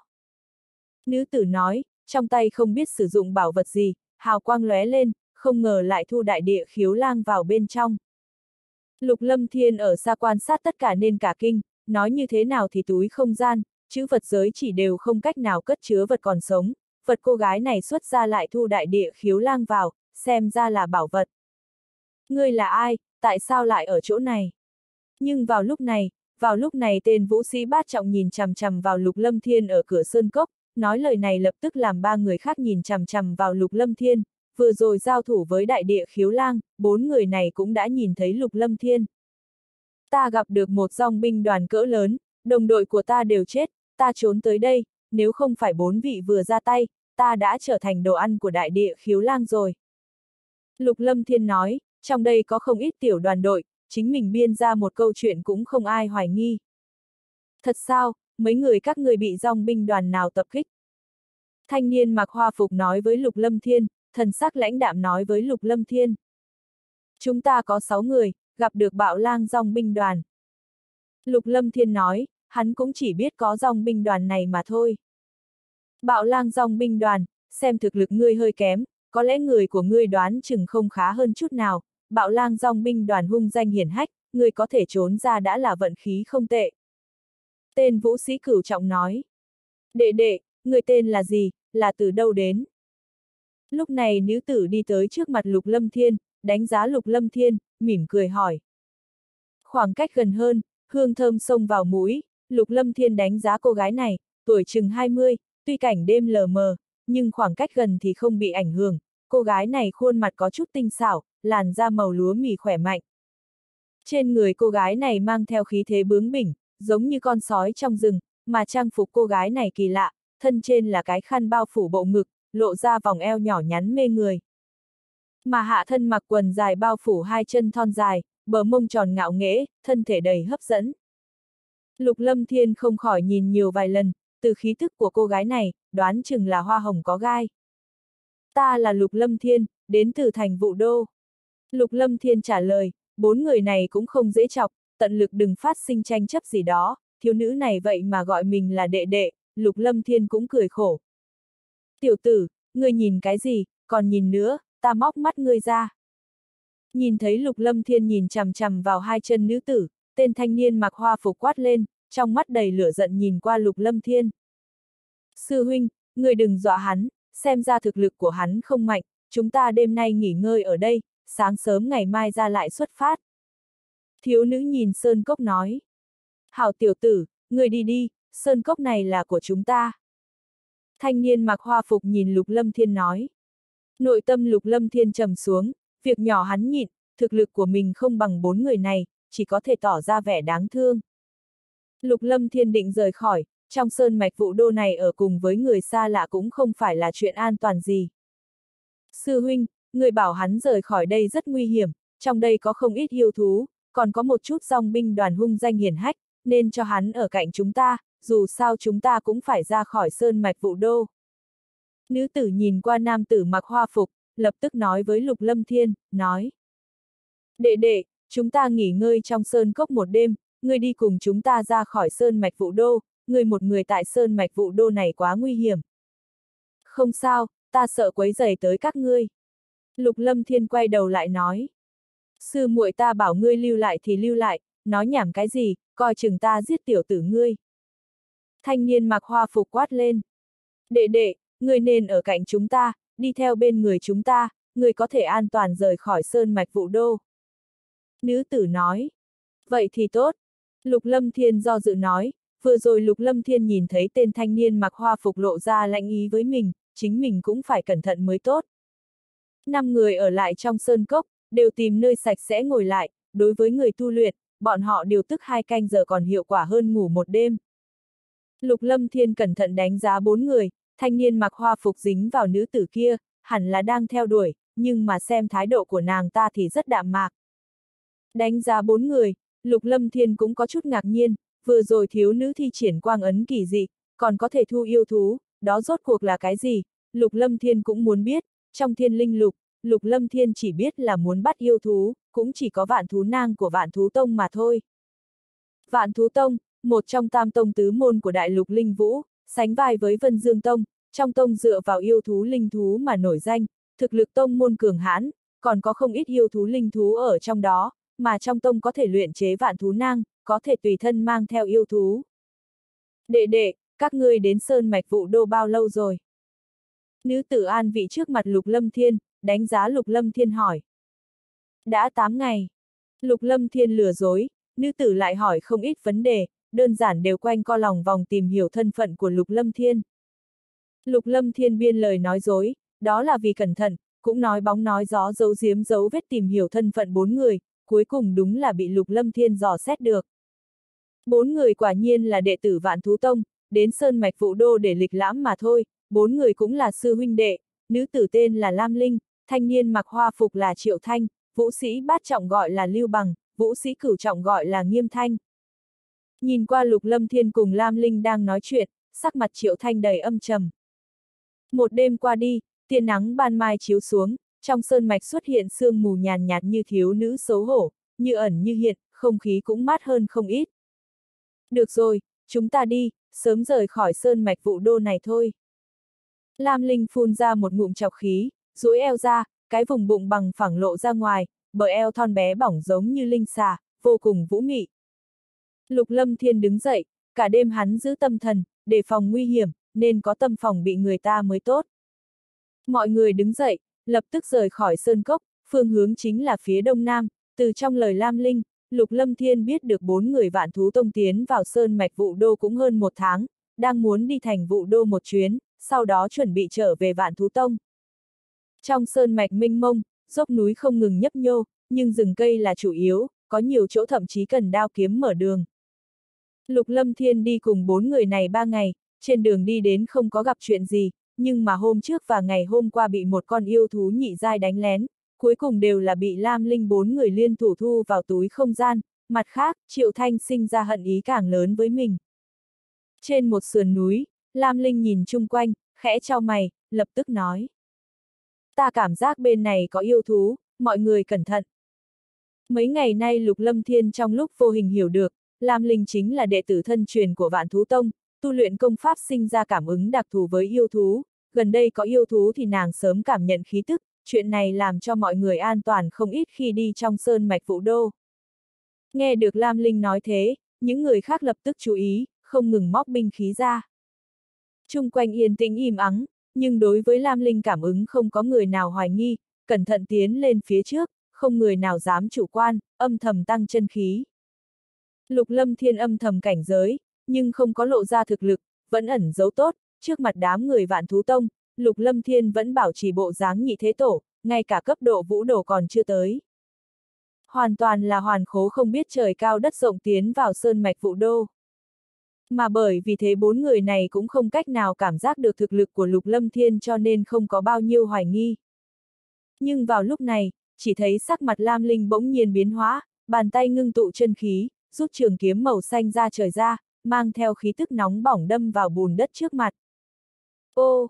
Trường kiếm màu xanh cắm vào bùn, lập tức vang lên một tiếng thét kinh dị, Lam Linh rút trường kiếm ra, mang theo một dòng máu tươi, trong đất bùn xuất hiện vết máu li ti, lập tức có một con chùa to chừng 20cm tung đất lao lên. Yêu thú thổ hệ nhất giai địa thử, chúng ta tiếp tục đi. Lam Linh lau trường kiếm vào đống lá khô, địa thử chỉ là yêu thú nhất giai, trên thị trường giá tiền cũng không cao lắm, đánh chết cũng không có cái gì. Lục Lâm Thiên nhìn qua địa thử, những ngày này đi theo đệ tử Vạn Thú Tông, ngược lại tăng trưởng không ít kiến thức, cũng học được không ít biện pháp đối phó yêu thú, mỗi một chủng yêu thú đều có nhược điểm, nếu biết rõ nhược điểm thì dễ đối phó hơn nhiều, đương nhiên, điều kiện tiên quyết là thực lực chênh lệch không nhiều, thực lực xê xích nhiều, cho dù biết rõ nhược điểm cũng không có biện pháp. Phanh! Qua chừng nửa canh giờ sau, ở rừng cây phía trước có tiếng trầm đấu Upsilon, C giống như có người kịch chiến. Chúng ta đi nhìn xem. Triệu Thanh nói. Cũng không có rất xa, ở trên sườn núi phía trước có 5 thi thể, chung quanh có 15-16 người tìm kiếm quanh thi thể. Bạo lang dòng binh đoàn. Nhìn thấy đám người này, thần sắc lục lâm thiên biến hóa, từ trang phục mà nhìn thì đây là bạo lang dòng binh đoàn, chính mình cùng tiểu long đánh chết hai người kia cũng mặc trang phục này. Là bạo lang dòng binh đoàn, chúng ta đi thôi, những người này rất nguy hiểm. Triệu Thanh nhìn qua phía trước, lập tức nói, bạo lang dòng binh đoàn tại cả Sơn Mạch Vụ Đô có danh khí rất lớn, mặc dù là tiếng xấu. Các ngươi là người nào, đã tới thì nằm lại đây đi. Năm người nhìn thấy là bạo lang dòng binh đoàn thì rời đi, nhưng mà lúc này 16 người kia hình thành xu thế vây quanh năm người bọn họ. Bạo lang dòng binh đoàn, các người muốn làm cái gì, chúng ta không có trêu vào các ngươi. Lam Linh tiến lên quát lớn, trước mặt vạn thú tông, bạo lang dòng binh đoàn tự nhiên không là cái gì cả. Cô nàng không tệ, nhận ra chúng ta, vậy càng không thể buông tha ngươi. Lúc này một đám người chú ý vòng eo nhỏ nhắn và đôi chân của Lam Linh, quát. Nam giết, nữ lưu lại. Người dám, chúng ta chính là người vạn thú tông, các người tìm chết sao? Lam Linh quát một tiếng, người vạn thú tông vận chuyển chân khí, khí tức lập tức khuếch tán ra chung quanh. Hai vũ sư. Cảm giác được khí tức của Lam Linh cùng Triệu Thanh thì tên đầu lĩnh trầm mặc, nghe được là đệ tử vạn thú tông thì đám người nhìn nhau, vạn thú tông không phải bọn chúng có thể trêu vào. Cô nàng, cho các người đi. Đầu lính hô to khẽ quát một tiếng, đối phương có hai vũ sư, lại là vạn thú tông, hắn cũng không muốn động thủ, tham lam nhìn qua Lam Linh nhưng chỉ hậm hực mà thôi. Chúng ta đi. Lam Linh nghe xong dẫn người rời đi, bọn họ cũng không muốn chọc vào bạo lang dòng binh đoàn. Lục Lâm Thiên thầm than, đi theo bốn đệ tử vạn thú tông đúng là an toàn hơn nhiều. Mọi người tiếp tục cẩn thận tiến lên, xuyên thẳng qua vùng núi này, không có vấn đề gì quá lớn. Trên sườn núi có hơn 20 hiện ra, lập tức mười mấy đạo thân ảnh đi tới, đúng là đám người bạo lang dòng binh đoàn mà bọn người lục lâm thiên vừa gặp. Đại ca, lão tam, vừa rồi thu hoạch không ít, các người thu hoạch như thế nào rồi? Tên đại hán cầm búa màu vàng nhìn tên đại hán xấu xí nói. Nhị ca, chuyện phiền toái, tàng bảo đồ chúng ta có được đã mất đi. Đại hán nói. Cái gì, mất? Sắc mặt đại hán đại biến, tức giận nói. Là ai làm, ta bổ hắn. Không biết là ai làm, mặt dỗ và thiết cấu đã chết, mặt dỗ hẳn chết trong tay yêu thú, túi không gian không biết tung tích, hẳn là yêu thú và con người gây ra. Hán tử gầy gò nói. Hỗn đàn, đây chính là tàng bảo đồ mà Bạch Lang dòng binh đoàn lưu lại, thu hoạch bên trong đủ cho chúng ta ăn sung mặc sứ IG, chúng ta nhất định phải tìm được là ai làm. Đại hán tức giận nói, lập tức nhướng mày, nói. Đoàn đội có yêu thú, chứ năm đệ tử vạn thú tông ra thì không ai khác, trên người vạn thú tông chắc chắn có yêu thú. Năm đệ tử vạn thú tông, lúc nào, người nói nhanh lên xem. Tên đại hán kia nhíu mày hỏi. Vừa mới không lâu trước đó, bốn nam một nữ, hai vũ sư nhất trọng. Rất có thể chính là bọn họ, chúng ta nhanh ngăn cản chúng lại. Hán tử gầy gò mắt chuột nói. Đại hán nói. Thế nhưng mà bọn chúng là đệ tử vạn thú tông, khó mà đối phó được. Quan hệ đến tàng bảo đồ, cho dù là đệ tử vạn thú tông thì thế nào, đạt được bảo tàng chúng ta sẽ không xuất hiện trong sơn mạch vụ đô nữa, vạn thú tông cũng không cách nào làm gì được chúng ta, xuất phát, chúng ta mau đuổi theo, đừng cho bọn chúng bỏ chạy. Đại hán quát lên. 50 đạo thân ảnh lập tức lao về phía đông nam. Không biết còn bao lâu nữa mới tới thành vụ đô. Lục lâm thiên nghĩ thầm trong lòng. Sơn mạch vụ đô giống như vô biên vô hạn, xuyên qua một mảnh rừng nhiệt đới, lại là một mảnh rừng nhiệt đới khác xuất hiện trước mặt, trong rừng đều là cổ thụ sinh trưởng mấy trăm năm, mỗi gốc cây đều là đại thụ che trời. Dưới mặt đất là cỏ dại khắp nơi, bụi gai cũng không ít, còn có những lá khô rơi đầy đất, chân đạp trên đất tự nhiên sinh ra âm thanh, ở trong đó vô cùng có yêu thú ẩn thân, chung quanh còn có dây leo lâu năm cỏ dại rậm rạp chẳng chịt che kín đường đi. Lục Lâm Thiên may mắn đi cùng với đám người vạn thú tông, muốn một mình đi qua đây, tăng thêm không có chút kinh nghiệm đi lại trong sơn mạch, nói không chừng hắn đã gặp nguy hiểm chí mạng, nghĩ đến điểm này, Lục Lâm Thiên cảm thấy nội tâm có chút may mắn. Ừ, C. Liệt hỏa yêu ưng kêu vang một tiếng, âm thanh xuyên thấu hư không, há to miệng hút đan dược vào bụng. Liệt hỏa yêu ưng, đi, ngăn cản bọn chúng lại. Lam Linh quát nhẹ, liệt hỏa yêu ưng xoay tròn vỗ cánh trên cao, nó lướt tới tên đầu mục gầy gò. Hai cánh chấn động, khí kình hung mãnh xuyên thấu hư không, thân hình của nó lao tới mang theo tiếng xé gió, uy thế bất phàm, không ít người đã sinh lòng sợ hãi, yêu thú tam giai tuyệt đối là tồn tại khủng bố. Lão tam coi chừng. Đại hán to lớn hét một tiếng, dùng nhãn lực của hắn trong sơn mạch vụ đô có thể nhìn ra đây là yêu thú tam giai, cũng sớm đề phòng trên người vạn thú tông sẽ có yêu thú, không nghĩ tới lại là yêu thú tam giai. Vừa nói xong, thần sắc dại hán to lớn biến hóa, hắn công kích về phía triệu thanh, khí tức nóng bỏng làm không khí run động, quét qua tất cả. Triệu thanh sớm bị nhị đầu mục công kích chật vật không chịu nổi, bị một chiêu đẩy lui, thân hình lảo đảo lui ra sau, thời điểm nhìn thấy đại hán to lớn đánh tới, sắc mặt cả kinh, thân hình nhanh lùi lại, trường kiếm màu bạc trong tay bắn ra hơn 10 đạo kiếm khí, không gian gào thét liên tục. Phá! Nhưng mà đại hán khổng lồ chẳng phải dễ chọc, hắn cũng chẳng chủ quan, triệu thanh thân là vũ sư, thực lực không phải vũ sĩ có thể so sánh. Bàn tay của đại hán to lớn này ngưng tụ hỏa diễm nồng đậm, hỏa diễm bao phủ toàn bàn tay đánh tới, mấy đạo kiếm quang tiêu tán trong vô hình, một đạo kiếm quang cuối cùng đánh trúng bàn tay nhưng cũng bị ám kình đánh tan toàn bộ. Thân hình triệu thanh lập tức bị đẩy lui, thủ ấn biến hóa, trường kiếm màu trắng bạc cắm xuống đất, mặt đất cứng rắn bị xé ra thành khe nứt nhỏ. Cạc cạc, liệt hỏa yêu ưng trong miệng ngưng tụ hỏa cầu và phun ra, hỏa cầu này chỉ bằng nửa bàn tay mà thôi, nhưng mà không gian bành trướng, nhiệt độ cực nóng, xẹt qua hư không đánh thẳng vào đại hán gầy gò. Sắc mặt tên đại hán gầy gò đại biến, hắn ngưng tụ chân khí bảo hộ trước người của mình, yêu thú tam giai không phải tồn tại hắn có thể chống lại chính diện. Phanh! Hỏa cầu nổ tung, hỏa diễm tỏa ra chung quanh, nhiệt độ cực cao, lực lượng to lớn trùng kích tới trước mặt, hán tử gầy gò bị đẩy lui. Lực chú ý của tất cả mọi người hiện tại đều đặt vào yêu thú tam giai, cho nên không ai tiếp tục công kích Lục Lâm Thiên. Lục Lâm Thiên hiện tại chậm rãi lui ra phía sau, hắn nghĩ phải trốn trước rồi nói sau, bạo lang dòng binh đoàn không phải mình hiện tại có thể trêu vào. Đáng chết, tới đây cho ta.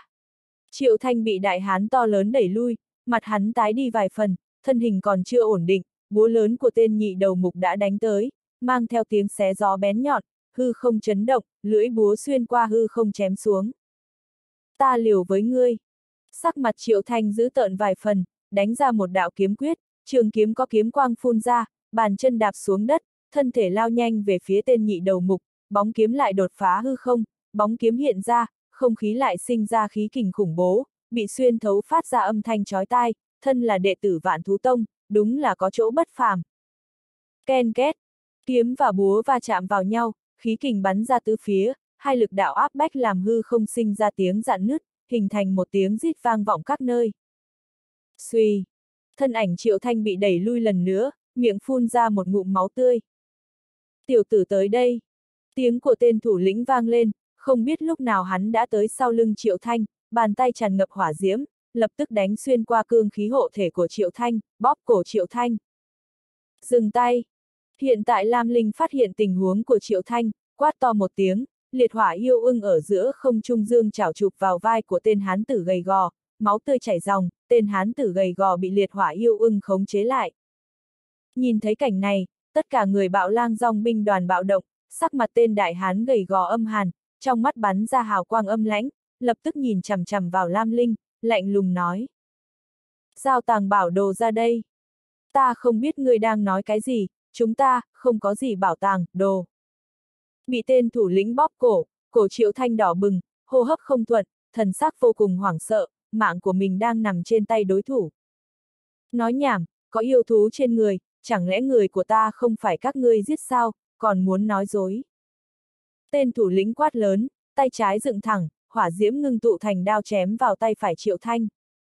Hỏa đao chém xuống, máu tươi chảy ròng ròng, hỏa diễm đảo qua thì không còn máu chảy nữa, miệng vết thương đã bị đốt cháy cứng lại. A hát! Triệu thanh hét thảm thiết, đau đớn cỡ này làm gương mặt của hắn vặn vẹo vô cùng khủng bố, lục lâm thiên ở xa nhìn qua trái tim băng giá, tên thủ lĩnh này chính là người đi qua đi lại trong sơn mạch vụ đô, đúng là người âm độc. Hừ! Nhưng vào lúc này, Lam Linh cũng hử lạnh một tiếng, trường kiếm màu xanh ra trời đảo qua, bóng kiếm chém thẳng vào vai phải của tên hán tử gầy gò. A hát! Tên hán tử gầy gò đau đớn, sắc mặt trắng bệch, đau đớn nứt tay không phải đau đớn tầm thường. Lục Lâm Thiên nhìn quét qua cánh tay bị chặt đứt kia, tuy Lam Linh là một kẻ nữ lưu, nhưng cũng là người ngoan độc, cho dù Triệu Thanh rơi vào trong tay đối phương cũng không cam lòng yếu thế, nữ nhân bình thường chắc chắn sợ ném chuột vỡ bình, sẽ lấy con tin ép đối thủ, sau đó lại tìm cách đào thoát. Nữ nhân này không đơn giản, Lục Lâm Thiên nghĩ thầm trong lòng, chờ qua một thời gian, Lam Linh tuyệt đối sẽ bộc lộ tài năng trong vạn thú tông, nếu đắc tội loại nữ nhân này, đoán chừng phiền toái không ít. Thật lớn mật. Nhìn qua Lam Linh, nhìn chằm chằm vào cánh tay máu đầm đìa của tên hán tử gầy gò, sắc mặt tên thủ lĩnh trầm xuống, sát ý nổi lên. Lão đại, cứu ta! Tên hán tử gầy gò kinh hãi, kêu to lên. Chúng ta thật không biết tàng bảo đồ gì cả, thả người trong tay ngươi ra, nếu không hắn phải chết. Lam Linh lạnh nhạt nói, lập tức nhìn chằm chằm vào Lục Lâm Thiên nói. Lâm Thiên, ngươi nhanh tới bên ta. Lục Lâm Thiên nghe vậy, lập tức đi về phía Lam Linh, mà đám dòng binh vây quanh trước mặt Lục Lâm Thiên tự nhiên không dám ngăn cản, tam đầu mục của bọn họ đang ở trong tay đối thủ. Ngươi dám uy hiếp ta? Nhị đầu mục nhìn chằm chằm vào Lam Linh tức giận nói. Không phải uy hiếp, chúng ta làm một số giao dịch, chúng ta cùng thả người, thế nào? Lam Linh lạnh nhạt nói. Nếu ta không nói thì sao? Ánh mắt tên thủ lĩnh đầy âm tàn. Vậy cá chết lưới rách. Ánh mắt Lam Linh kiên định, không lùi một bước. Thần sắc tên thủ lĩnh run rẩy, nếu mặc kệ lão tam, chỉ sợ không cách nào phục chúng, nhưng trong lòng không muốn tàng bảo đồ chạy mất. Tốt, cùng thả người. Do dự một hồi, tên thủ lĩnh nói. Ta đếm một hai ba, chúng ta cùng thả, cho người đi tới. Lam Linh nói, ánh mắt nhìn chung quanh, thần sắc ngưng trọng lên. Một, hai, ba. Vừa đếm tới ba thì tên thủ lĩnh thả triệu thanh, liệt hỏa yêu ưng được Lam Linh ra lệnh cũng buông tên tam đầu mục ra. Hai người lảo đảo đi về phía trước, cẩn thận đề phòng chung quanh, lập tức lao vào đội hình của mình. Đuổi theo cho ta, giết con kỹ nữ này. Tên thủ lĩnh hét một tiếng, thân ảnh lao về phía trước. Liệt hỏa yêu ưng, ngăn chúng lại. Trong cùng thời gian, Lam Linh ra lệnh cho liệt hỏa yêu ưng, thân ảnh trốn ra phía sau. Triệu Thanh, Lục Lâm Thiên hai người căn bản không cần Lam Linh phân phó, lập tức đuổi kịp, lúc này Lục Lâm Thiên cũng không che giấu thực lực của mình, nếu không trốn thì mình cũng không thoát được. Cạc cạc, liệt hỏa yêu ưng gào thét sông lên, hai cánh mở rộng, trong miệng phun ra một đạo hỏa diễm, hỏa diễm bao phủ khoảng cách trăm mét, tên đại hán to lớn cũng không dám trực tiếp chống lại, lập tức lùi ra phía sau. Công kích của yêu thú tam giai không phải tên đại hán to lớn có thể bỏ qua. A hát! Lập tức có mấy dòng binh tu vị vũ đổ bị hỏa diễm của liệt hỏa yêu ưng bao phủ, lập tức phát ra tiếng hét thảm thiết, loại yêu hỏa này không phải hỏa diễm bình thường, dùng nước cũng không cách nào dập tắt, nếu không có đủ thực lực, một khi bị chúng phải cũng chỉ có thể bị đốt thành cho bụi. Đuổi theo. Tên thủ lĩnh tức giận, nhưng có liệt hỏa yêu ưng ở trên không, thực lực thấp căn bản không dám tiến lên. Trong nháy mắt này ba người Lam Linh, Triệu Thanh, Lục Lâm Thiên đã chạy xa, Lam Linh gọi liệt hỏa yêu ưng lui ra phía sau, dường như sử dụng bí pháp nào đó khiến tiêu hao quá nhiều, tuy tiêu hao này không giống như bị trọng thương, nhưng mà cũng sinh ra ảnh hưởng lớn. Triệu Thanh càng không cần phải nói, bản thân bị trọng thương, lại mất một tay, tốc độ càng chậm hơn. Sư huynh, người không có việc gì chứ? Lam Linh cũng muốn biết thực lực của Lục Lâm Thiên, nhìn thấy Triệu Thanh không tốt, ngược lại thương thế tăng thêm, thần sắc trầm xuống, lại nhìn chăm chằm vào Lục Lâm Thiên. Sư muội, giết tiểu tử này, không nên để hắn gây phiền toái cho chúng ta, trên người hắn chắc chắn có tàng bảo đồ, chúng ta đạt được sẽ phát tài. Triệu Thanh nhìn chằm chằm vào Lục Lâm Thiên, tuy không biết bạo lang dòng binh đoàn tìm kiếm bảo tàng gì, nhưng đó là bảo tàng, vậy có giá trị xa xỉ rồi, nếu không bạo lang dòng binh đoàn cũng không liều mạng đắc tội vạn thú tông cũng phải chiếm được tàng bảo đồ. Thân ảnh Lục Lâm Thiên lui lại, hắn nhìn chằm chằm vào liệt hỏa yêu ưng bên người Lam Linh, liệt hỏa yêu ưng mới là uy hiếp lớn nhất của mình. Vũ sĩ lục trọng, dùng tuổi của ngươi thực lực này là không tệ, nhưng mà dường như hơi thấp trong mắt ta. Lam Linh nhìn qua lục lâm thiên nói nhỏ. Thật sao, Lam Linh tiểu thư trọng thương, thực lực giảm bớt đi nhiều, thúc giục liệt hỏa yêu ưng, dường như tiêu hao không ít, không biết Lam Linh tiểu thư còn có thể thúc giục mấy lần. Lục lâm thiên nói nhỏ. Thần sắc Lam Linh trầm xuống, nếu lúc toàn thịnh tự nhiên không sợ vũ sĩ lục trọng, liệt hỏa yêu ưng cần tiêu hao không ít chân khí của nàng để thúc giục, nếu không liệt hỏa yêu ưng cũng không nghe lời, mình bây giờ đúng là không thể thúc giục nữa. Vậy sao, nhưng ta nói thế nào cũng không thể lưu ngươi được. Lam Linh lạnh nhạt nói một tiếng, chân khí toàn thân run run, điểm chân xuống đất, thả người bay lên giữa không trung, thân thể uyển chuyển xoay tròn, giơ trường kiếm màu xanh ra trời lên cao, tá trợ lực xoay tròn, bỗng nhiên đảo tay mang theo âm thanh bén nhọn, một đạo kiếm khí chém tới. Hỏa ảnh chỉ. Thần sắc lục lâm thiên trầm xuống, thủ ấn biến hóa, năm ngón tay mở ra, năm đạo hỏa diễm nóng bỏng từ ngón tay bắn ra, ở giữa không trung, năm ngón tay đánh thẳng vào mũi kiếm. Keng keng. Từng hoa lửa bắn ra ngoài, hỏa diễm và kiếm quang va chạm vào nhau, lập tức phát ra tiếng va chạm thanh thúy, mũi kiếm cũng cải biến phương hướng. Võ giả song hệ. Lam Linh cả kinh, Lục Lâm Thiên đã thi triển vũ khí thổ hệ và vũ khí hỏa hệ, đối phương dĩ nhiên là võ giả song hệ. Lam Linh thu thủ ấn lại, trường kiếm màu xanh ra trời lại rơi vào tay của nàng, nhưng vào lúc này chỉ thấy Triệu Thanh thừa cơ công kích, quyền kình xé gió lao tới, muốn công kích Lục Lâm Thiên. Nộ diễm quyền. Trong giây lát, một quyền mang theo hỏa diễm nóng bỏng đánh thẳng tới, đánh tới trước mặt Lục Lâm Thiên, cũng vào lúc này, quanh người Lục Lâm Thiên ngưng tụ áo giáp đầy lân phiến. Phanh! Hai đạo khí kình va chạm vào nhau, một đạo lực lượng khổng lồ chút xuống người Lục Lâm Thiên, nhưng mà có thanh linh khải giáp, lực lượng to lớn đánh lên thanh linh khải giáp, hào quang thanh linh khải giáp lóe sáng, hao tổn một nửa lực lượng.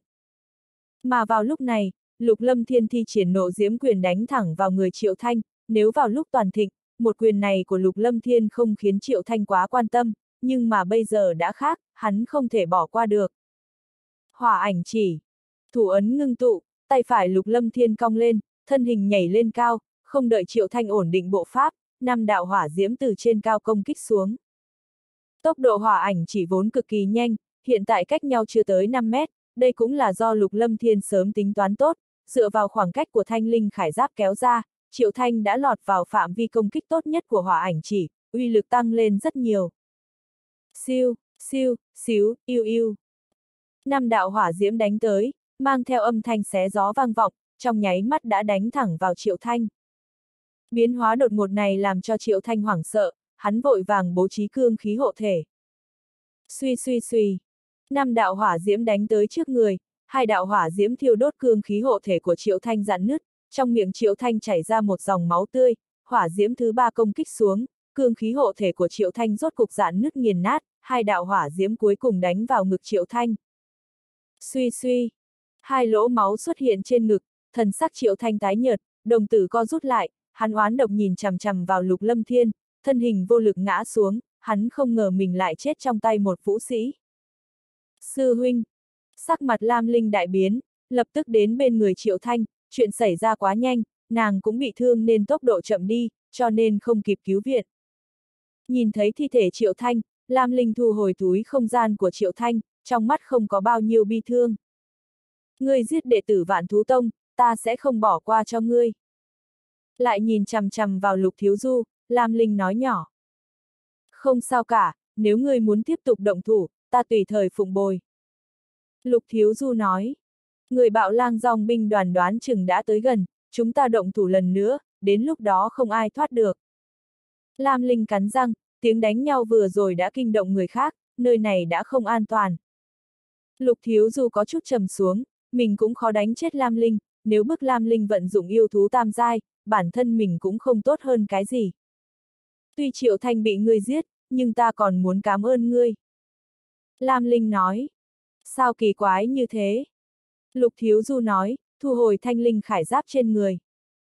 Triệu Thanh là chỉ phúc hôn phu từ nhỏ của ta, ta không cách nào lựa chọn, tuy ta là đệ tử thân truyền ở Vạn Thú Tông, thế nhưng mà dưới áp lực gia tộc của hắn ta không cách nào lựa chọn được, tăng thêm hắn lần này trở về cũng sẽ là đệ tử thân truyền của Vạn Thú Tông, ta căn bản không cách nào lựa chọn, ngươi giết hắn, ta tự nhiên muốn cảm ơn ngươi, nhưng hắn dù gì cũng là hôn phu của ta, lại là người Vạn Thú Tông, nếu sau này có cơ hội, ta tự nhiên sẽ không bỏ qua cho ngươi.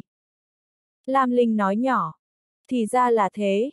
Lục Thiếu Du nhướng mày, lập tức nhìn chằm chằm vào Lam Linh, hồi tưởng lại chuyện vừa rồi, nếu Lam Linh dốc sức liều mạng cứu giúp, chính mình chặn giết Triệu Thanh cũng rất khó, xem ra mình đã bị nàng lợi dụng, tâm cơ của nữ nhân này quá đáng sợ rồi. Ta đi trước, về sau hoan nghênh tới tìm ta báo thù. Lục Thiếu Du nói, vẫn rời khỏi nữ nhân này mới tốt, nếu không bị tính kế lúc nào cũng không biết. Người muốn nuốt bảo tàng một mình sao, vì ngươi mà vạn thú tông chết ba người, ngươi cũng nên tính cho ta một phần. Lam Linh nói, bảo tàng gì chứ, ta không biết. Thần sắc lục thiếu du trầm xuống, bảo tàng gì thì hắn không biết, dường như mình giết hai tên bạo lang dòng binh đoàn và cầm túi không gian, bên trong giường như có tàng bảo đồ. Nếu ta ngăn ngươi lại, cho dù ta có thương tích nên không cách nào đánh chết ngươi, nhưng mà muốn đưa người bạo lang dòng binh đoàn tới thì không khó, đến lúc đó ngươi phải chết, bảo tàng phải chia đều, đây là yêu cầu của ta, nếu không chúng ta cá chết rách lưới, bảo tàng ai cũng đừng đạt được. Lam Linh nghiêm mặt nhìn chằm chằm vào lục thiếu du, không có chút đùa giỡn nào cả. Lục Thiếu Du nhìn ra, tâm cơ của Lam Linh rất nặng, tính cách nóng bỏng, tuyệt đối là không dễ chọc, muốn là mình bây giờ rời đi, nàng toàn lực ngăn cản thì hắn cũng không có khả năng đào thoát, Lam Linh có thương thích trên người, nhưng còn có liệt hỏa yêu ưng ở đây đấy. Ta thực sự không biết bảo tàng nào, thế nhưng ta lại chiếm được một cái túi không gian, có thể đáp án ở bên trong đó. Lục Thiếu Du do dự một chút rồi nói, quyết định trước tiên tìm bảo tàng cái đã. Hơn nữa nếu như Lam Linh này thực sự nói được làm được thì hắn cũng rất cố kỵ nàng, đối với bảo tàng kia cũng cảm thấy rất hứng thú. Nói xong Lục Thiếu Du đem túi không gian đoạt từ trên người của thành viên bạo lang dòng binh đoàn kia lấy máu nhận chủ, rót vào chân khí. Bên trong túi không gian này cũng không có gì nhiều, chỉ có hai mảnh da thú, tựa hồ là da lông yêu thú nào đó. Lục Thiếu Du nhìn một lúc rồi lập tức lấy ra một cái trên mặt có hình bản đồ có tuyến đường đi màu vàng, chính giữa là một tòa sơn mạch, có điểm màu đỏ ránh dấu, phía sau tấm bản đồ còn có một cái đồ án đầu sói màu trắng.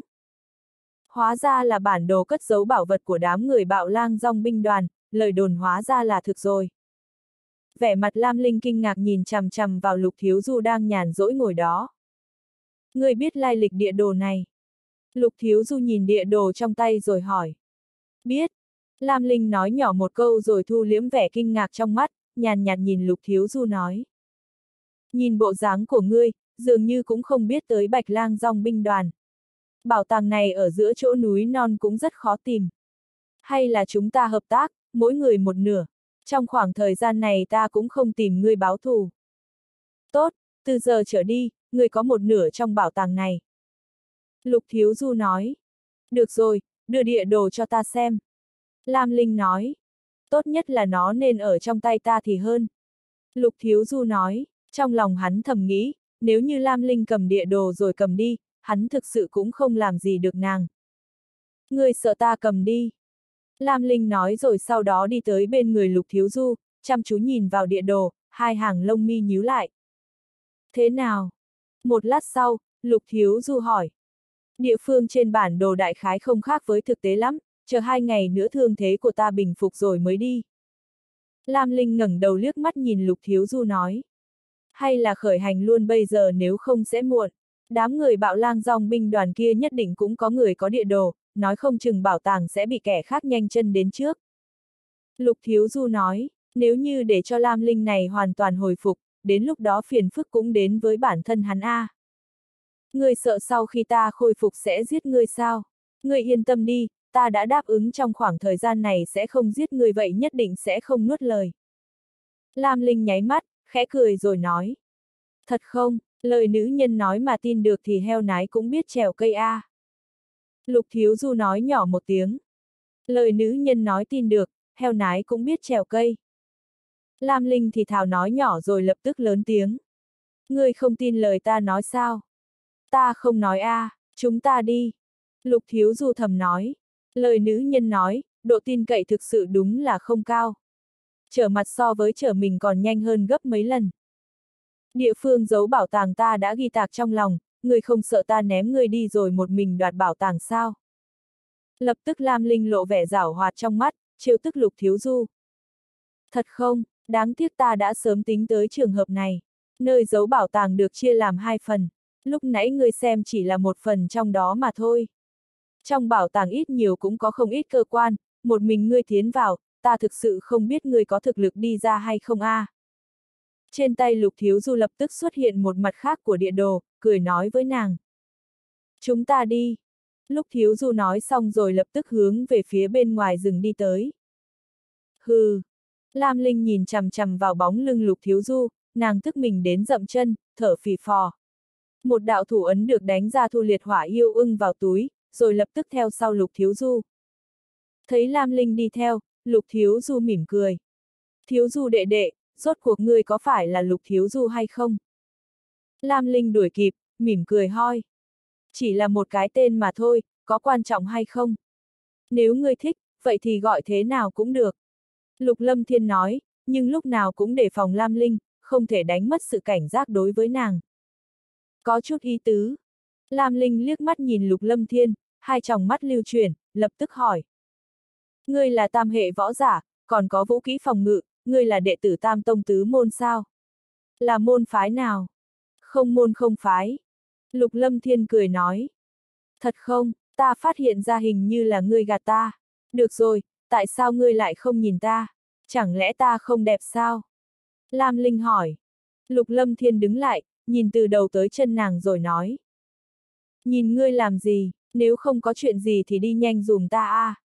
Ngươi! Lam Linh chừng mắt nhìn Lục Lâm Thiên, không nói được lời nào. Hai người đi ra khỏi rừng rậm, dọc đường lá khô xào xạc, rốt cuộc cũng nhìn được một chút phương hướng. Chúng ta phải đi về phía nam, vị trí trên địa đồ là ở đó. Đi! Lục Lâm Thiên nói, hai người cẩn thận tiến về phía trước, dọc đường cả hai không dám có chút sơ ý. Trong mạch núi này không chỉ có yêu thú, coi như là gặp phải kẻ khác chỉ sợ cũng là địch nhân của hai người bọn họ. Trên Vân Dương Tông lúc này vô cùng náo nhiệt, 3.000 đệ tử đã tới được một thời gian. Có thể tới đây, không thể nghi ngờ đều là những người có thiên phú vô cùng tốt, tuy rằng không phải thiên phú là tất cả, thế nhưng thiên phú tới một mức nào đó cũng là đại biểu cho tu vi sau này. Chỉ cần bản thân nỗ lực một chút, sớm muộn cũng sẽ trở thành cường giả. 3.000 đệ tử tiến nhập Vân Dương Tông thì có 5 kẻ trực tiếp thành đệ tử thân truyền, 5 người này đều là linh giả, Tần Thiên Hạo chính là một người trong số đó, đối với linh giả, các đại môn phái đều tranh nhau giành tới. Cũng bởi vì nguyên do số lượng linh giả thực sự không nhiều lắm.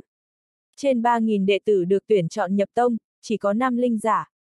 Bởi vậy cũng có thể nhìn ra linh giả thực sự rất thua thớt. Hơn nữa tác dụng của linh giả so với võ giả lớn hơn nhiều. Cứ mỗi 3 năm một lần, lúc phân dương tông tuyển chọn đệ tử nhập tông chính là lúc chọn những linh giả, chọn 10 người trở thành thân truyền đệ tử. 3.000 người đều muốn giành một trong 10 vị trí kia. 10 thân truyền đệ tử, thiên phú của 10 người này, tuyệt đối là thiên tài trong thiên tài. Có thể trở thành thân truyền đệ tử, dù cho không phải Long Phượng, cũng chính là nhân tài kiệt xuất, có thanh danh hiển hách trong Vân Dương Tông.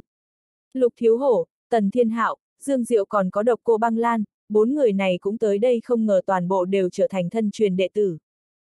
Những người còn lại cũng chỉ có thể thở dài. Không phải cũng không có cơ hội, mỗi một đệ tử, ba năm sau, cũng có một cơ hội trở thành thân truyền đệ tử. Ngay từ đầu Vân Dương Tông chọn 10 người có thiên phú tốt nhất để bồi dưỡng, thế nhưng trong các đệ tử, thường thường cũng có hắc mã, 3 năm sau thực sự so với thân truyền đệ tử còn mạnh hơn, hoặc là thực lực bằng với thân truyền đệ tử. Vân Dương Tông tự nhiên sẽ không mặc kệ, cho nên 3 năm sau tất cả đệ tử hiện tại đều có cơ hội cạnh tranh 10 danh ngạch này. Những người ngay từ đầu thất bại cũng chỉ có thể dựa vào cơ hội 3 năm sau này mà tranh thủ. Tiến vào hàng ngũ đệ tử thân truyền thì chỗ tốt còn lớn hơn nhiều so với đệ tử bình thường.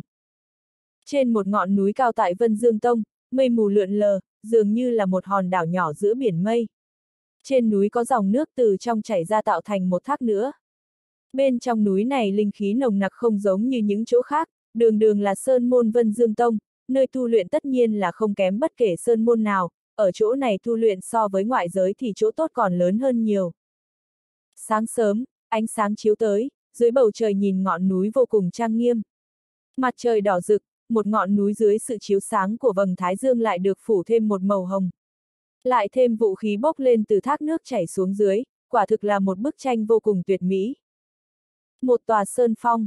Ở một nơi trong ngọn núi, có hai thân ảnh xinh đẹp khoảng 15 tuổi đang ngồi trên một tảng đá, một người thì dung nhanh xinh đẹp, một người ngũ quan tinh mỹ, trong đó có một thiếu nữ có một vết ban trên mặt, đó chính là độc cô băng lan và Thúy Ngọc. Người nói xem, liệu Lục Lâm Thiên có tìm được đường sống trong chỗ chết hay không? Nha hoàn Thúy Ngọc kia nhìn vào phong cảnh núi non hùng vĩ ánh mắt có chút dại ra, nhẹ nhàng nói. Ta cũng không biết, vách núi kia quá cao. Vậy ngươi nghĩ sao? Độc cô băng lan mỉm cười vẹo má Thúy Ngọc nói. Rồi nàng cũng nhìn về phía xa. Ngươi bảo nói gì a? À? Ta chỉ thấy hắn rất kỳ lạ, nếu như hắn chết đi không phải có chút tiếc nuối sao? Thúy Ngọc trừng mắt nhìn độc cô băng lan nói. Hắn rất kỳ lạ, nếu như chết thì thực có chút đáng tiếc. Chỉ là, người đừng quên, hiện tại ngươi mất hồn như vậy là vì hắn, cũng đừng quên, ngươi. Độc cô băng lan lãnh đạm nói, nhưng như muốn nhắc nhở Thúy Ngọc điều gì đó. Được rồi, ta đã biết. Thúy Ngọc thầm nói, trong đôi mắt có chút dị dạng. Hôm nay vừa khéo chính là ngày tranh đoạt vị trí đệ tử thân truyền 3 năm trước đó, chúng ta cũng nên đi xem a. À. Độc cô băng lan nói. Tốt, vừa vặn nhìn chút thực lực của Vân Dương Tông. Vẻ dị dạng trong mắt Thúy Ngọc được thu lại, sau đó hai nàng rời khỏi ngọn núi. Lúc này tại một sân rộng trong sơn cốc, chung quanh đều có sườn núi, vô số cung điện, nhà cửa giống nhau được mọc lên chung quanh, phân tán ở khắp nơi. Lúc này trong sơn cốc có thể nói là náo nhiệt phi phàm, có mấy nghìn người quây lại chung quanh một bãi đá ở giữa. Lúc này trong bãi đá có một thân ảnh xinh đẹp đang đứng đó. Thân ảnh xinh đẹp có một mái tóc dài tung bay trước gió, váy hồng, bao quanh đường cong lung linh, trên người đeo một vòng cổ, trang phục cũng không xa hoa cho lắm, thế nhưng lại tôn lên vẻ yêu nhã và cao quý của nàng, nàng chính là lục vô song. Ở phía đối diện lục vô song lúc này có một thanh niên, tuổi chừng 20, một thân quần áo màu trắng, ánh mắt thâm thúy nhàn nhạt nhìn lục vô song trước mặt. ngụy Tùng, chính là cường giả bài danh thứ 9 trên hổ bảng A. Lục vô song lại bài danh thứ 17, chỉ sợ khó có thể khiêu chiến thành công. Đây chính là cuộc chiến cuối cùng, chỉ có một danh ngạch thân truyền đệ tử, ai thắng là có thể trở thành thân truyền đệ tử. Ta xem, ngụy Tùng có cơ hội lớn hơn A. Điều này không nhất định A, Lục Vô Song vừa mới từ Trấn Thanh Vân trở về. 36 người của hổ bảng mấy ngày nay nàng đều một đường khiêu chiến đã tới 17, nói không chừng hôm nay có thể đánh bại ngụy Tùng. Thế nhưng ngụy Tùng lại là tứ trọng vũ sư, Lục Vô Song chỉ là tam trọng, kém hắn không ít. Bắt đầu, đây là danh ngạch cuối cùng, trong các ngươi ai thắng là có thể trở thành thân tuyền đệ tử của bổn tông.